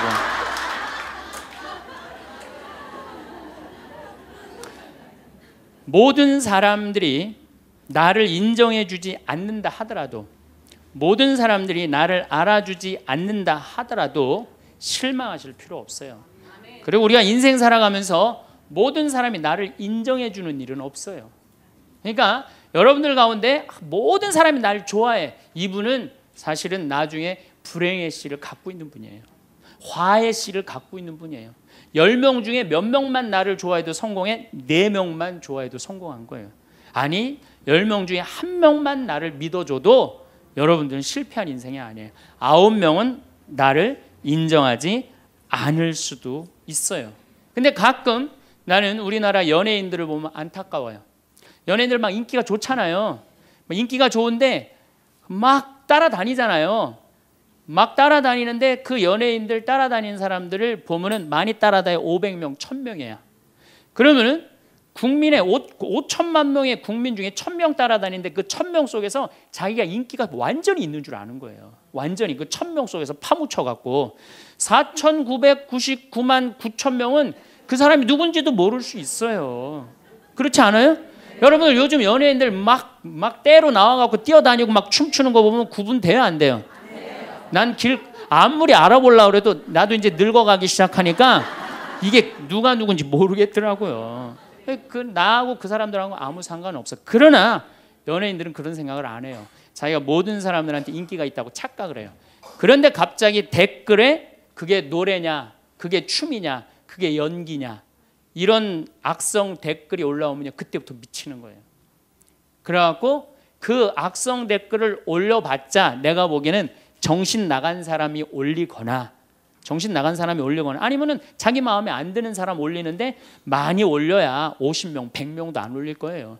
자기를 좋아하는 연예인들은 저 일반 대중들은 보통 한 5천 명, 만 명 되면은 그런 악성 댓글을 올리는 사람은 10명, 20명도 안 될 거예요. 근데 그거에 스트레스를 받아갖고 목매갖고 자살하는 연예인들이 참 많아요. 그럴 필요 없다는 거예요. 최진실 씨가 세상 떠난 지 벌써 이제 2년 됩니다. 참 안타까운 연예인이에요.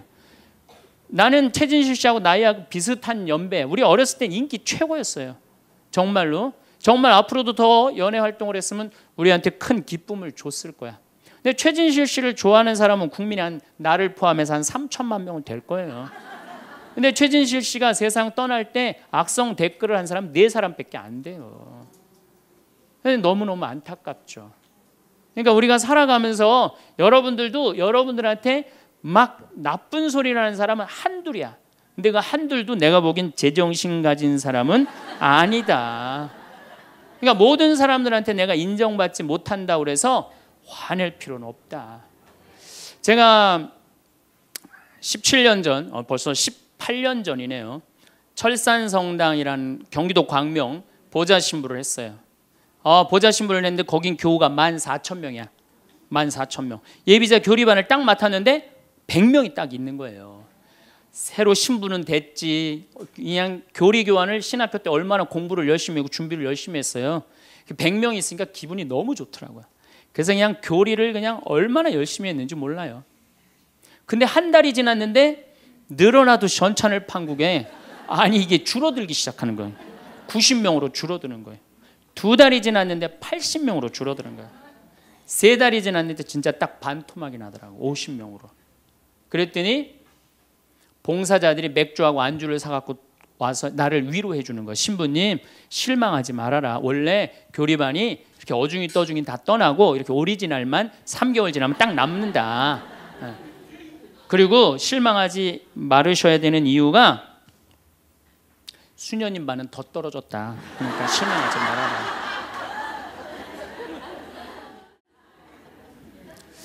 그때 제가 뭐라 그랬냐면 여러분들은 요한복음 6장도 읽어보지 않았느냐. 요한복음 6장에 무슨 얘기가 나오는 예수님이 5천 명 먹인 기적 얘기가 나와요. 근데 요한복음 4장에 보면 예수님이 죽어가는 고간의 아들을 살려요. 그냥 예수님 활동하자마자 첫 기적은 요한복음에서 첫 기적은 가나에 술 많게 하는 기적이고 두 번째 기적이 뭐냐면은 죽어가는 고간의 아들을 살리는 거예요. 그건 죽어가는 고간의 아들을 살. 여러분들 본당 신부가 새로 발령 받아 와서 내 아들이 암으로 막 죽어가. 내 신부님이 가정 방문 와갖고 어, 내가 안수기도 한번 해볼게. 그래갖고 안수기도를 해줬는데 암으로 막 죽어가려고 그러는 아들이 살아났어. 그럼 그 신부님 인기가 본당에서 어떨 것 같아요? 전 성당 안 나오던 교우들도 그 신부님 구경하러 다 나올 거 미사 참례. 예수님 엄청나게 따라다녔어요. 그런데 요한복음 5장에 보면 예수님이 38년 동안 배짜다 연못에서 누워 있던 사람을 지나가다가 측은한 마음이 들어서 일으켜 세워요. 아 근데 신부님 우리 시어머니는 중풍으로 38년 동안 누워 있었다고. 그럼 내가 또 한번 안수기도 해볼게. 가서 안수기도 했는데 시어머니가 38년 만에 일어났어. 그럼 본당 신부님 인기는 하늘을 찌르는 게 아니라 하늘을 뚫고 올라갈 거예요. 그 정도로 예수님 인기가 그렇게 좋았어요. 그래갖고 이 사람들이 예루살렘에서 예수님이 그런 기적을 하셨는데 예수님을 갈릴레아 호수까지 몇 명이 따라가느냐면 5천 명이 따라갑니다. 자기네들 스스로 제자라고 그러면서 5천 명이 따라가요. 5천 명이 따라가는데 보니까 3일 동안 이 사람이 밥을 못 먹어. 그러니까 예수님이 빵 다섯 개, 물고기 두 마리를 5천 명을 먹여요. 그러니까 당시 유대인들이 뭐라 그러냐면 우리가 드디어 기다리던 왕이 왔다. 왕으로 억지로라도 모시자. 그래요. 그러니까 예수님이 딱 사라졌다가 저녁에 딱 나타나는데 갈릴레아 호수에 나타나는데 성서에 25에서 30 스타디온 정도 배가 떨어져 있었다고 그랬어요.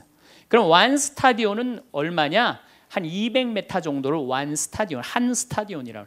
여러분들 스타디온이 어디서 온 말이에요? 스타디움이라는 스타디움 한 바퀴를 돌고 있습니다. 그러잖아요. 그 스타디움이 성서에서 나오는 스타디온에서 나온 얘기예요. 그러니까 한 스타디온은 한 200m 정도 되는 거예요.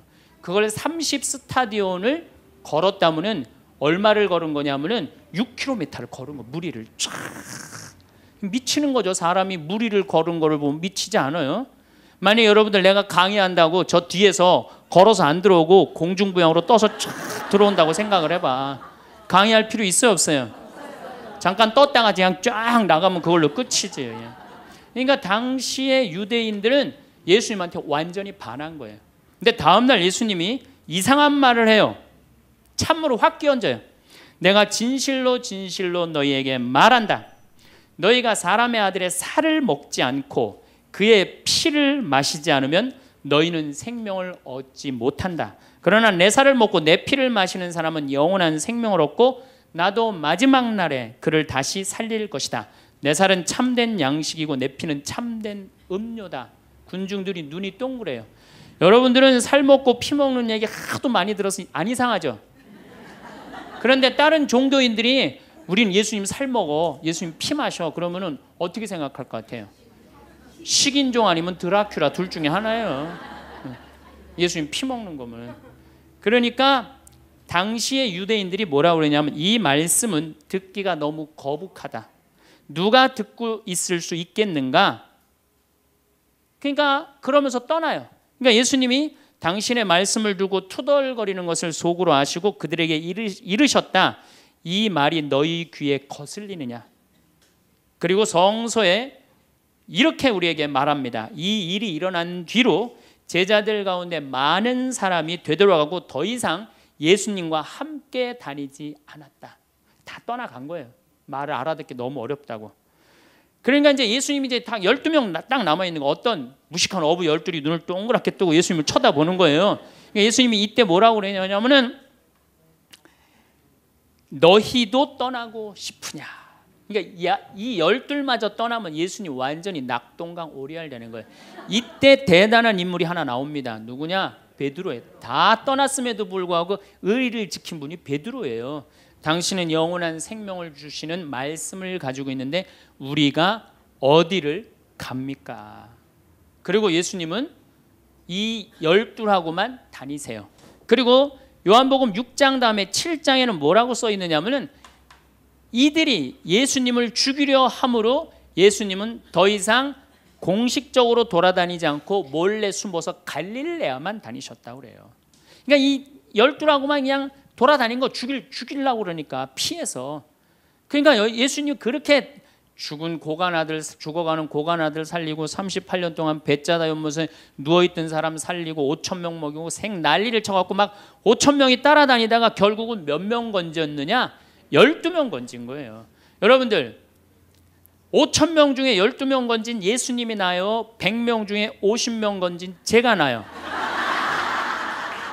누가 나요? 내가 낫지 않아요?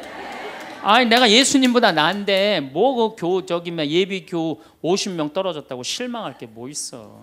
나는 가끔 한심한 레조 단장들이 있어요. 신부님, 우리 단원이 10명인데 오늘 2명밖에 안 나왔습니다. 그래서 둘이서 울면서 개응을 했습니다. 우리 레지오 해체해야 될까 봅니다. 이렇게 오는 단장이 있는데 한심한 단장이죠. 10명 중에 2명 나왔다 그러면 20% 지지받는 단장이야. 자, 5천 명 중에 12명 남긴 예수님이 나요. 10명 중에 2명 나온 단장이 나요. 누가 나? 단장이 훨씬 나은 거예요. 또 요즘 우리나라 구역 반모임 활성화를 위해서 굉장히 많이 노력하죠. 근데 많은 경우 반장님들, 구역장님들이 실망해요. 우리 구역이 10세대인데 3세대밖에 안 나온다. 4세대밖에 안 나온다. 이렇게 실망하는 분들이 굉장히 많아요. 그러면은 10세대 중에 3세대나 4세대 나오면은 이건 본당 신부보다 난 사람이에요. 예수님보다 뭐더 난 사람이고 실망할 필요가 뭐 있어? 예수님 뭐라 그러냐면 너희 중에 단 두세 사람만 모여도 단 두세 사람만 모여도 내가 그곳에 함께 있겠다. 그러면 됐지 뭐 이렇게 욕심이 많아요. 그러니까 여러분들 모든 사람들한테 인정받는 건 쉬운 일이 아니고 인정받으려고 할 때 우리 인생이 피곤해지고 화가 난다 이거예요. 제가 2년 전에 평화방송에 강의를 한 두 달 정도 했어요. 많이 한 것도 아니에요. 두 달.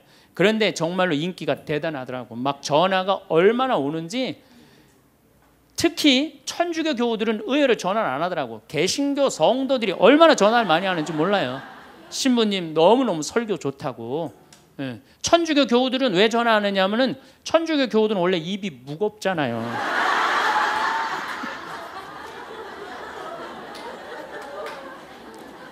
급기야는 목사님이 전화를 하셨어요. 신부님 우리 교회 와서 설교를 주일 예배에 좀 해달라는 거예요. 그래서 제가 주일 예배에 가서 설교를 했어요. 그때 이번에는 천안에서 스님이 전화를 하셨어요. 우리 절에 와서 설법을 해달라고. 더욱이 나는 그 주지 스님을 아직도 잊지 못하는데 참 좋으세요. 겸손하시고 상자에 앉혀서 제가 설법도 주일날 했어요. 뭐 인기가 뭐 천주교, 개신교, 불교 막 올라가는 거예요. 기분이 끝내줬는데 갑자기 전화가 한 통 왔어요. 평촌에서 사는 할머니야. 근데 이 할머니가 전화를 우리 직원한테 황창현 신부를 바꾸라고 전화가 온 거예요. 근데 문제는 황창현 신부님을 바꾸라는 건 좋은 말 하려고 전화한 거예요. 황창현 신부를 바꾸라는 건 따지려고 전화한 거예요. 전화를 딱 받았더니 당신은 정의구현 사재단이냐 딱 그렇게 물어보는 거예요. 그래서 난 정의구현 사재단이 아니다. 그랬더니 정의구현 사재단도 아닌데 왜 운하를 반대하느냐. 우리나라 경제가 살려면 운하를 해야 된다. 젊은 신부가 경제도 모르고 사회도 모르고 정치도 모르는 신부가 방송에 나와서 운하가 안 된다고 한 시간 동안 떠들면 되겠느냐. 그리고 당시 수원교구 주보에다가 운하 안 된다고 한 달을 주보에다 써내는데 그 60만 명, 70만 명이 있는 주보에다 그런 글을 쓰면 되느냐? 그리고 당신 앞에 행복론 강의도 하나도 재미없었다. 나와서 방송 나와서 강의하지 말아라. 그래 전화를 탁 끊는 거예요. 제가 기분이 좋았겠어 나빴겠어요? 기분은 나빴지만 그 할머니 때문에 화를 주체하지 못해서 내가 목을 매갖고 자살을 해야 되겠다 이 생각은 안 했어요. 생각이 다 틀린 거예요. 생각이 틀리고 상황이 다 틀린 거예요. 내 강의를 듣는 사람이 만 명이라면 만 명 중에 5천 명은 나하고 생각이 같을 수 있어요. 근데 5천 명은 나하고 틀릴 수 있어요. 5천 명이 틀리다고 그 5천 명 때문에 화낼 필요는 없다. 아 나하고 틀릴 수도 있구나. 이렇게 생각하면 마음이 편안하거든요. 근데 그런 것 때문에 뭐 화를 내고 열낼 일이 뭐가 있어요. 또 한 번은 내가 노인에 대한 강의를 했어요. 우리 이제 안 죽는다. 우리 이제 100, 100 살까지 산다. 110살까지 산다. 그러니까 자식들한테 재산 물려주지 말고 다 여러분 위해 쓰다가 죽어라. 그리고 통장에 얼마만 남기면 되냐? 500만 원만 남겨라. 500만 원만. 그렇게 마음껏 쓰다가 죽을 때는 돌아다니다 돌아다니다 지치면은 그냥 죽을 땐 꼴까닥 죽어라. 네, 이렇게 강의를 했더니 아 정말로 할머니들이 이번에는 전화를 무지하게 해는 거예요. 너무너무 내 노년을 확실히 알려줘서 고맙다고. 이번엔 순천에 있는 할아버지가 전화를 하셔서 신부님 저는 70 먹은 노인인데 침례 교회를 다닙니다. 근데 신부님 강론을 듣고 가슴이 뻥 뚫렸다는 거예요. 아, 내가 남은 인생 30년이나 남았는데 어떻게 살아야 되는지 너무너무 잘 들었다고. 근데 신부님이 다음 주에 이제 돈 다 쓰다가 꼴까닥 죽는 방법을 알려준다고 그랬는데 그 주간에 당신이 어딜 가갖고 못 들었대 내 강의를. 그래갖고 꼴까닥 죽는 방법을 알려달라고 전화를 했더라. 야 정말로 순천의 할아버지도 나한테 전화를 기분이 너무너무 좋더라고요. 근데 하느님은 참 짓궂게도 그 전화 끊자마자 이번에는 저 부산에서 전화가 왔어요. 황창현 신부를 바꾸라고. 전화를 딱 받았더니 당신이 황창현 신부냐고. 어, 내가 황창현 신부라.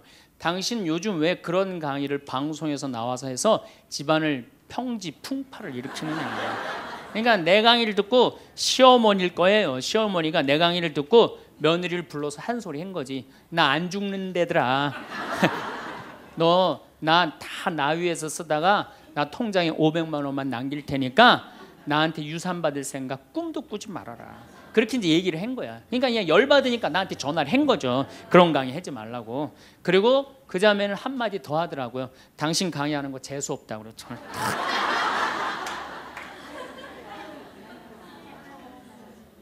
내가 그 전화를 받고 기분이 좋았겠어요? 나빴겠어요?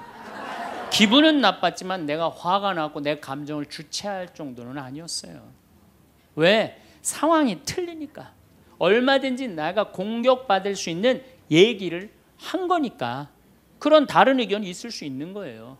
그걸 일일이 다 대응하려고 그러면요. 나중에 내가 어떻게 될 것 같아요? 미쳐요. 미쳐요.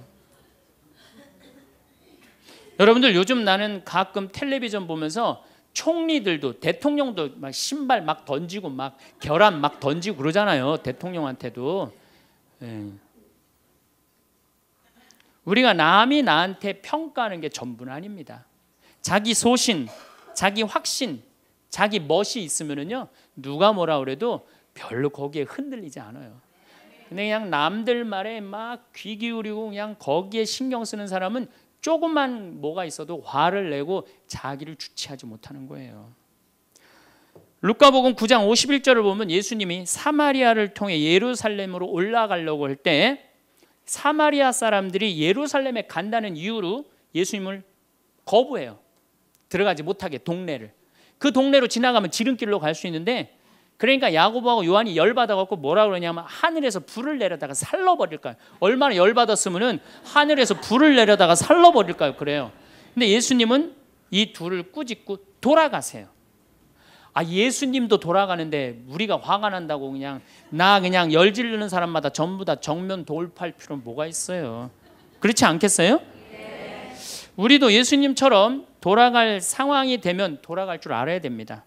세상 사람들이 다 나를 몰라준다 해도 화낼 일도 아니에요. 공자님은 뭐라 그러셨느냐? 진정한 성인은 자기를 몰라줘도 분노하지 않고 유유자적할 줄 아는 사람이 진정한 성인이라고 그랬어요. 내가 누군데 나를 몰라봐. 왕년에 내가 이 거리를 주름 잡던 사람인데 이 성당 지을 때 내가 어떻게 했는데 나에게 이럴 수가 있어. 내가 시집 와서 똥구녕이 찢어지게 가난한 이 집 이렇게 일으켜놨는데 나를 무시할 수 있어? 이렇게 자꾸 자기 도치에 사로잡히면은요 나중에 다른 사람하고 부닥치게 되고 잘난 척하게 되는 그런 꼴이 된다. 그런 꼴이에요. 여러분들 반대로 모두를 사랑할 수 있어요? 내가 모든 사람들한테 사랑받을 수도 없지만은 반대로 사랑할 수 있느냐? 다 사랑할 수 있어요? 쉽지 않죠? 내가 본당 신부 해보니까 다 사랑하는 사람이 있긴 있더라고요. 누가 다 사랑하느냐면 머리에 꽃 꽂은 여자가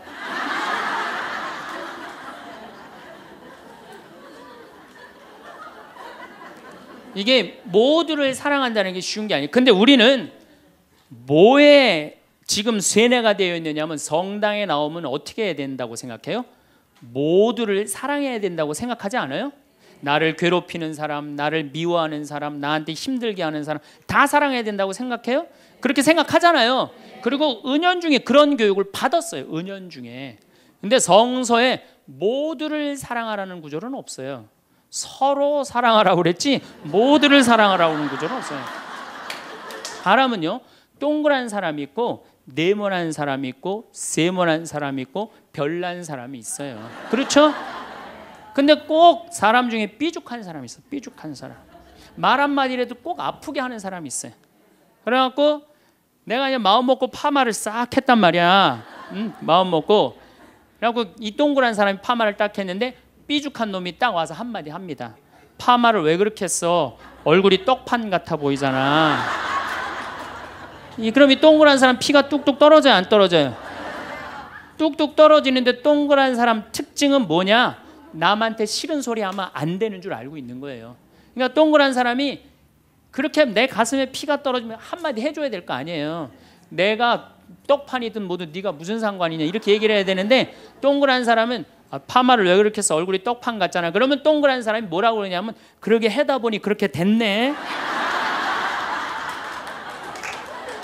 그리고 어디 가서 울기 시작하냐면 성당에 가서 울기 시작하는 거예요. 예수님, 저 삐죽한 여자가 나부로 떡판이래요. 근데 예수님 당신이 정말로 십자가에서 참고 인내하고 용서하고 사랑했으니까 나도 참고 응? 용서하고 인내하고 사랑할게요. 그래갖고 그냥 겨우 어떻게 주체할 수 없는 걸 다스려 갖고 고해성사를 봤어. 고해성사를 봐갖고 용서를 했어. 자기하고 예수님하고 신부님하고는 화해를 했는데 그 삐죽한 사람하고는 화해했어 안 했어요? 삐죽한 사람은 찔렀는지도 모르고 몰라요. 그 사람 피가 흐르는지도 몰라요. 그런데 더 동그란 사람 미치는 건 뭐냐면 그렇게 찔러놓고 딴데 갖고 막 해거리고 또 수다 떨면은 동그란 사람이 속으로 무슨 생각이 들어요? 넌 웃음이 나오니? 난 지금 피가 뚝뚝 흐르는데. 가을이 돼갖고 그냥 또 그냥 마음 먹고 성당을 나왔는데 삐죽한 놈이 동그란 사람한테 한마디 또 합니다. 아니 요즘 남편이 돈 못 벌어 옷을 왜 이렇게 후줄그리하게 입고 다녀. 그러면 또 피가 뚝뚝 떨어지는 거야. 이 동그란 사람 여러분들 삐죽한 사람 만나야 돼 만나지 말아야 돼. 만나면 안 돼요. 이 삐죽한 놈 누구 소개시켜 줘야 되냐면 별난 놈 소개시켜. 별난. 놈. 찔러도 안 나오는 별난 놈. 예? 이런 놈 소개시켜 줘야지 어떻게 모두를 사랑할 수 있어요. 그거는 불가능한 얘기예요. 모두를 사랑한다는 거. 그러니까 여러분들 오늘 이후로 나는 모든 사람을 사랑할 것이다. 그러면은 나중에 누가 망가지냐면 내가 망가, 내가 망가져요. 예, 모두를 사랑하면서 자기가 완전히 망가지는 거예요. 아, 모두를 사랑하면서 기쁨은 다행인데 모두를 사랑하면서 그걸 끌어안느냐고 속에서 부글부글 끓어. 그냥 화가 꽉 차 있는 거죠. 동그란 사람, 네모난 사람, 세모난 사람, 별난 사람. 사람은 다 틀려요. 정말 제가 다 틀리다는 걸 얼마나 느끼느냐면은 내 친구들하고 냉면을 먹어도 내 친구 중에 아주 친한 친구가 하나 있는데 얘는 냉면을 먹으면은 달걀이 나오잖아요. 근데 걔는 흰자만 좋아해요. 근데 저는 노른자만 좋아해요. 저는 노른자만. 그래서 걔를 노른자를 빼놔요. 그럼 저는 노른자만 먹고 걔는 내 흰자 갖고 가고 사람이 정말로 틀리는 것 같아요. A형하고 B형하고 A병하고 O형하고 밥을 먹었어요. 넷이서 밥을 먹었는데 성격이 다른 거죠. 꼭 P의 문제가 아니라 유형 이렇게 뭐 별 유형이 다 있듯이. 근데 보통 A병이 자기 하고 싶은 대로 한대잖아요. 그러니까 그냥 밥을 먹다가 승질이 났는지 어땠는지 숟가락을 내더니 확 나가버렸어요. 아 그랬더니 오지랖 넓은 O형이 궁금한 거예요. 앉아서 밥을 먹을 수가 없는 거예요. 제가 왜 나갔는지 숟가락 놓고 따라 나갔어요. 무슨 일인지 알아보려고 B형은 그러거나 말거나 주변에 신경을 안 써요. 나만 편안하면 되는 거야. 밥을 그냥 먹는 거예요. 계속 상관하지 않고. 그랬더니 소심한 A형이 밥이 안 넘어가는 거야. 그래갖고 아무 신경도 안 쓰고 밥을 먹는 B형을 쿡쿡 찔르면서 한마디 합니다. 혹시 제 A병 나 때문에 삐져서 나간 거 아니냐? 그러니까 신경 쓰지 말아야 되는 건데도 신경을 다 쓰는 거예요. 우리 이렇게 교우들 중에 굳이 내가 저 사람 이렇게 고민하고 괴로워하는 것까지 내 탓이 아닌데도 뭐 주 성당에서 뭐가 일이 잘못되면 다 누구 탓인 것 같아? 다 내 탓인 것 같아. 우리가 어디서 이게 교육을 받았느냐면은 루카복음 6장을 읽어보면은 뺨을 맞으면 다른 뺨을 돌려대고 겉옷을 달라 그러면은 속옷을 두고 원수까지도 사랑하라고 가르칩니다. 아, 원수까지도 사랑하라고 그러는데 정말 우리가 모두를 사랑해야 되는 거 아닌가 이런 생각 들잖아요. 그렇죠? 근데 예수님은 정작 다 사랑했을까요? 예수님 다 사랑하지 않으셨어요. 더욱이 열두 제자 중에 열두 제자 똑같이 사랑하지 않았어요. 열두 제자 중에 누구를 특별히 사랑했느냐면은 베드로, 야고보, 요한만 특별히 사랑했어요. 거룩한 변모 때 누굴 데리고 갔어요? 베드로, 야고보, 요한만 데리고 갔어요. 아니 그 기가 막힌 모습을 보여주려면 다 보여주지. 왜 세 명만 데리고 가? 나머지 아홉 명 기분 나쁘게. 그렇잖아요. 그리고 회당장 야이로의 딸 살리러 갈 때 누구만 데려갔느냐면 베드로, 야고보, 요한만 데려와요. 다른 사람은 그 부모 외에는 아무도 따라오지 못하겠다 그래요. 아, 못 따라간 제자들 섭섭할 것 같아, 안 섭섭할 것 같아요. 근데 여러분들은 아유, 밥 먹으러 가는데 한 세 명만 데려가야 되는데 나머지 여섯 명 남아 있으면 찝찝해 안 찝찝해요? 앞으로는 그러지 마세요. 예수님이 겟세마니 동산에서 내 마음이 괴로워 죽을 지경이니 나와 함께 깨어 있어 줘라. 그렇게 하고 가까이에 누구만 불렀느냐면 베드로, 야고보, 요한만 불렀어요. 아, 예수님도 열둘 중에 세 명만 이렇게 사랑했는데 여러분들은 레조 단원들 열둘이면 열두 명 어떻게 다 사랑해? 그 중에 세 명만 사랑해도 누구하고 똑같아? 예수님하고 똑같은 거예요. 근데 놀랍게도 마태복음 18장에 이런 얘기가 나옵니다. 만약에 이웃이 잘못하면 우선 개인적으로 그러지 말라고 말하고 다음 한두 사람의 증인을 세우고 그래도 말 안 들으면 교회에 알리고 그래도 말 안 들으면 셀이나 이방인 취급을 하라고 그래요. 그러니까 끝까지 끌어안으라는 말도 하셨지만은 어떻게 말 안 들으면 뭐 무슨 취급하라고 그래? 셀이나 이방인 취급하라고 그래요. 마태복음 23장을 보면은 바리사이파, 사두가이파, 성구갑 이마에 팔 놓고 다니면서 일반 사람에게는 무거운 짐 지어 놓고 자기는 손 하나 까딱하지 않는 이들에게 회칠한 무덤 독사의 족속이라고 욕을 욕을 해대요 예수님이. 그러니까 예수님은 어떻게 모두를 다 사랑했어요? 아니에요. 마음에 안 드는 사람들 단죄해야 될 사람 단죄하셨어요. 그 예수님 또 그렇게 많이 참지도 않으셨어요. 우리 교우들처럼 그렇게 많이 참지도 않으셨어요. 요한복음 2장에 예수님이 성전 정화를 하는데 너무 막 성질이 나시니까 어떻게 상을 둘러엎고 채찍질로 그냥 생 정말로 난리를 치세요. 그러니까 여러분들도 이제는 너무 참지 마세요. 너, 그러다가 여러분들 누가 다쳐요? 내가 다친 내가 다쳐요. 그런데 성당에 나오면 자기를 버리고 자기 목숨을 구하려 하지 말고 예수님 십자가를 지고 따라야 된다. 이 말이 꽉 귀에 들어는 거예요. 순교자들이 이렇게 사셨다. 순교자들이 우리들도 하느님 제대로 믿으려면은 순교자나 예수님처럼 그렇게 십자가 지고 참아야 된다. 뭐 그리고 우리 우리 또 선조들은 또 얼마나 대단해요. 막 피가 그냥 뼈가 튀어나오도록 맞으면서도 그걸 다 참고 배교하지 않고 하느님 사랑하고 그냥 그 사람들도 구원해서 기도했잖아요. 그냥 자기를 미워하고 남을 위해서 살아야 한다고 자기에게 어떤 일이 있더라도 주님께서 주시는 십자가라고 생각하고 참고 살아야 된다. 이렇게 우리는 이 말씀에 눌려 살아요. 이걸 뭐라고 그러냐면 십자가 컴플렉스라고 그래요. 십자가 컴플렉스. 나도 십자가를 져야 된다. 예수님이 손목에 못 박혔을 때 얼마나 아팠을까? 그거 그냥 심줄을 뚫고 지나갔을 때 얼마나 아팠을까? 발목 못 박히셨을 때 얼마나 아프셨을까?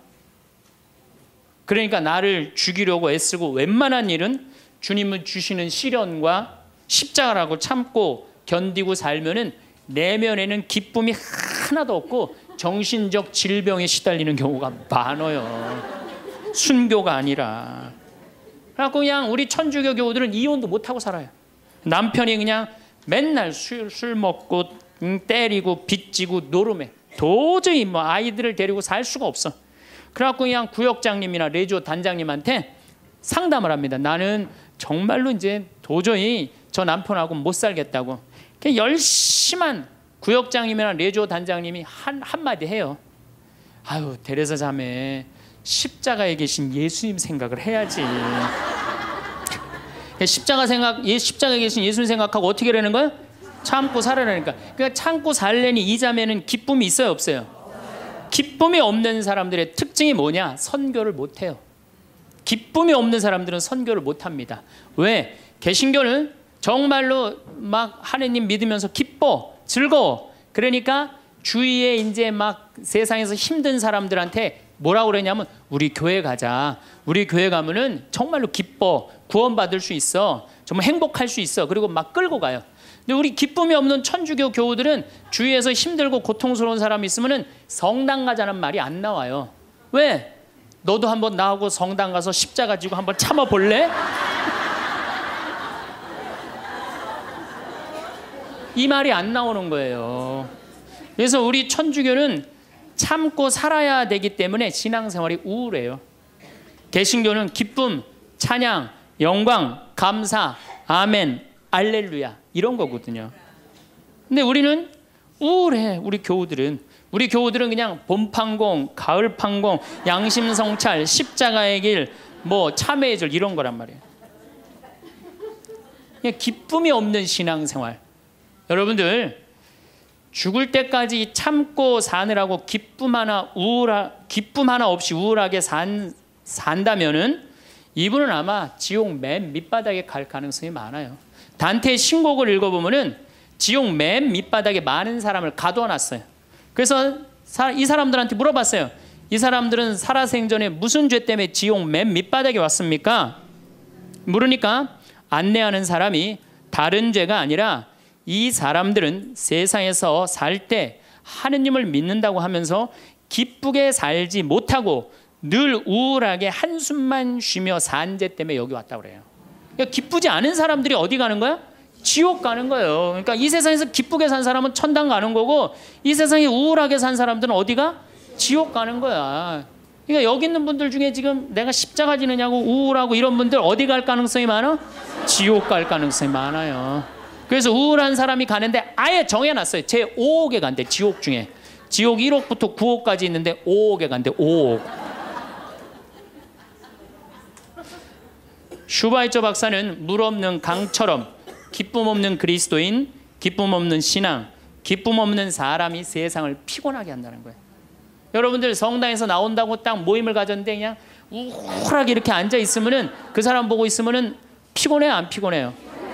반짝반짝 웃는 사람이 있으면은 기분 좋아요, 안 좋아요? 그러니까 기쁨이라는 게 굉장히 중요한 거예요. 참느냐고 그냥 이러지도 못하고 저러지도 못하고 그렇게 살면 안 된다는 거죠. 여기 지금 우리 교우들 지금 옷 입고 온 거 보면은 다 까만색이야, 다 지금. 아니 명동으로 오면 좀 색깔을 이쁘게 입고 와야 될 거 아니야. 명동에 나오는데. 근데 우리는 화려한 옷 입으면 안 돼. 우리 천주교 교우들은 내가 그 개신교 설교하러 갈 때 정말로 제가 많은 걸 배웠어요. 뭘 배웠느냐면은 예배하러 한 300명 정도가 나왔는데 전부 다 예쁜 옷을 입고 나왔어요.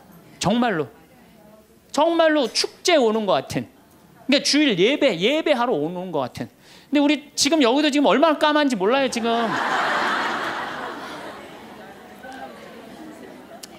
그런데 예수님께서도 기쁨을 굉장히 강조하십니다.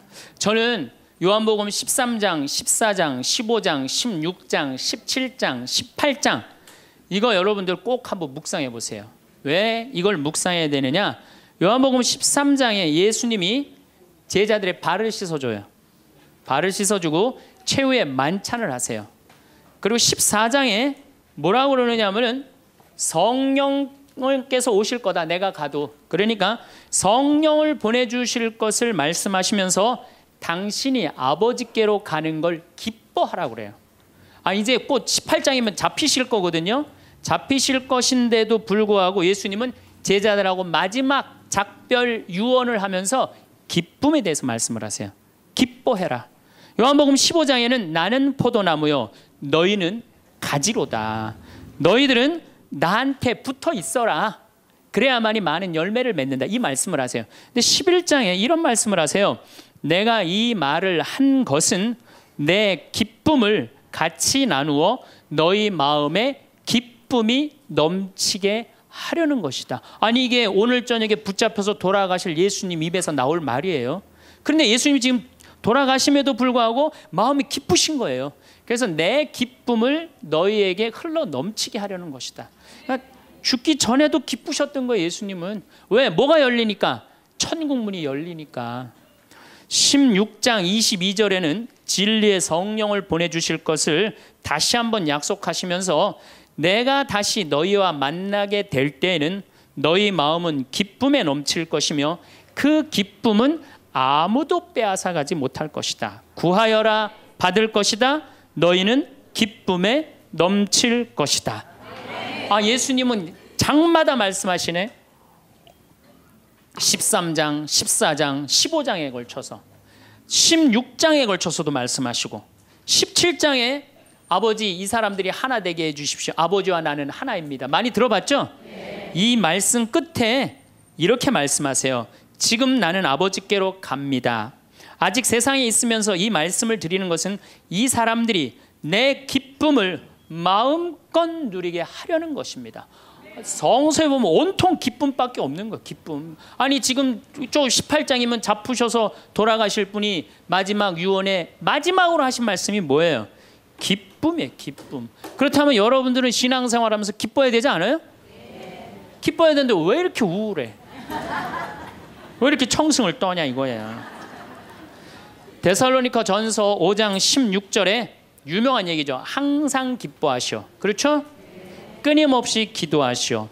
어떤 처지에서든 감사하시오. 저는요, 이 구절보다 더 중요한 구절이 있어요. 그 다음 구절이 이것이 우리 주 예수 그리스도를 통하여 드러내신 하느님 아버지의 뜻입니다. 그러니까 여러분들이 항상 기뻐하고 어떤 처지에서든 감사하고 끊임없이 기도하는 것은 누가 예수님을 통하여 드러내신 누구의 뜻이야? 하느님의. 그러니까 기쁨과 감사는 우리의 본질이에요. 본질. 그러니까 우리가 신앙생활에 기뻐야 돼요. 필리핀서 4장 4절 이 베드로 바오로 사도가 감옥에 갇혀서 쓴 거래요. 유명한 얘기예요. 주님 안에서 항상 기뻐하십시오. 다시 말합니다. 기뻐하십시오. 그래서 필리피서에 기뻐하라는 말을 16번이나 해요. 16번이나. 기, 그리스도 안에서 기뻐하라고. 그러니까 여러분들은 신앙생활하면서 기뻐해야 돼. 예수님이 일생 수고 순환하셨기에 우리도 일생 수고 순환해야 된다고 이야기하는 사람들 이거 잘못 알고 있는 거예요. 여러분들 신앙생은 신앙생활은 기뻐해야 돼. 근데 우리 천주교 교우들은 무조건 우리는 우울하게 해야 돼. 누가 강력하게 우리 가운데 앞에 있어 십자가가 있으니까. 그러니까 성가를 들어봐도요 미쳐요. 이제 조금 있으면 대림절 시작되는데 대림절 때 내가 제일 복장 터지는 성가가 뭐냐면 구세주 빨리 오사 이 성가가. 이 노래를 어떻게 부르느냐면 구세주 빨리 오사 어둠을 없이 하며 동정 마리아에서 탄생하옵소서 이렇게 부른단 말이야. 근데 이 노래는 이렇게 부르면 절대 안 돼요. 이 노래는 못 갖춘 마디로 시작해서 8분의 6박자야. 강량약, 중강량약. 이거 춤추듯이 불러야 되는 거예요. 어떻게 불러야 되느냐면 구세주 빨리 오사 어둠을 없이 하며 동정 마리아에서 탄생하옵소서. 이렇게 불러야 되는데 우리 교우들은 어떻게 부르느냐면 원조들이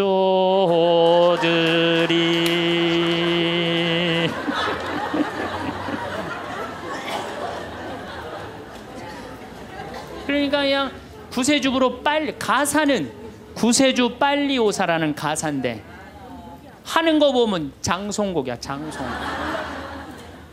기쁨이 없는 거죠. 사실 저도 신앙을 키운 결정적인 동기는 십자가입니다. 중학교 때 성당에 가보면 나는 수원 조원동 주교자 성당에 다녔는데 십자가가 나무 십자가인데 큰 게 있었어요. 근데 그 예수님을 보면 너무 불쌍한 거예요. 어쩌면 우리 우리를 사랑하시기에 저렇게 고통스럽게 지셨을까? 그냥 보면은 근데 우리 이 조원동 주교자 성당 옆에는 은퇴 신부님이 살았어요. 근데 어떤 신부님이 살았느냐면 하한주 신부님이라고 살았어요. 막 수염이 이렇게 하얀 수염이 나신 하한주 신부님. 이 신부님이 얼마나 무서웠느냐면은 우리 어렸을 땐 성체험할 때 그리스도의 몸은 아멘하고 혀로 내밀었잖아요. 혀를 안, 안 내밀면 입 벌리라고 소리 소리를 질렀어요. 그래갖고 그 신부님이 나와서 미사를 하면은 그 줄에는 아무도 안 갔어요. 다 보자 신부 줄에 가갖고 다 성체하고 그래.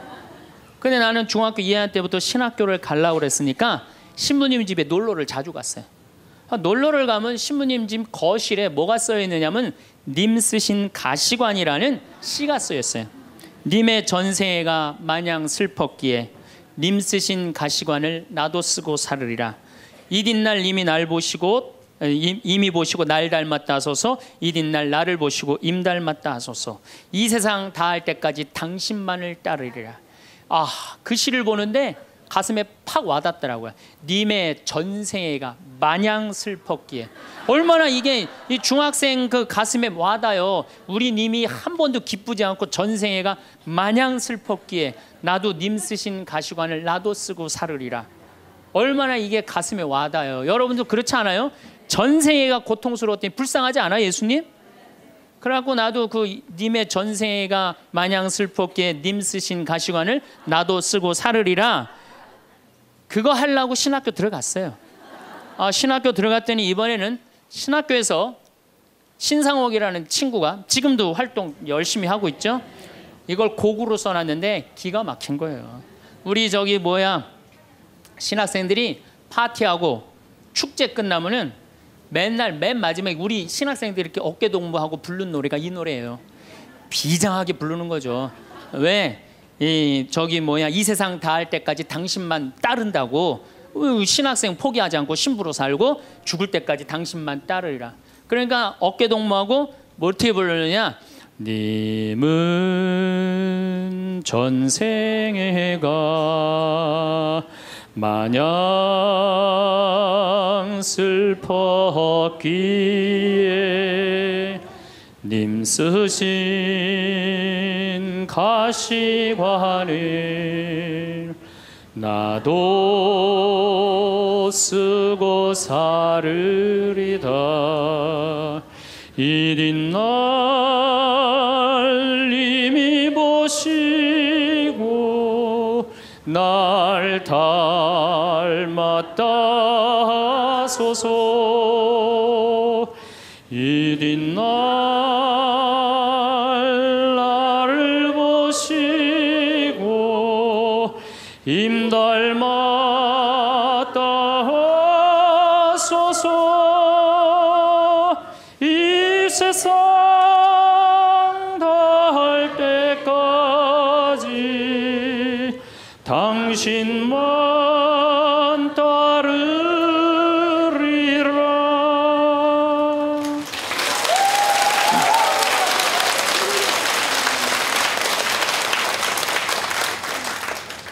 청승을 떨면서 신학교 10년을 보냈어요.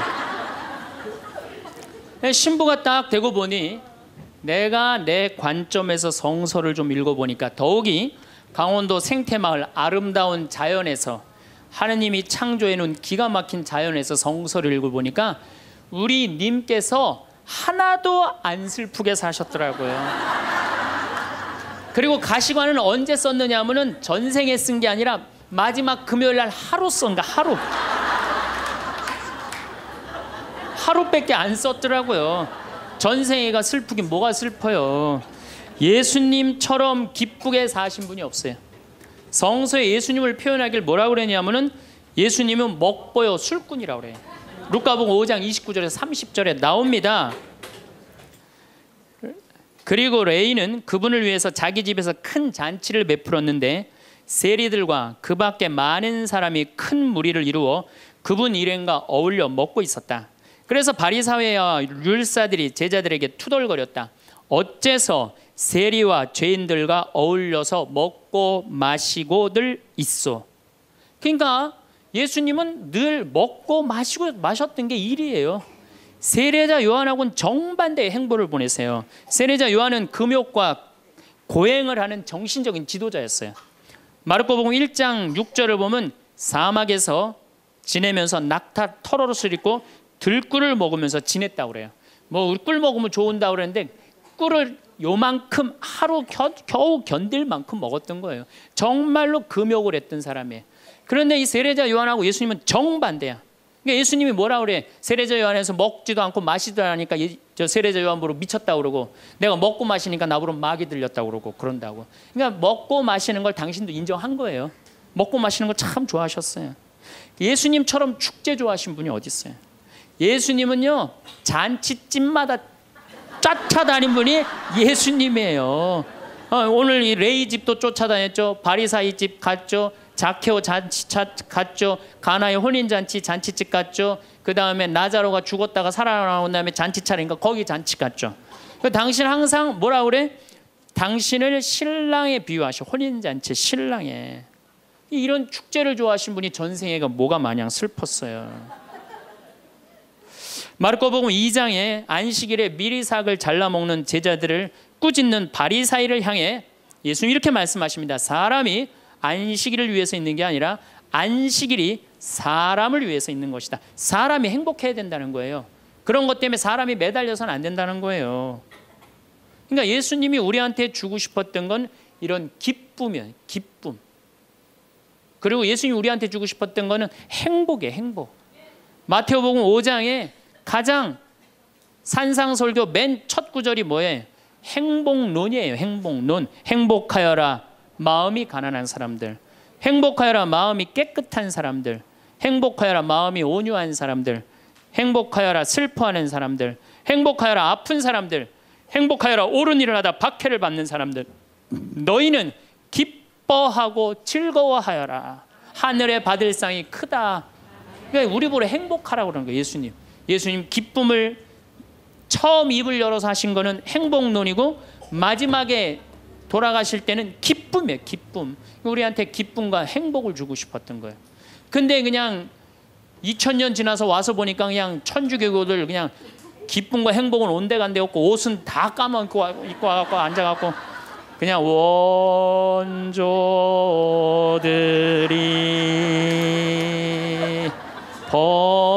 범죄하 이러고 앉아 있으면은 예수님 복장 터지겠어요? 안 터지겠어요? 또 예수님이 우리한테 주고 싶었던 게 행복, 기쁨뿐만 아니라 평화입니다. 이것도 우리 신앙생활에 아주 중요합니다. 예수님이 돌아가셨어요. 그리고 부활하셨어요. 3일 만에 부활하셨어요. 제자들한테 뭐라고 그랬냐면은 나는 3일 만에 다시 살아날 것이다. 근데 제자들은 이해를 못 했어요. 죽고 난 다음에 살아난다는 말을. 그래갖고 예수님 돌아가시는 걸 보고 다 도망가 버렸어요. 이제 우린 끝이다. 그래갖고 심지어 어떤 제자들은 고기 원래의 직업으로 돌아갑니다. 고기 잡으러 가요. 이제 우린 끝났으니까. 아니 그렇게 3년 동안 그렇게 가르쳐 놨는데 그렇게 배신했는데 얼마나 열받아요, 예수님은. 근데 예수님이 3일 만에 딱 살아나서 제자들 앞에 나타나요. 제자들이 당황스럽겠어요, 안 당황스럽겠어요? 어, 우린 끝났는 줄 알았는데 다시 나타나니까 얼마나 당황스러워요. 그리고 나타나려면 1년 후에 나타나면 덜 미안해잖아요. 배반은 해놨는데 3일 만에 나타나면 얼마나 미안해요. 마음이 기쁘기도 하고 혼란스럽기도 한 거야. 근데 예수님이 이렇게 말씀하십니다. 너희들 내가 3일 만에 살아난다고 그랬느냐 안 살아난다고 그러냐 왜 배반했느냐 이렇게 따지지 않으세요. 입을 열어 하신 말씀이 뭐냐면은 평안하냐. 내가 너희에게 평화를 주노라. 예수님이 우리한테 주고 싶었던 거는 우리가 아무리 배반하고 나쁜 짓을 했어도 예수님이 나하고 마주쳤을 때는 우리가 당황하지 말고 그렇죠. 미안해하지 말고 그러라고 뭐, 뭐 무슨 말부터 건네세요? 평안하냐. 내가 너희에게 평화를 주노라. 그러니까 예수님이 주고 싶었던 게 평화야. 자, 여러분들 내가 성당 다니는데 기쁘지도 않고 행복하지도 않고 행 기, 저기 평화롭지도 않아. 성당 다니는 이유가 있는 거예요, 없는 거예요? 없는 거예요. 그러지 않으면 뭐하러 성당을 다녀요? 예수님이 가장 주고 싶었던 건데. 또 예수님 우리한테 주고 싶었던 게 사랑이야. 예, 요한복음 13장에 당신이 돌아가실 때가 알자 못내 사랑하던 제자들을 극진히 사랑하셨다고 그래. 극진히. 얼마나 제자들을 사랑했으면 극진히 사랑했다고 그래. 최후의 만찬 때 밥 먹으면서 누가 배반할 건지 막 자기네들끼리 의견이 분분했잖아요. 예, 사도 요한이 예수님 가슴에 기대서 밥을 먹었어요. 베드로가 물어보라고 그래요. 예수님한테 사도 요한한테 누가 배반할 건지. 저는 이 밥 먹는 장면에서도 예수님의 사랑을 느껴요.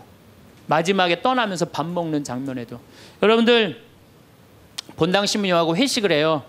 너무너무 본당 신부님이 잘생기고 편안하고 좋아.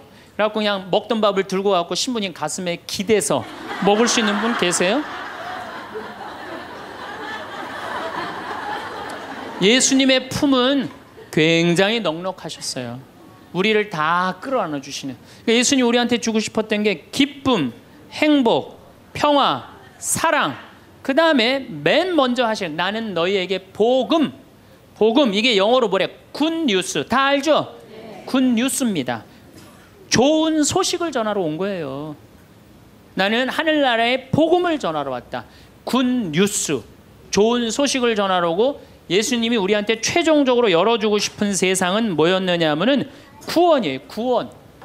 근데 이 좋은 거를 갖고 내가 즐겁고 행복하게 살아도 지금 현찬을 판국인데 우리가 그냥 우울하게 그냥 청승 떨면서 닮을 옷도 다 까만 옷만 입고 다니고 말이야.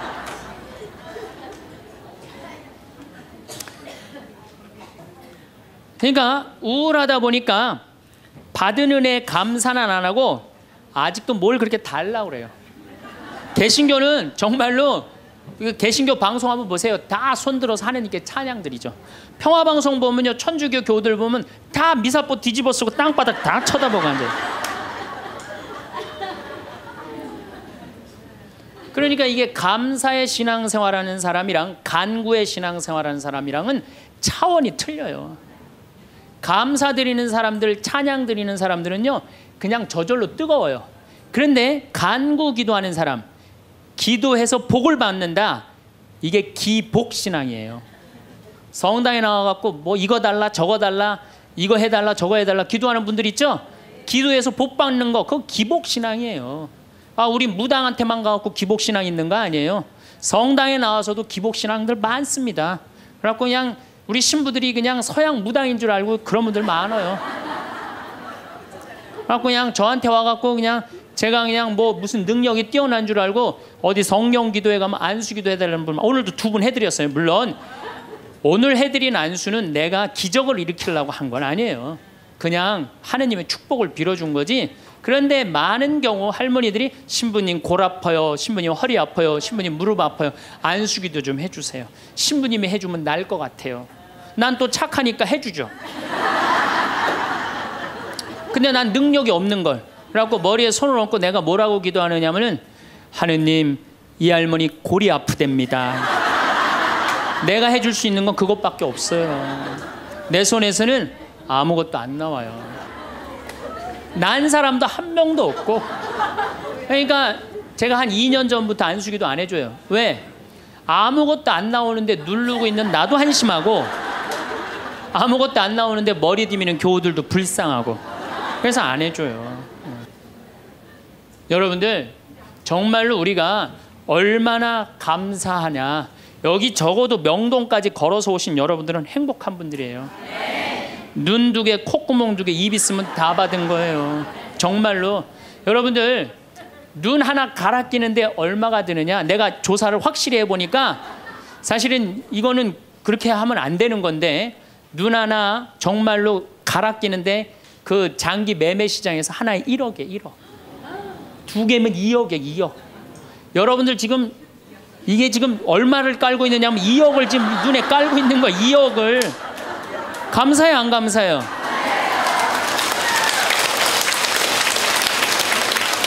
만약에 내가 아무것도 안 보여. 그래갖고 저 신부 얼굴도 못 보고 반찬이 어떻게 생겼는지도 모르고 명동 성당이 얼마나 멋있는지도 모르고 그렇지 않아요? 아무것도 지금 다 보고 있는데 얼마나 감사해요. 감사하지 않아요? 신장 하나 갈아 낀데 3천만 원. 간 갈아 낀데 7천만 원이에요. 이것만 대충 따져도 3억을 여러분들 여기 지금 깔고 있는 겁니다. 근데 뭘 우리 하느님한테 달라고 그래요? 다 주셨구만. 만약에 여러분들 내가 쓰러져 갖고 앰뷸런스에 실려 간다. 한 시간 산소 호흡기 되는데 얼마를 내야 되냐면 36만 원 내야 돼요. 근데 여러분들 지금 공짜로 지금 세, 아, 오전 10시부터 지금까지 몇 시간 마신 거예요? 지금 5시간 마신 거예요. 한 200만 원 벌은 거지 앉아서. 감사해요, 안 감사해요? 하루면 천만 원 버는 거예요. 이렇게 받은 은혜 감사하기도 바쁜데 뭘 그렇게 하나님한테 달라고 그러세요? 신부님, 빚이 너무 많아요. 빚도 걱정하지 말아라. 갚다 갚다 못 갚으면 죽으면 되지 뭘 걱정하고 그래. 제가 여러분들 죽으라고 그런다고 자살하라는 얘기가 아니에요. 중요한 건 뭐냐면 여러분들 지금 빚 걱정한다고 갚아줘 줘요? 안 갚아줘줘요. 빚은요 세월이 갚는 거예요. 그럼 세월한테 맡기세요. 세월한테 맡기고 나 오늘 하루를 살더라도 즐겁게 살아요. 아깝지 않아 이 하루? 그렇죠? 그러면 오늘 하루 정말 즐겁고 행복하게 살다 보면은 빚도 시간 지나면 갚아지는 건데 그걸 그냥 끌어안고 그냥 그냥 주님께서 여러분과 함께 마음을 드높이 우리 주 하나님께 감사합시다.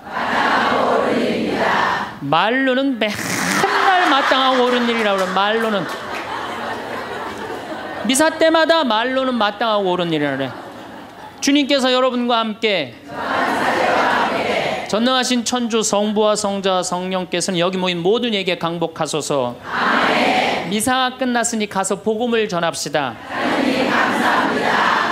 떠날 때도 감사하다고 그래. 떠날 때도 성당 떠날 때도 감사하다고 그러고 감, 정말 감사하느냐. 마음 안에 본질적으로 내가 두 다리 있고 눈 있고 코 있으면요. 여러분들 다 받으신 거예요. 근데 우리 천주교 교우들은요. 감사하는 그 본질적인 게 안 되는 거예요. 이 하느님이 모든 것 내가 다 누리고 사는데 저는 그 지선아 사랑해라는 그 시를 보면서요. 가슴이 정말로 미어졌어요. 이 이화여대 다니던 지선이라는 이 아가씨는 얼굴도 정말 예쁘더라고요. 그런데 어, 술 먹은 그 차가 쳐갖고 오빠가 학교에서 데리고 오는데 불이 난 거예요. 그리고 열일 열한 번을 수술을 한 거예요. 온 몸에 화상이 입어갖고. 이 친구가 시를 썼는데 기가 막힌 시를 썼어요. 저는 짧아진 여덟 개의 손가락을 쓰면서 사람에게 손톱이 얼마나 중요한 것인지 깨닫 알게 되었고 1인 10여 걸 해는 엄지손가락으로 생활하고 글을 쓰면서는 엄지손가락을 온전히 남겨주신 하나님께 감사해. 개신교 다니나 봐요. 하나님께 감사한다는 거. 손가락 8개가 다 없어지고 엄지만 남았는데도 감사하다는 거예요. 근데 여러분들은 지금 뭐야? 10개 다 있잖아요. 감사해 안 감사해요? 이 엄지 두가 두 개 가지고 지금 박사학위 지금 과정 받고 있대잖아요. 얼마나 대단해요.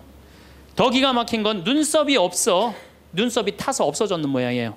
무엇이든 여과 없이 눈으로 들어가는 것을 경험하며 사람에게 이 작은 눈썹마저 얼마나 필요한 건지 알았다. 여러분들 지금 눈썹 있는 거 감사해 안 감사해? 감사하죠. 온전치 못한 오른쪽 귓바퀴 덕분에 귓바퀴라는 게 귀에 물이 들어가지 않도록 하나님이 정교하게 만들어 주신 거라는 사실을 알게 되었다는 거죠. 무엇보다도 건강한 피부가 얼마나 많은 기능을 하는지 여러분들 지금 피부 다 갖고 계시죠? 그 친구는 다 타 없어서 피부가 없어요. 껍데기일 뿐 별것 아니라고 생각했던 피부가 우리에게 얼마나 소중한 것인지 알게 되었습니다. 그나마 남겨주신 피부들이 건강하게 움직이는 것에 감사했으며 하나님이 우리 몸을 얼마나 정교하고 세심한 계획 아래 만드셨는지 온몸으로 체험했습니다. 참.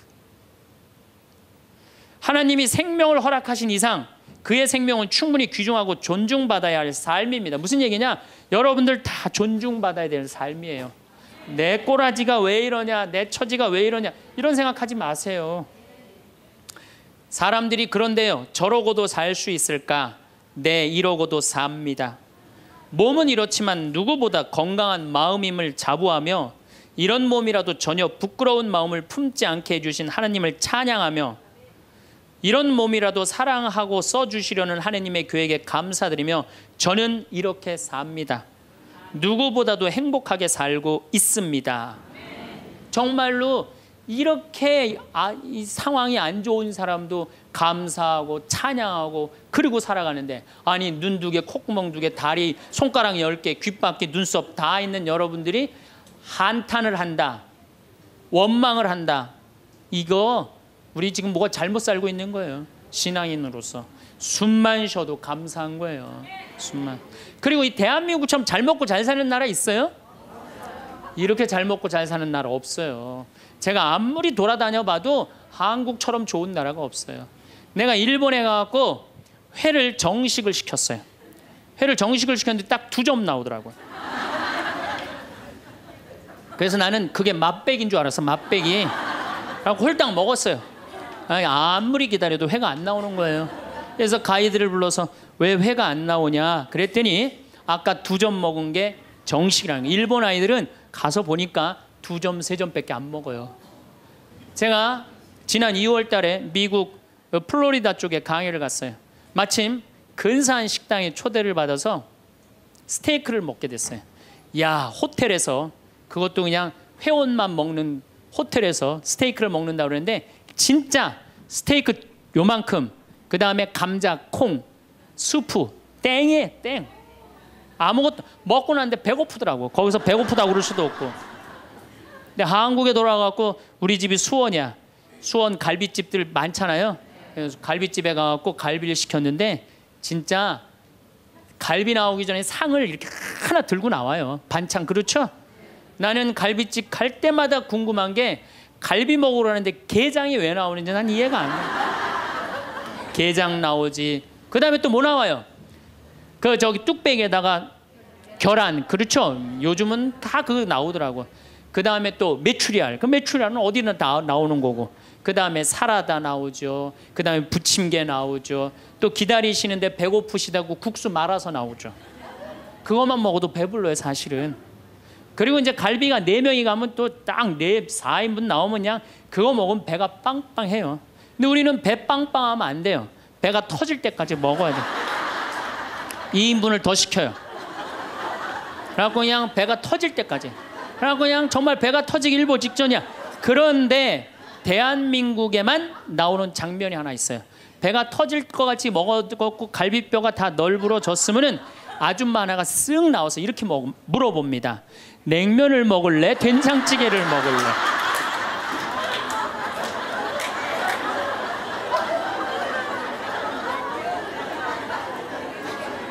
국가적으로도 정말로 잘 나갑니다. 우리나라 자동차 잘 만들어요. 그렇죠? 텔레비전 잘 만들어요. LED 텔레비전이라고 미국 시장 96%에 휩쓸고 있어요. 자동차도 정말로 도요타 지금 막 추월하려고 그러는 판이에요.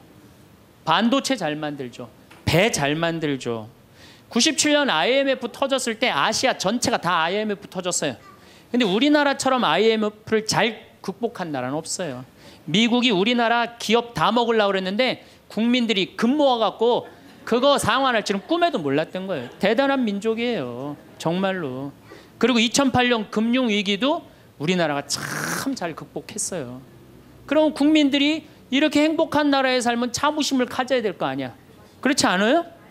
요즘 잘 나가요. 여러분들 일본 소니가 우리나라 삼성에 떨어진 지 5년 됐어. 5년. 그렇게 따라가려고도 안 되는 거예요. 예? 텔레비전 잘 만들지. 작년에는 일본이 무역 흑자 200억 달러였는데 우리나라는 400억 달러예요. 올해도 잘 나가고. 근데 뭐가 그렇게 불만이 많어? 만족하고 살면 되는데 국민들이 욕심이 너무 많아요. 여러분들 제가 세계 경제 10위권까지 들어간 나라 중에 다른 나라 침략하지 않은 나라가 없어요. 다 다른 나라 거 뺏어서 저렇게 잘 먹고 잘 사는 거예요. 우리나라가 작년에 수출 9위, 올해는 수출 7위가 올랐은데요. 경제 규모로는 15위지만은 그래도 경제권 10위권에서 이 조그만 나라에서 왔다 갔다 해요. 그런데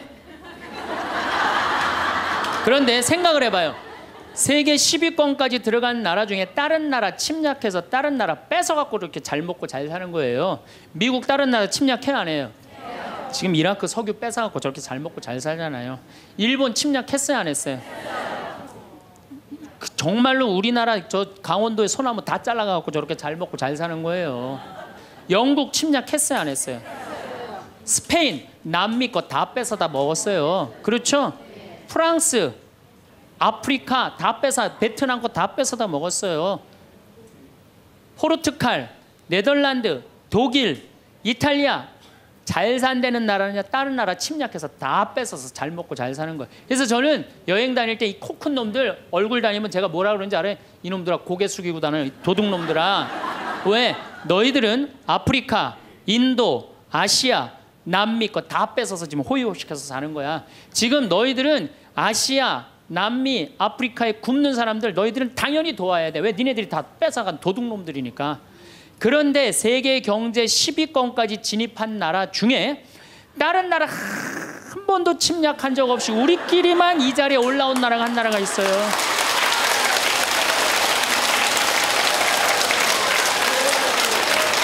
그게 바로 우리나라예요, 우리나라. 여러분들 정말로 저는 대단하다고 생각해요. 그래갖고 이 대단한 사람들이 모여갖고 살아갖고 우리나라 이름이 뭐냐면 대한민국, 대한민국, 대한민국. 그러면 감사해야지, 행복해야지. 그런데 왜 176개 국가 중에 행복 지수가 102등이야? 2007년 기준으로 작년에 많이 올라서 65위로 그래도 그래도 자살률은 세계 1위예요. 아직도 국민들이 욕심이 너무 많아서 그래. 감사를 모르고 나눌 줄을 모르는 거야. 이제는 먹고 살만 했으니까 먹고 살만하게 됐으니까 이제는 우리 국민들이 자부심도 가지고 정신적인 성숙도 가지고 나눌 줄을 아는 이 단계에 이젠 들어서야 돼요. 근데 이걸 누가 해야 돼? 우리 천주교 교우들이 앞장서서 해야 돼. 근데 저렇게 맨날 이 까만 옷만 앉아 있고 있으니 이거 어떻게 하면 좋아? 어, 제가 사는 강원도 평창 생태 마을에는 제가 황토집을 전해서 암 환자들이 많이 오십니다. 근데 벌써 한 3년 전 얘기예요. 3년 전에 우리 집에 어, 암 환자 자매님 한 분이 오셨어요. 한 분이 오셨는데 이분이 5월 달경에 오셨는데 아, 완전히 얼굴이 새카마신 분이에요. 남편이 뭐라 그러느냐면은 간까지 다 암이 전이 돼서 3개월밖에 못 살 거라고 에, 신부님 마지막으로 황토집이 좋아서 왔노라고 그래서 신부님이 좀 살려달라고 내가 무슨 재주로 살려줘요 제가 에. 그래서 좀 우리 집에 내가 행복론 강의라니까 행복론 강의 좀 들으라고. 근데 마침 그때 암 환자들이 한 10분 정도 있었어요. 그런데 그 암 환자들하고 다른 분들하고 강의를 하는데 10분이 다 웃는데 그 자매는 안 웃는 거예요. 왜 안 웃느냐? 이제 3개월밖에 안 남았기 때문에 그게 너무 걱정이 되니까 내 강의가 재밌지도 않고 웃기지도 않은 거예요. 두 시간 내내 무표정한 표정으로 앉아 있더라고요.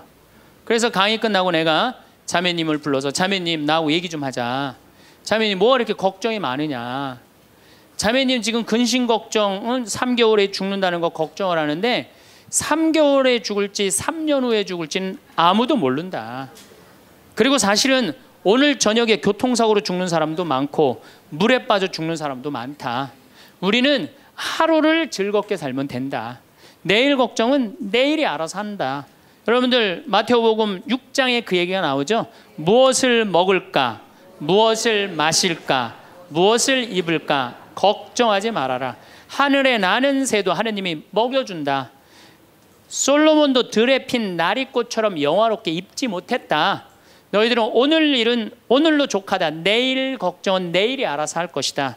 오늘 수고는 오늘로 족하다. 이렇게 말씀을 하셨다. 내일 거 걱정하지 말아라. 그리고 내가 막 자매님한테 혼을 냈어요. 근데 이 자매님이 이틀 동안 집에서 안 나오더라고 나한테 혼나갖고 나한테 위로받을 줄 알았더니 그 이틀이 지나고 나서 자매님이 그러더라고 신부님 생각을 해보니까 내가 남은 3개월 동안 이제까지 하느님의 50년 동안 베풀어 주신 은혜 감사하기도 시간 모자라다는 생각이 든다는 거예요. 마음이 바뀐 거죠. 마음이 바뀌부터 이 자매가 웃기 시작하는 거예요. 막 웃기 시작하는 거예요. 강의를 듣고 웃고 막 그 동료 환자들하고도 산책 다니면서 웃고 사람이 웃으니까 참 보기 좋더라고요. 얼굴은 까맣게 됐지만은 그리고 이제 6월 달에 항암을 하러 여기 암세타로 왔어요.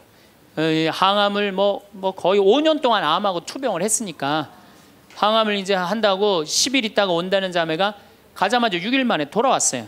왜 돌아왔냐 그러니까 신부님 자기가 5년 동안 항암을 하는 동안 정말로 매번 토하고 매번 울었대. 너무 아파갖고. 근데 이번에 가서 항암을 했는데 안 토했다는 거예요. 안 아팠다는 거예요. 너무너무 좋더라는 거예요.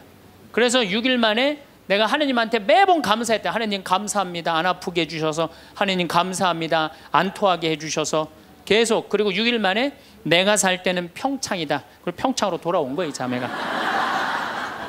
끝나자마자. 그래갖고 이제 우리 집에서 이제 이 이제 생활을 하는데 후배 암 환자들이 오면은 내가 시키지도 않았는데 이 자매가 데리고 다니면서 감사해야 된다, 찬양해야 된다. 자매가 알아서 하는 거죠. 근데 우리 집은 이제 7월 달이 되면은 아이들이 환경 교육을 받으러 한 4천 명 정도 와요. 그래서 암 환자들이 사실은 다 집으로 보내요. 그 자매도 이제 전라도 순천 분인데 가시라고 가셨다가 방학 끝나면 오라고 자기는 안 간다는 거 내가 살 때가 여긴데 어딜 가냐고 그래도 갔다가 오시라고 그리고 자매님 이하 암 걸리신 분들 다 집으로 보냈어요 8월 달이 되면은 전에는 밀린 강의가 많아갖고 여름방학 끝나면 전국으로 강의 다니냐고 정신이 없죠 암 환자들 일일이 다 체크를 못했어요 그 자매를 까먹었어요 까먹고 이제 10월 달이 됐어요 10월 달이 됐는데 형제님이 전화를 하셨어요. 베드로인데. 신부님 저 베드로예요. 그러면 그때 전화한 거는 이제 이미 세상 부인이 떠나갔고 이제 장례 치르고 사모하고 49제 하고 난 다음에 이제 내 생각이 나서 대개 이제 우리 집에 이제 오신 분들이 그렇게 전화를 많이 하세요. 이제 돌아가셨고 다 장례 끝났고 어디다 모셨고 그래서 신부님 이제 기도해 달라고 그래서 이제 자매님 어떻게 됐느냐고 나는 이제 어디다 묻었느냐고 이렇게 이제 물어본 거죠. 네. 그랬더니 형제님이 신부님 우리 마누라가 몇 이틀 전인가 3일 전에 서울에 가고 그 암 저기 뭐야 그 방사능 치료하려고 갔는데 그 암세포를 검사를 했는데 신부님 글쎄 암세포가 다 사라졌다는 거예요.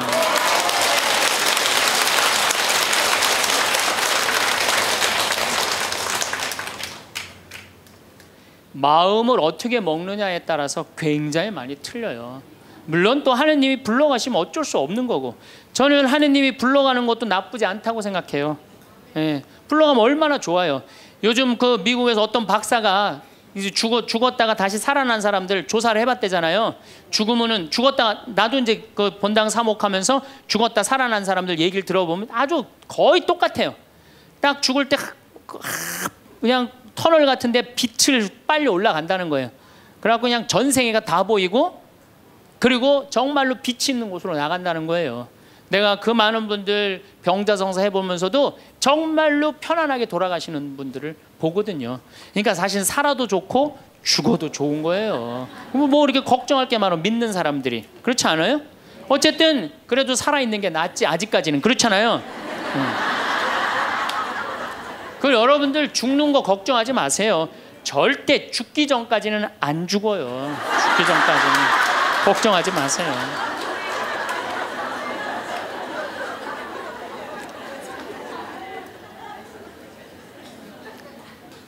축하한다고 근데 산책을 나갔다는 거예요. 아, 예, 그렇다고. 예.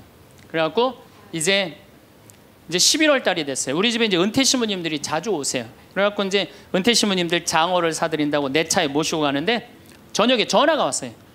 근데 젊은 여자야. 신부님 84살 먹은 신부님, 73살 먹은 신부님을 내 차에 태고 운전을 하고 하는데 전화가 왔는데 내가 모르는 번호야. 근데 저쪽에서 너무 이쁘고 젊은 여자가 신부님 저예요 그러는 거예요. 아니 내가 누군지 어떻게 알아? 목소리가 너무 이뻐. 그래서 아 실례하지만 누구시냐고 그랬더니 저쪽에서 뭐라 그러냐면 신부님 섭섭해요. 제 목소리를 벌써 잊으셨어요. 그러는 거예요. 그래서 내가 누구냐고 그러니까 저 마리아예요. 그러는 거예요. 어, 그러니까 그 자매야. 아니 목소리가 원래 이렇게 이뻤느냐고 입만 말만 하면 울음을 미, 우, 물었거든요. 신부님 나 죽으면 안 돼요. 이랬던 자매인데 이렇게 밝은 목소리냐고. 아 신부님 제가 요즘 너무 건강이 좋아지고 너무 너무 행복하다고.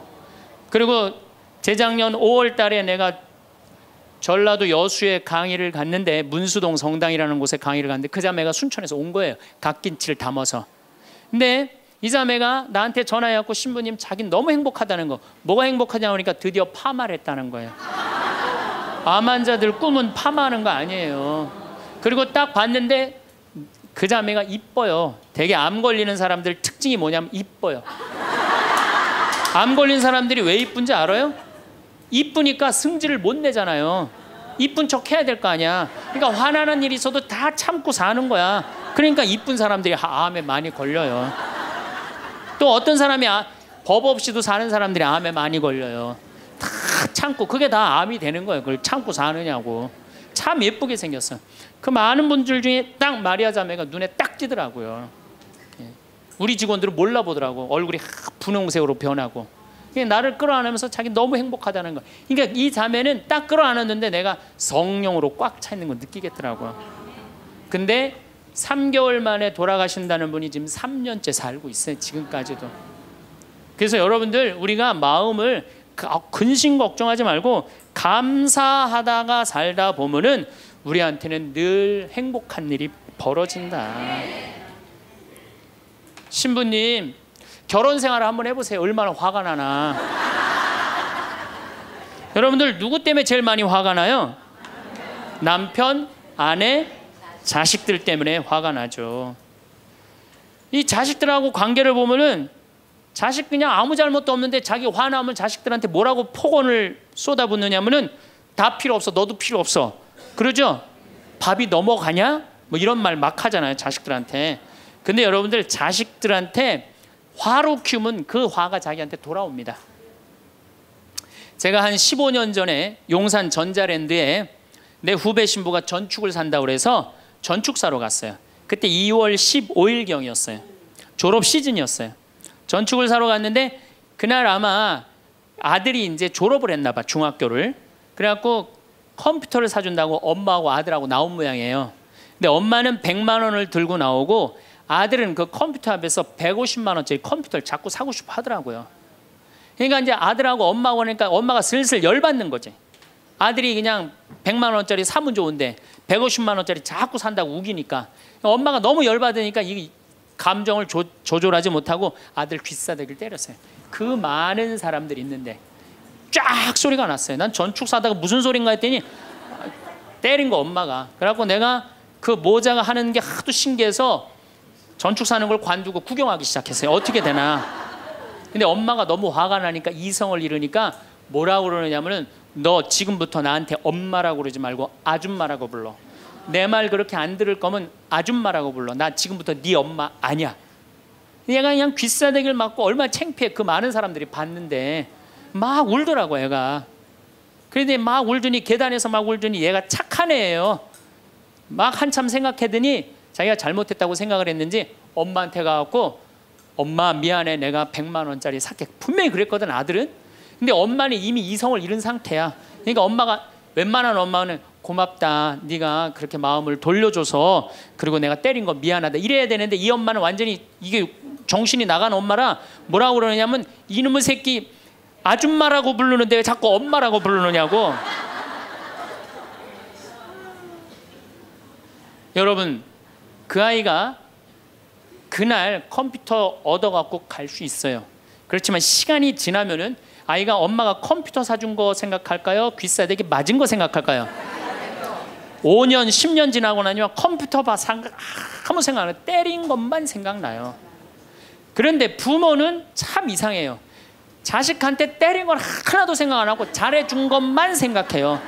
그러니까 자식은 부모한테 맞은 것만 생각하고 부모는 자식한테 잘해준 것만 생각. 나중에 만나면은 이게 영 딴 마음을 갖고 사는 거야. 그러니까 여러분들 중에 만약에 자식들이 화가 나갖고 만약에 내가 때렸다 늙어서 호강 받을 생각은 꿈도 꾸지 말아라. 며칠 전에 중국에서 한 엄마가 길거리에서 아이를 막 발로 차고 막 때리는 거 보셨죠? 예, 저 방송에 나왔더라고요. 그 화로 키우면요, 걘 나중에 그 엄마한테 화로 갚을 수밖에 없어요. 근데 우리가 왜 자식들한테 많이 더 화가 나느냐? 이유는 딱 한 가지예요. 공부 못 한다는 거예요. 공부 못 한다는 거. 공부 안 하고 딴짓 한다고 사친구 때 공부 안 하고 컴퓨터 게임이나 하고 더욱이 눈 동그랗게 뜨고 부모한테 덤비면은 화가 나요 안 나요? 나죠?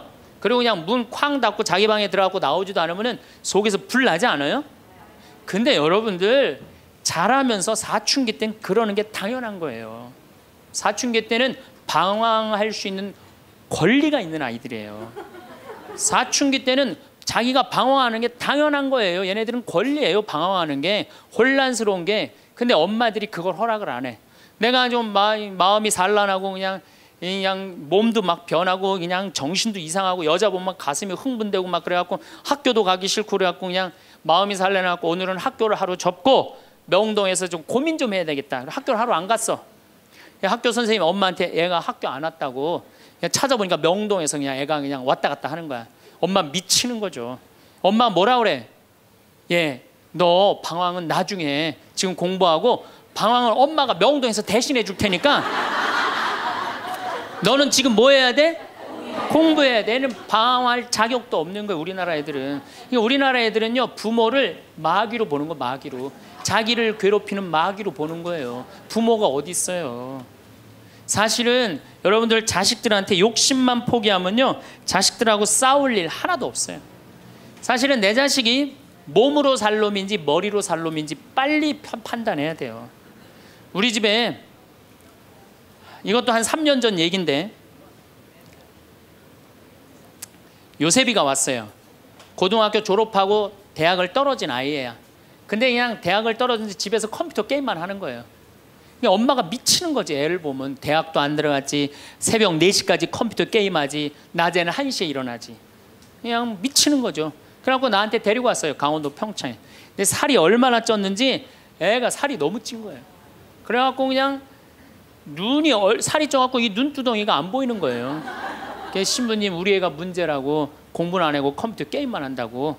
그래갖고 그냥 내가 애를 보니까 이 눈두덩, 이 찢어진 눈두덩 사이로 개 눈을 자세히 들여다보니까 애는 문제가 없더라고요. 애는. 근데 애가 살이 얼마나 쪘는지 100kg인지 110kg인지 120kg인지 130kg인지 알 길이 없는 거야. 왜 우리 생태 마을의 저울은 100kg까지 밖에 재는 게 없거든. 올라가면 막 뱅글뱅글 도는 거 저울이. 그래서 내가 아, 고추 빨 때 방앗간에 나갈 때 달아봐라. 그래서 달아봐. 그랬더니 얘가 몇 킬로가 나냐? 130킬로가 나서 130킬로. 그래갖고 일단은 하여튼 놔두고 가라고. 그래갖고 이제 엄마 갔어요. 엄마 가고. 근데 애가 참 건강한 애예요. 정신도 맑은 애 아이고 부모 입장에서 문제인데 내 눈에는 문제가 아니더라고. 너 밭에 나가서 일 좀 해라. 그래갖고 이제 다 큰 애니까 밭에 나가서 일을 하고 일주일 지나고 난 다음에 관리장한테 물어봤어요.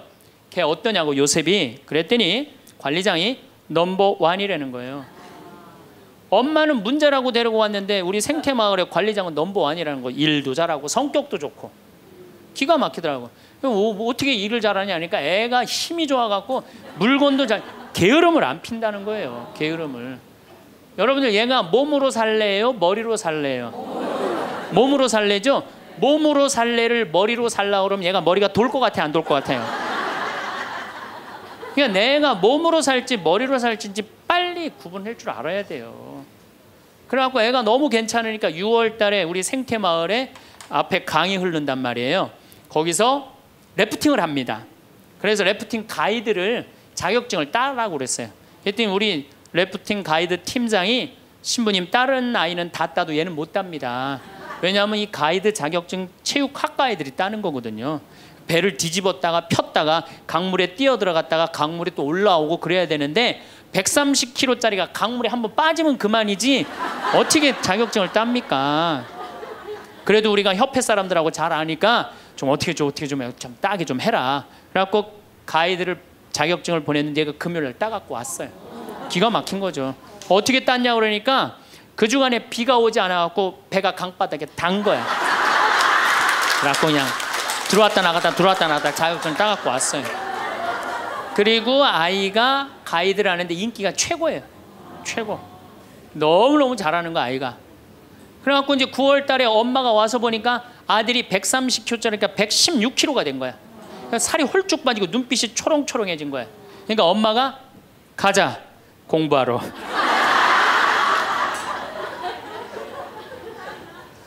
제가 보기에는 이 아이는 우리 집에 4년 동안 일하면은요 돈 5천만 원, 6천만 원, 7천만 원 벌어요.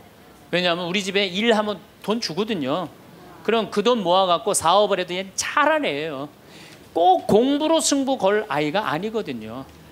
그럼 신부님 우리 애가 몸으로 살렌지 머리로 살렌지 기준이 어떻게 됩니까? 반에서 10등 안에 안 드는 놈들은요 다 몸으로 살 놈들이에요. 여러분들 자식들 중에 반에서 10등 안에 안 드는 애들은 다 몸으로 살 애들이야. 독일은 초등학교 졸업하면서 중학교 올라가면서 갈릅니다. 대학 들어가래 아니면 기술 배우래. 그래갖고 갈러도 학교 선생님이 갈러놔도 우리 애가 왜 이 머리가 나쁘냐 이렇게 따지는 부모 하나도 없대요.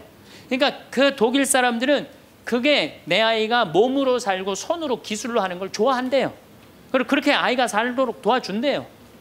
근데 우리는 만약에 그렇게 했다 내가 교장 선생님들 교감 선생님들한테 강의 한 번 간 적이 있어요. 연수원에 가서. 그랬더니 교감 선생님들이 만약에 우리가 그런 결정을 하면 지금 학부형들한테 맞아 죽는다는 거예요. 우리나라 부모님들이 욕심이 너무 많은 거예요 자식들한테. 그러니까 자식들이 희생당하는 거죠. 자식들이 희생당하는 거예요. 그러니까 독일은 대학을 졸업하는 비율이 아이들의 한 25% 정도밖에 안 된대요. 대학을 졸업하는 아이들이 들어가는 애들도 많지 않고 미국은 뉴욕 잘 사는 데가 대학 졸업하는 비율이 60%예요. 60%. 그런데 우리나라는 대학에 지금 입학하는 게 몇 프로냐면 92%예요. 아무나 다 대학 가는 거예요. 아무나 다. 그러니까 독일은 몸으로 살 애들이 80, 75%야. 그렇죠? 그 다음 미국은 몸으로 살 애들이 40에서 50% 정도 돼요. 우리나라는 92%가 대학 미국은 또 미국이나 캐나다는 60%가 대학에 들어가도 졸업하는 건 그 중에 반밖에 못 해요. 다 졸업 못 해요. 그래서 그쪽에 가 보니까 입학은 물어봐도 졸업은 물어보는 게 아니래요. 졸업하는 게 그렇게 어렵다는 거예요. 근데 우리는 92%가 들어가면 91% 거의 다 졸업을 하는 거야. 우리는 몸으로 살 애들이 8%밖에 안 돼. 머리로 살 애들이 92%고. 공장에 농장에 일할 사람들이 있어요? 없어요. 그러니까 이 나머지 92% 중에 취직을 다 합니까? 4, 50%밖에 못 해요. 그러면 나머지 40%는요. 한량으로 남는 거예요. 취직도 못 하고. 그럼 그거 그 자식 보고 있으면 속에서 불이 나요, 안 나요? 불이 나죠? 근데 누가 잘못한 거예요? 부모가 잘못한 거예요. 처음부터 너는 머리로 안 될 것 같으니까 우리 몸 쪽으로 가자. 그래갖고 농사를 가르치든지 기술을 가르치면은 걔 벌써 취직해갖고 일했을 거예요. 근데 다 우리의 삐뚤어진 욕심 때문에 아이도 망가뜨리고 부모도 망가지고 그래갖고 돈 쏟아 넣느냐고 노후 대책 연금도 못 하고 그러니까 그냥 전 국민이 그냥 화 속에서 사는 거예요.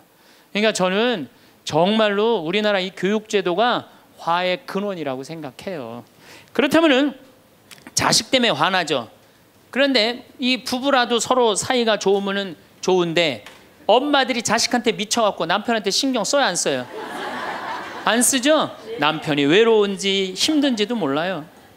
근데 자식들은 부부가 막 사랑스럽고 예, 이렇게 다정하게 지내는 부모를 본 자식들은요 안정스럽게 자란대요. 근데 부부가 맨날 싸우고 막 이러는 자식들은요 굉장히 불안정하게 자란다는 거예요. 그래서 저는 정말로 감사한 게 저는 고등학교 졸업할 때까지 부부는 안 싸우는 건 줄 알았어요. 부부는 한 번도 부부 싸움을 본 적이 없어요 저는.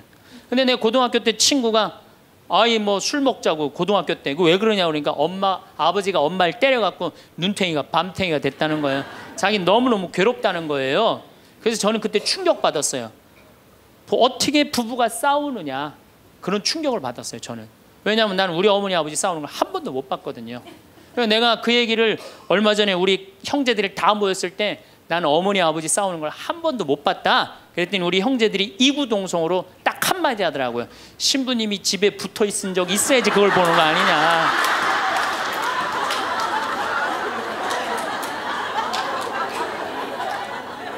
어쨌거나 저는 본 적이 없어요. 저는 굉장히 긍정적으로 잘할 수 있는 거죠.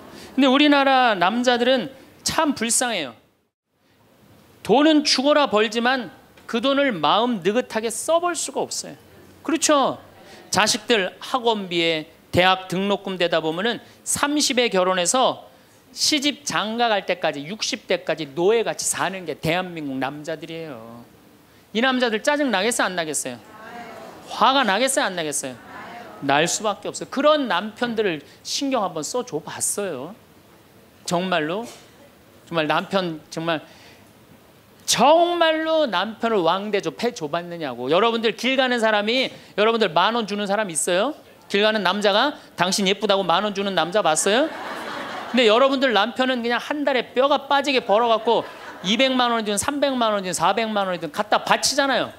그러면 그 남편한테 감사해야 될 거 아니야. 근데 그냥 감사는 안 하고 뭘 뭐 그냥 남의 김치찌개도 그냥 제대로 안 하면 그냥 못 끓이고 그냥 자식이라고 있는 거 학원 다니다 보면은 밤 12시에 얼굴 보기도 힘들어요. 아버지가 자식을 키우고는 있지만은 다정한 자식을 구경하기가 힘들어요. 또 사춘기만 되면 이 자식들이 아버지한테 부드럽게 합니까? 반항하고 틱틱거리고 그러면은요. 우리나라 남자들은 갈 데가 없는 거야. 그래서 40대 남자들이 자살률이 세계에서 1위인데 우리나라 여자보다 몇 배가 많이 죽느냐면 세 배가 많이 죽어요. 우리나라 40대들은 갈 데가 없는 거예요. 갈 데가 외로운 거죠. 또 여성들도 마찬가지야. 난 우리나라 여자들도 불쌍해. 이게 다 교육 때문에 그래. 교육 때문에. 자식이 막 사춘기 때 막 생 난리를 치고 막 그럴 때 여러분들은 몇 살이 될까요? 마흔다섯, 오십 왔다 갔다 하죠? 그럼 여러분들은 자식은 사춘기지만 여러분들은 뭐예요? 갱년기야. 그러니까 갱년기가 되면 사실은 굉장히 케어가 필요한 거예요. 여러분들 굉장히 돌봄이 필요한 나이예요. 막 피부 처져요, 안 처져요? 눈두덩 처져요, 안 처져요? 눈가 처져요, 안 처져요? 볼 처져요, 안 처져요? 이가 처져요 안 처져요? 그러니까 그렇게 처지는 거 거울에 이렇게 보고 앉아 있으면 어떤 얼굴이 되냐면 이런 얼굴이 돼요.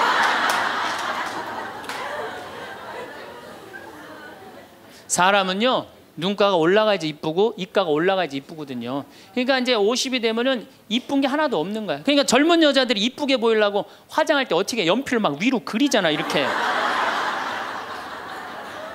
근데 50이 되면 연필로 그려도 결국 어떻게 돼요? 끝이 떨어지잖아요.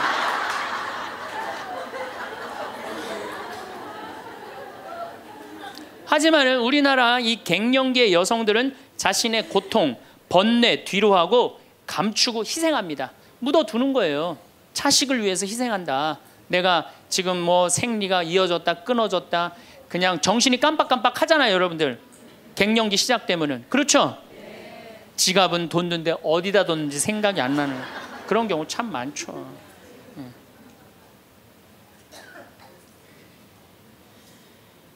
그러니까 자기만 희생한다고 생각을 하니까 화가 나는 거예요. 화가 나는 거. 더욱이 50이 되면은 뭐에 걸리느냐? 빈둥지 증후군에 걸려요. 자식 공부하러 나가고 그렇죠? 남편 돈 벌러 나가고 자기는 50 되면은 아무도 옆에 없는 것 같은 외로움 속에 자기가 이제 빠지는 거죠. 그러면 이제 자식 보면 막 화가 나는 거예요. 남편 봐도 화가 나고 몸에는 막 테스토스테론이 나와가고 힘은 흘러 넘치고 그러니까 막 소리소리 지르는 거야. 그러니까 50 넘은 여자 중에 여자 같은 여자는 없고 전부 다 깡패 같은 여자들만 있는 거야. 50 넘. 그래서 나는 이 부부들 보면은 참 재미난 게 성당에서 내가 보면 얼굴도 예쁘고 정말로 상냥해요. 아, 이 음식 반찬도 맛있게 하고 그럼 남편하고 술 한잔 하면서 형제님 행복하다고 저렇게 이쁘고 상냥하고 괜찮은 여자랑 살아서 정말로 부럽다고 그러면은 형제님들 대부분이 뭐라고 그러냐면 신부님 부러우세요? 아우 너무 부럽다고 그러면은 형제님들이 뭐라고 그러냐면 데리고 가세요.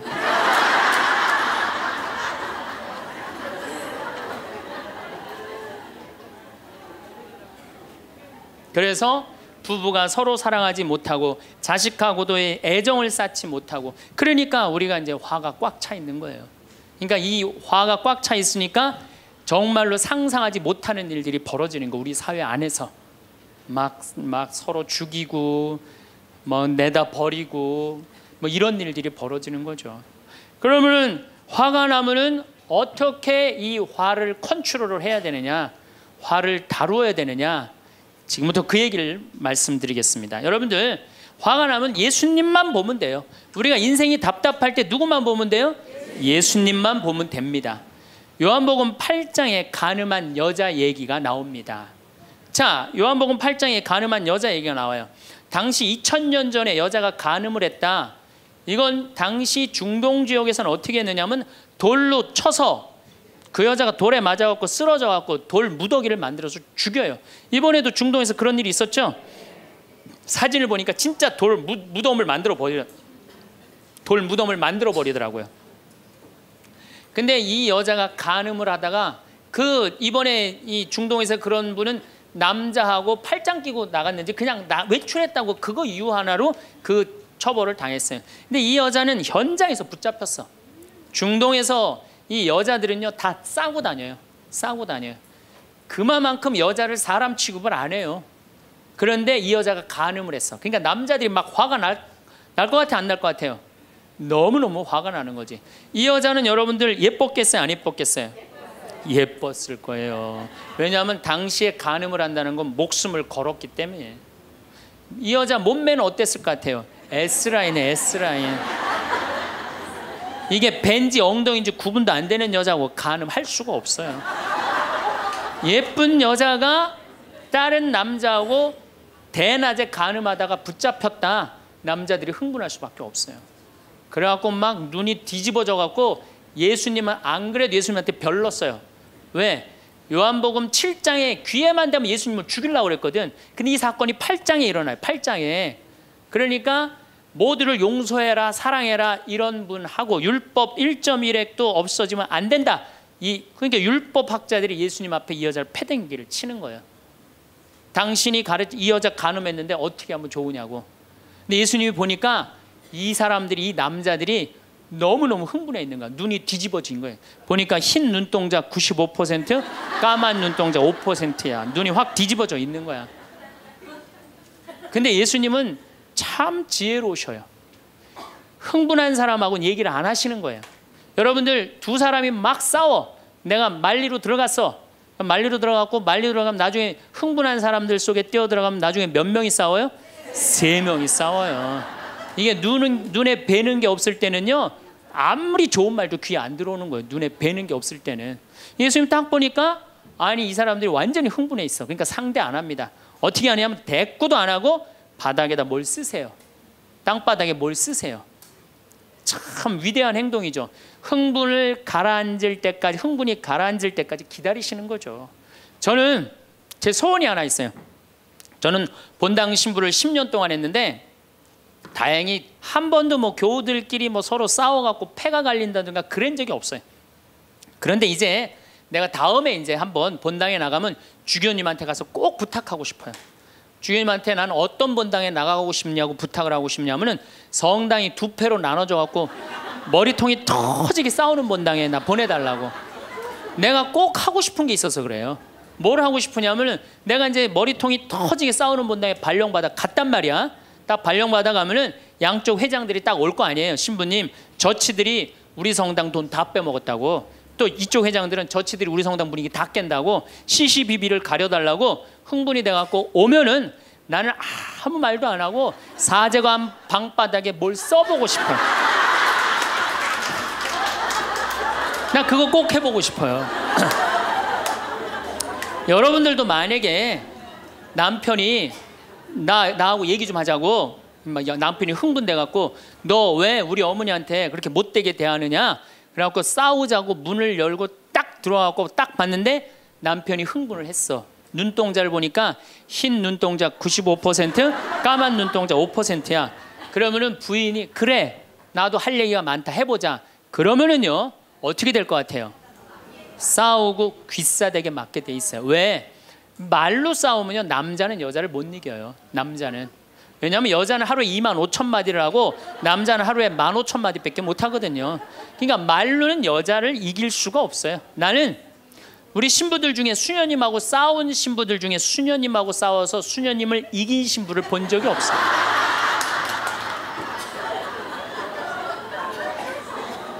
말로는 안 되는 거예요. 그러니까 여러분들 남편이 흥분해 갖고 딱 나하고 얘기하자 그러면 여러분들은 아무 대꾸하지 말고 방바닥에 뭘 쓰세요. 뭐 할 때까지 남편 흥분 가라앉을 때까지. 예수님은 땅바닥에 쓰시는 거예요. 사실은 그거는 다른 뭐 아주 신학교 있을 때 뭐 많이 배웠죠. 뭘 써셨었을까? 예수님이 과연 뭐 별 얘기를 들었는데 다른 의미는 아니고 흥분이 가라앉을 때까지 기다리신 거예요. 그래갖고 이제 이 사람들이 이제 흥분은 가라앉고 사건만 남은 거야. 사건. 그래갖고 이제 흥분이 좀 가라앉은 상태. 여러분들 아무리 화가 나도 열만 심으면요, 웬만하면 흥분이 가라앉아요. 그 열을 못 쉬어서 흥분이 터지는 거죠. 그러니까 좀 어느 정도 흥분이 가라앉으니까 이 사람들이 물어봅니다. 이 여인을 어떻게 하면 좋겠습니까? 간음을 했는데 그러니까 예수님이 딱 보니까 이제 흥분이 가라앉은 것 같아. 그러니까 딱 한마디 더 합니다. 그래? 그렇다면은 너희 중에 죄 없는 사람이 먼저 저 여자를 돌로 쳐라. 그리고 그 다음 행동이 기가 막히세요. 다시 땅바닥에 뭘 쓰세요.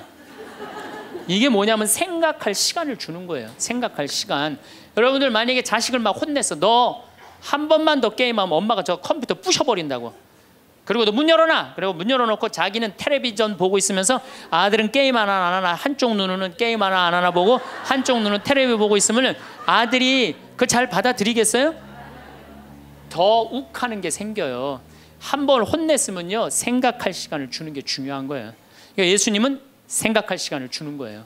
너희 중에 죄 없는 사람이 먼저 저 여자를 돌로 쳐라. 그리고 난 다음에 예수님 다시 땅바닥에 뭘 쓰십니다. 그런데 언제까지 기다려 주시느냐면 다 떠날 때까지 기다리는 거예요. 중간에 고개 안 돌리시고. 그리고 다 떠났어. 다 떠나고 나니까 그때서 고개를 들어서 혼자 남은 여인한테 물어봅니다. 여인아, 네 죄를 묻던 사람들이 어디 갔느냐? 아무도 없습니다, 주님. 그래? 그들이 만약에 네 죄를 묻지 않았다면 나도 네 죄를 묻지 않으마. 이거 기가 막힌 얘기예요. 왜? 예수님은 죄를 묻을 수 있는 권한이 있으신 분이에요. 얼마든지 그 여자를 징계할 수 있어요. 그렇지만 다른 사람이 묻지 않았기 때문에 나도 묻지 않겠다. 아, 기가 막히지 않아요? 예수님은 세 사람을 용서합니다.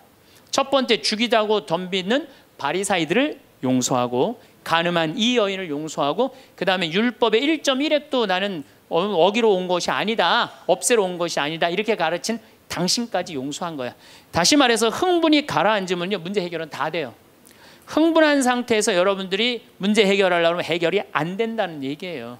그렇다면은 이 흥분은 화는 어떻게 하면 조절할 수 있느냐? 첫 번째, 숨을 잘 쉬어라. 이거는 모든 화를 조절하는 책을 읽어보면요. 첫 번째로 나오는 게 숨을 잘 쉬어라예요. 화가 나면은 숨이 가빠져요, 안 가빠져요? 가빠지죠? 씩씩거린다 그러죠? 이게 숨을 어떻게 주체하지 못해서 그러는 거예요. 근데 여러분들 숨은 창세기에 보면은 하느님이 인간을 창조하시고 뭘 불어넣었다 그래요? 숨을. 그러니까 우리가 숨을 쉰다는 건 생명을 쉬는 거예요. 생명을. 그러니까 숨을 잘못 쉬면 생명을 잘못 다루는 거하고 똑같은 거예요. 근데 숨은 어떻게 내 몸으로 들어와서 코로 들어와서 심장으로 해서 이 위로 해서 그 다음에 단전 배꼽 아래로 해서 간으로 해서 폐로 이렇게 돌아서 나가는 게 숨이에요. 그래갖고 온전히 산소 공급이 온 장기 안에 다 돼야 돼. 근데 화가 나면 여러분들 숨을 어디다 걸어놓고 쉬어요? 목에다 목조에서 딱 걸어놓고 싸우잖아요 남편하고 싸울 때. 예, 내가 시집하고 당신한테 해준 게 뭐가 있어? 외식을 해줘서 설거지를 해줬어 그렇다고 여행을 시켜줘서 밍크 코트를 사줘서 다이아를 사줬어 어, 그럼 얼굴이 빨개져 안 빨개져? 왜 빨개지느냐면 이게 내려갔다 와야 되는데 여기만 딱 차 있으니까 점점 점점 풍선처럼 부풀어 오르는 거예요. 그렇게 한 시간을 소리 소리 지르고 싸우면은 한 시간 동안 여기 산소 통합니까 안 통합니까? 안 통하면 여기가 무슨 병이 드느냐면 화병이 드는 거. 그래서 드는 병이 화병이에요. 그러니까 싸울 때 어떻게 싸워야 되냐면 숨을 쉬고 싸워야 되는 거예요. 싸울 때. 어떻게 싸워야 되냐면 당신이 말이야 시집 와갖고 나한테 해준 게 뭐가 있어? 설거지를 해줬어. 그렇다고 외식을 시켜줬어.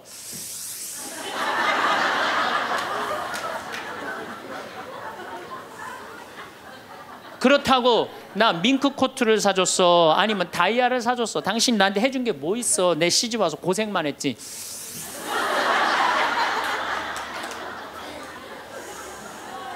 그렇다고 내가 하느님 그렇게 열심히 믿었는데 어, 예수님 태어난 어? 나자렛을 보내줬어 갈릴레아를 보내줬어 나 이 집에서 종처럼 일만 했는데 당신 뭐가 있다고 나한테 소리를 지르고 그래 이렇게 숨을 쉬고 싸우면은요 절대 남편한테 귀싸대기 안 맞아요. 남편이요 차분히 얘기하게 돼 있어요. 근데 막 흥분을 끌어올리면서 얘기하면 사람 감정이 격해져 갖고 아 이성이 사라지는 거예요. 그래서 우리가 내가 너무너무 화가 나면은 심호흡을 열 번만 하면은 굉장히 문제가 해결된다는 거예요. 그래서 여러분들 화가 나면 어떻게 해라? 숨을 잘 쉬어라. 두 번째 화가 나면 어떻게 해라? 걸어라. 걷는 게 아주 중요합니다. 여러분들 화가 날 때 묵주를 들고 나와서 동네 한 바퀴만 돌면은요 알아서 마음이 정리가 돼요. 해결책도 알아서 나와요. 두 시간, 세 시간만 걸으면은요 완전히 차분해져서 들어가요. 그러니까 화가 나면 그 자리에서 떠나야 되는 거 무조건. 떠나는데 가만히 있으면 더 이게 일어나거든요. 그래서 이 꼼포스텔라라고 스페인의 야고보 성인 무덤 가는 800km 그게 세계적으로 그렇게 인기가 좋은 게 왜 인기가 좋으냐면은 그 걸으면서 사람이 치유가 다 되고 마음 정리가 다 되기 때문에 그러는 거예요. 그러니까 걷는 거는 건강에도 좋지만은 마음을 정리해 주는 게 걷는 거예요. 그래서 여러분들 정말로 화가 나면 어떻게 걸으세요. 그리고 정말로 큰 숙제가 있다. 내 인생에 큰 숙제가 있다 그러면은 도보 성지순례를 하세요. 도보 성지순례를. 저는 우리 교우들이랑 이 세남터에서부터 미리네까지 전체 교우가 밤 8시면 모여갖고 새벽 3시, 4시까지 저 미리네까지 걸었어요. 그 목요일, 금요일, 토요일, 일요일 4일을 걸었는데 그 한 4, 500명 되는 교우들이 나한테 체험, 은혜 받은 얘기를 하는데 이건 보통 은혜 받은 게 아니에요. 허리 아프던 사람은 허리 다 낫고 위장 아프던 사람 위장 다 낫고 마음 복잡한 사람 마음 정리되고 사업이 막 안 돼 갖고 괴로워하던 사람은 빛을 보고 걷는 게 그렇게 우리 인생에 중요한 거예요. 그래서 내가 정말 문제가 있다. 새남터서부터 걸으세요. 새남터 우리 김대원 신부님 시신 모시고 미리네까지 원선쇼 할아버지가 그땐 청년이었지만 갔잖아요. 그 생각하고 걸으면은요 여러분들 은혜 많이 받으실 거예요. 그러니까 화가 나면 어떻게 해라? 숨을 잘 쉬고 그 다음에 어떻게 해라? 걸어라. 그 다음에 화가 나면 화를 조절하는 방법 중에 세 번째는 잘 먹어라. 이게 먹는 게 화를 먹는 경우가 너무 많아요. 인스턴트 음식 그렇죠. 이거 잘못 먹으면요 다 화가 들어 있는 거예요. 그리고 고기 너무 많이 먹으면요 화냅니다. 여러분들 사슴 싸나워요 안 싸나워요? 안 싸납죠? 사자 싸나워요 안 싸나워요? 싸납죠? 사자 뭐 먹어요? 고기 먹죠? 사슴 뭐 먹어요? 풀 먹죠? 내 아들이 나한테 덤비는데 막 리모컨 던지고 막 자기 막 방문 부시고 그러면은요 애가 성격이 나빠서 그런 게 아니에요. 아 내가 고기를 너무 많이 먹여서 그렇구나. 그래갖고 걔를 뭘 먹이냐면 6개월 동안 풀만 먹여보세요. 6개월만 지나면 완전히 온순해집니다. 그리고 여러분들 우리가 먹는 게 화가 너무 많아요. 급 아주 비근한 예를 하나 드릴게요. 달걀을 예를 드릴게요. 달걀을 여러분들 닭들 어떻게 달걀을 낳아요? 우리 지금 여러분들 보통 드시는 닭들 다 가, 가둬놓고 하죠? 재웁니까 안 재웁니까? 안 재우죠? 재우지도 않죠. 공간이 조그맣죠. 스트레스 받으니까 옆에 닭막 좁니다. 부리로. 그러니까 어떻게 하냐 부리를 잘라요. 못 쪼개. 그런 닭들이 놓는 달걀은 화가 들어 있을까요? 안 들어 있을까요? 화가 들어 있는 거예요. 그런 음식들이 자연적이지 않은 음식들이 반자연적인 음식들을 우리가 먹는 게 문제예요. 우리 닭들은 한 내가 300마리 키우는데 막 날아다니면서 놓는 알들은 벌써 냄 향이 좋아요. 딱 깨서 먹으면 아주 고소하고 그런데 일, 일반 그 시중에서 이렇게 사는 닭들은 막 약간 좀 비리고 이런 냄새 그 스트레스 받는 거예요. 그럴 만큼 먹는 게 중요한 거예요. 그래서 자연식이라는 게 우리한테 그래서 중요한 거예요. 그래서 이 화도 커피 많이 먹으면 막 심장 두근두근 거려요, 안 거려요? 그런 상태에서 화나는 일이 있으면 폭발합니다.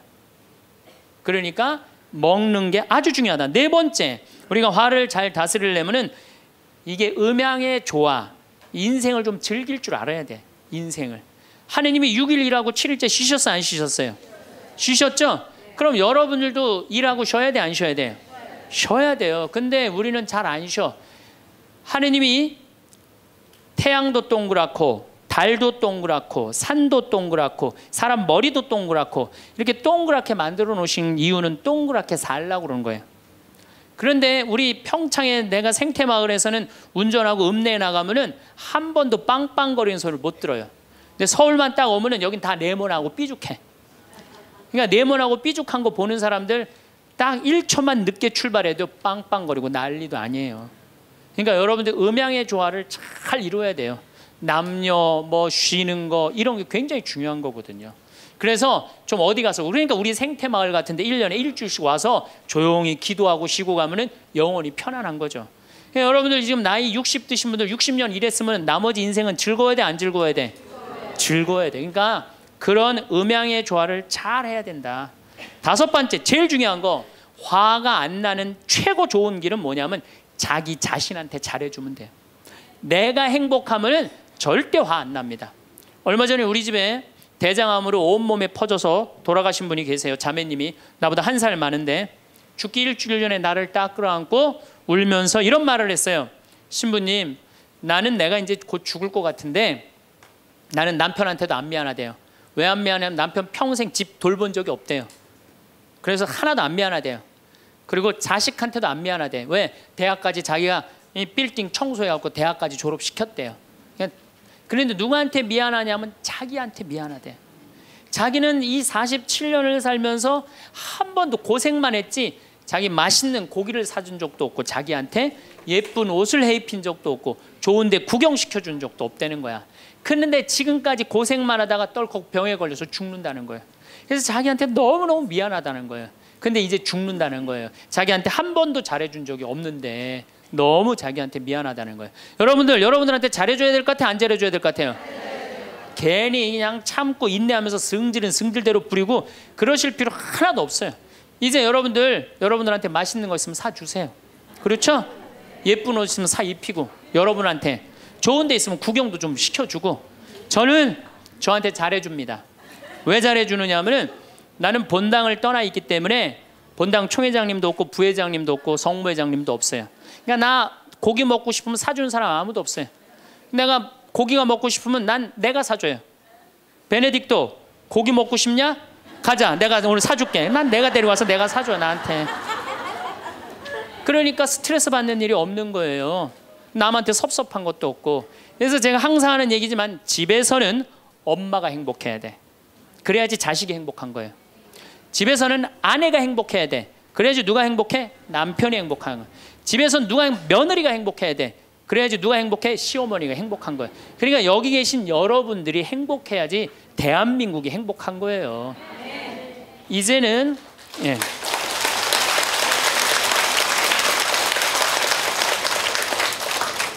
자기한테 잘해주는 걸 비신앙적이라고 생각하지 마십시오. 온 세상을 얻는다 해도 자기 목숨을 잃으면 아무 소용이 없다. 그러셨죠? 그러니까 여러분들한테 잘해주시고 내가 행복해야지 그 행복을 가지고 온 세상에 나눠줄 수 있다는 사실 잊지 마시고 여러분들 행복하시기 바랍니다.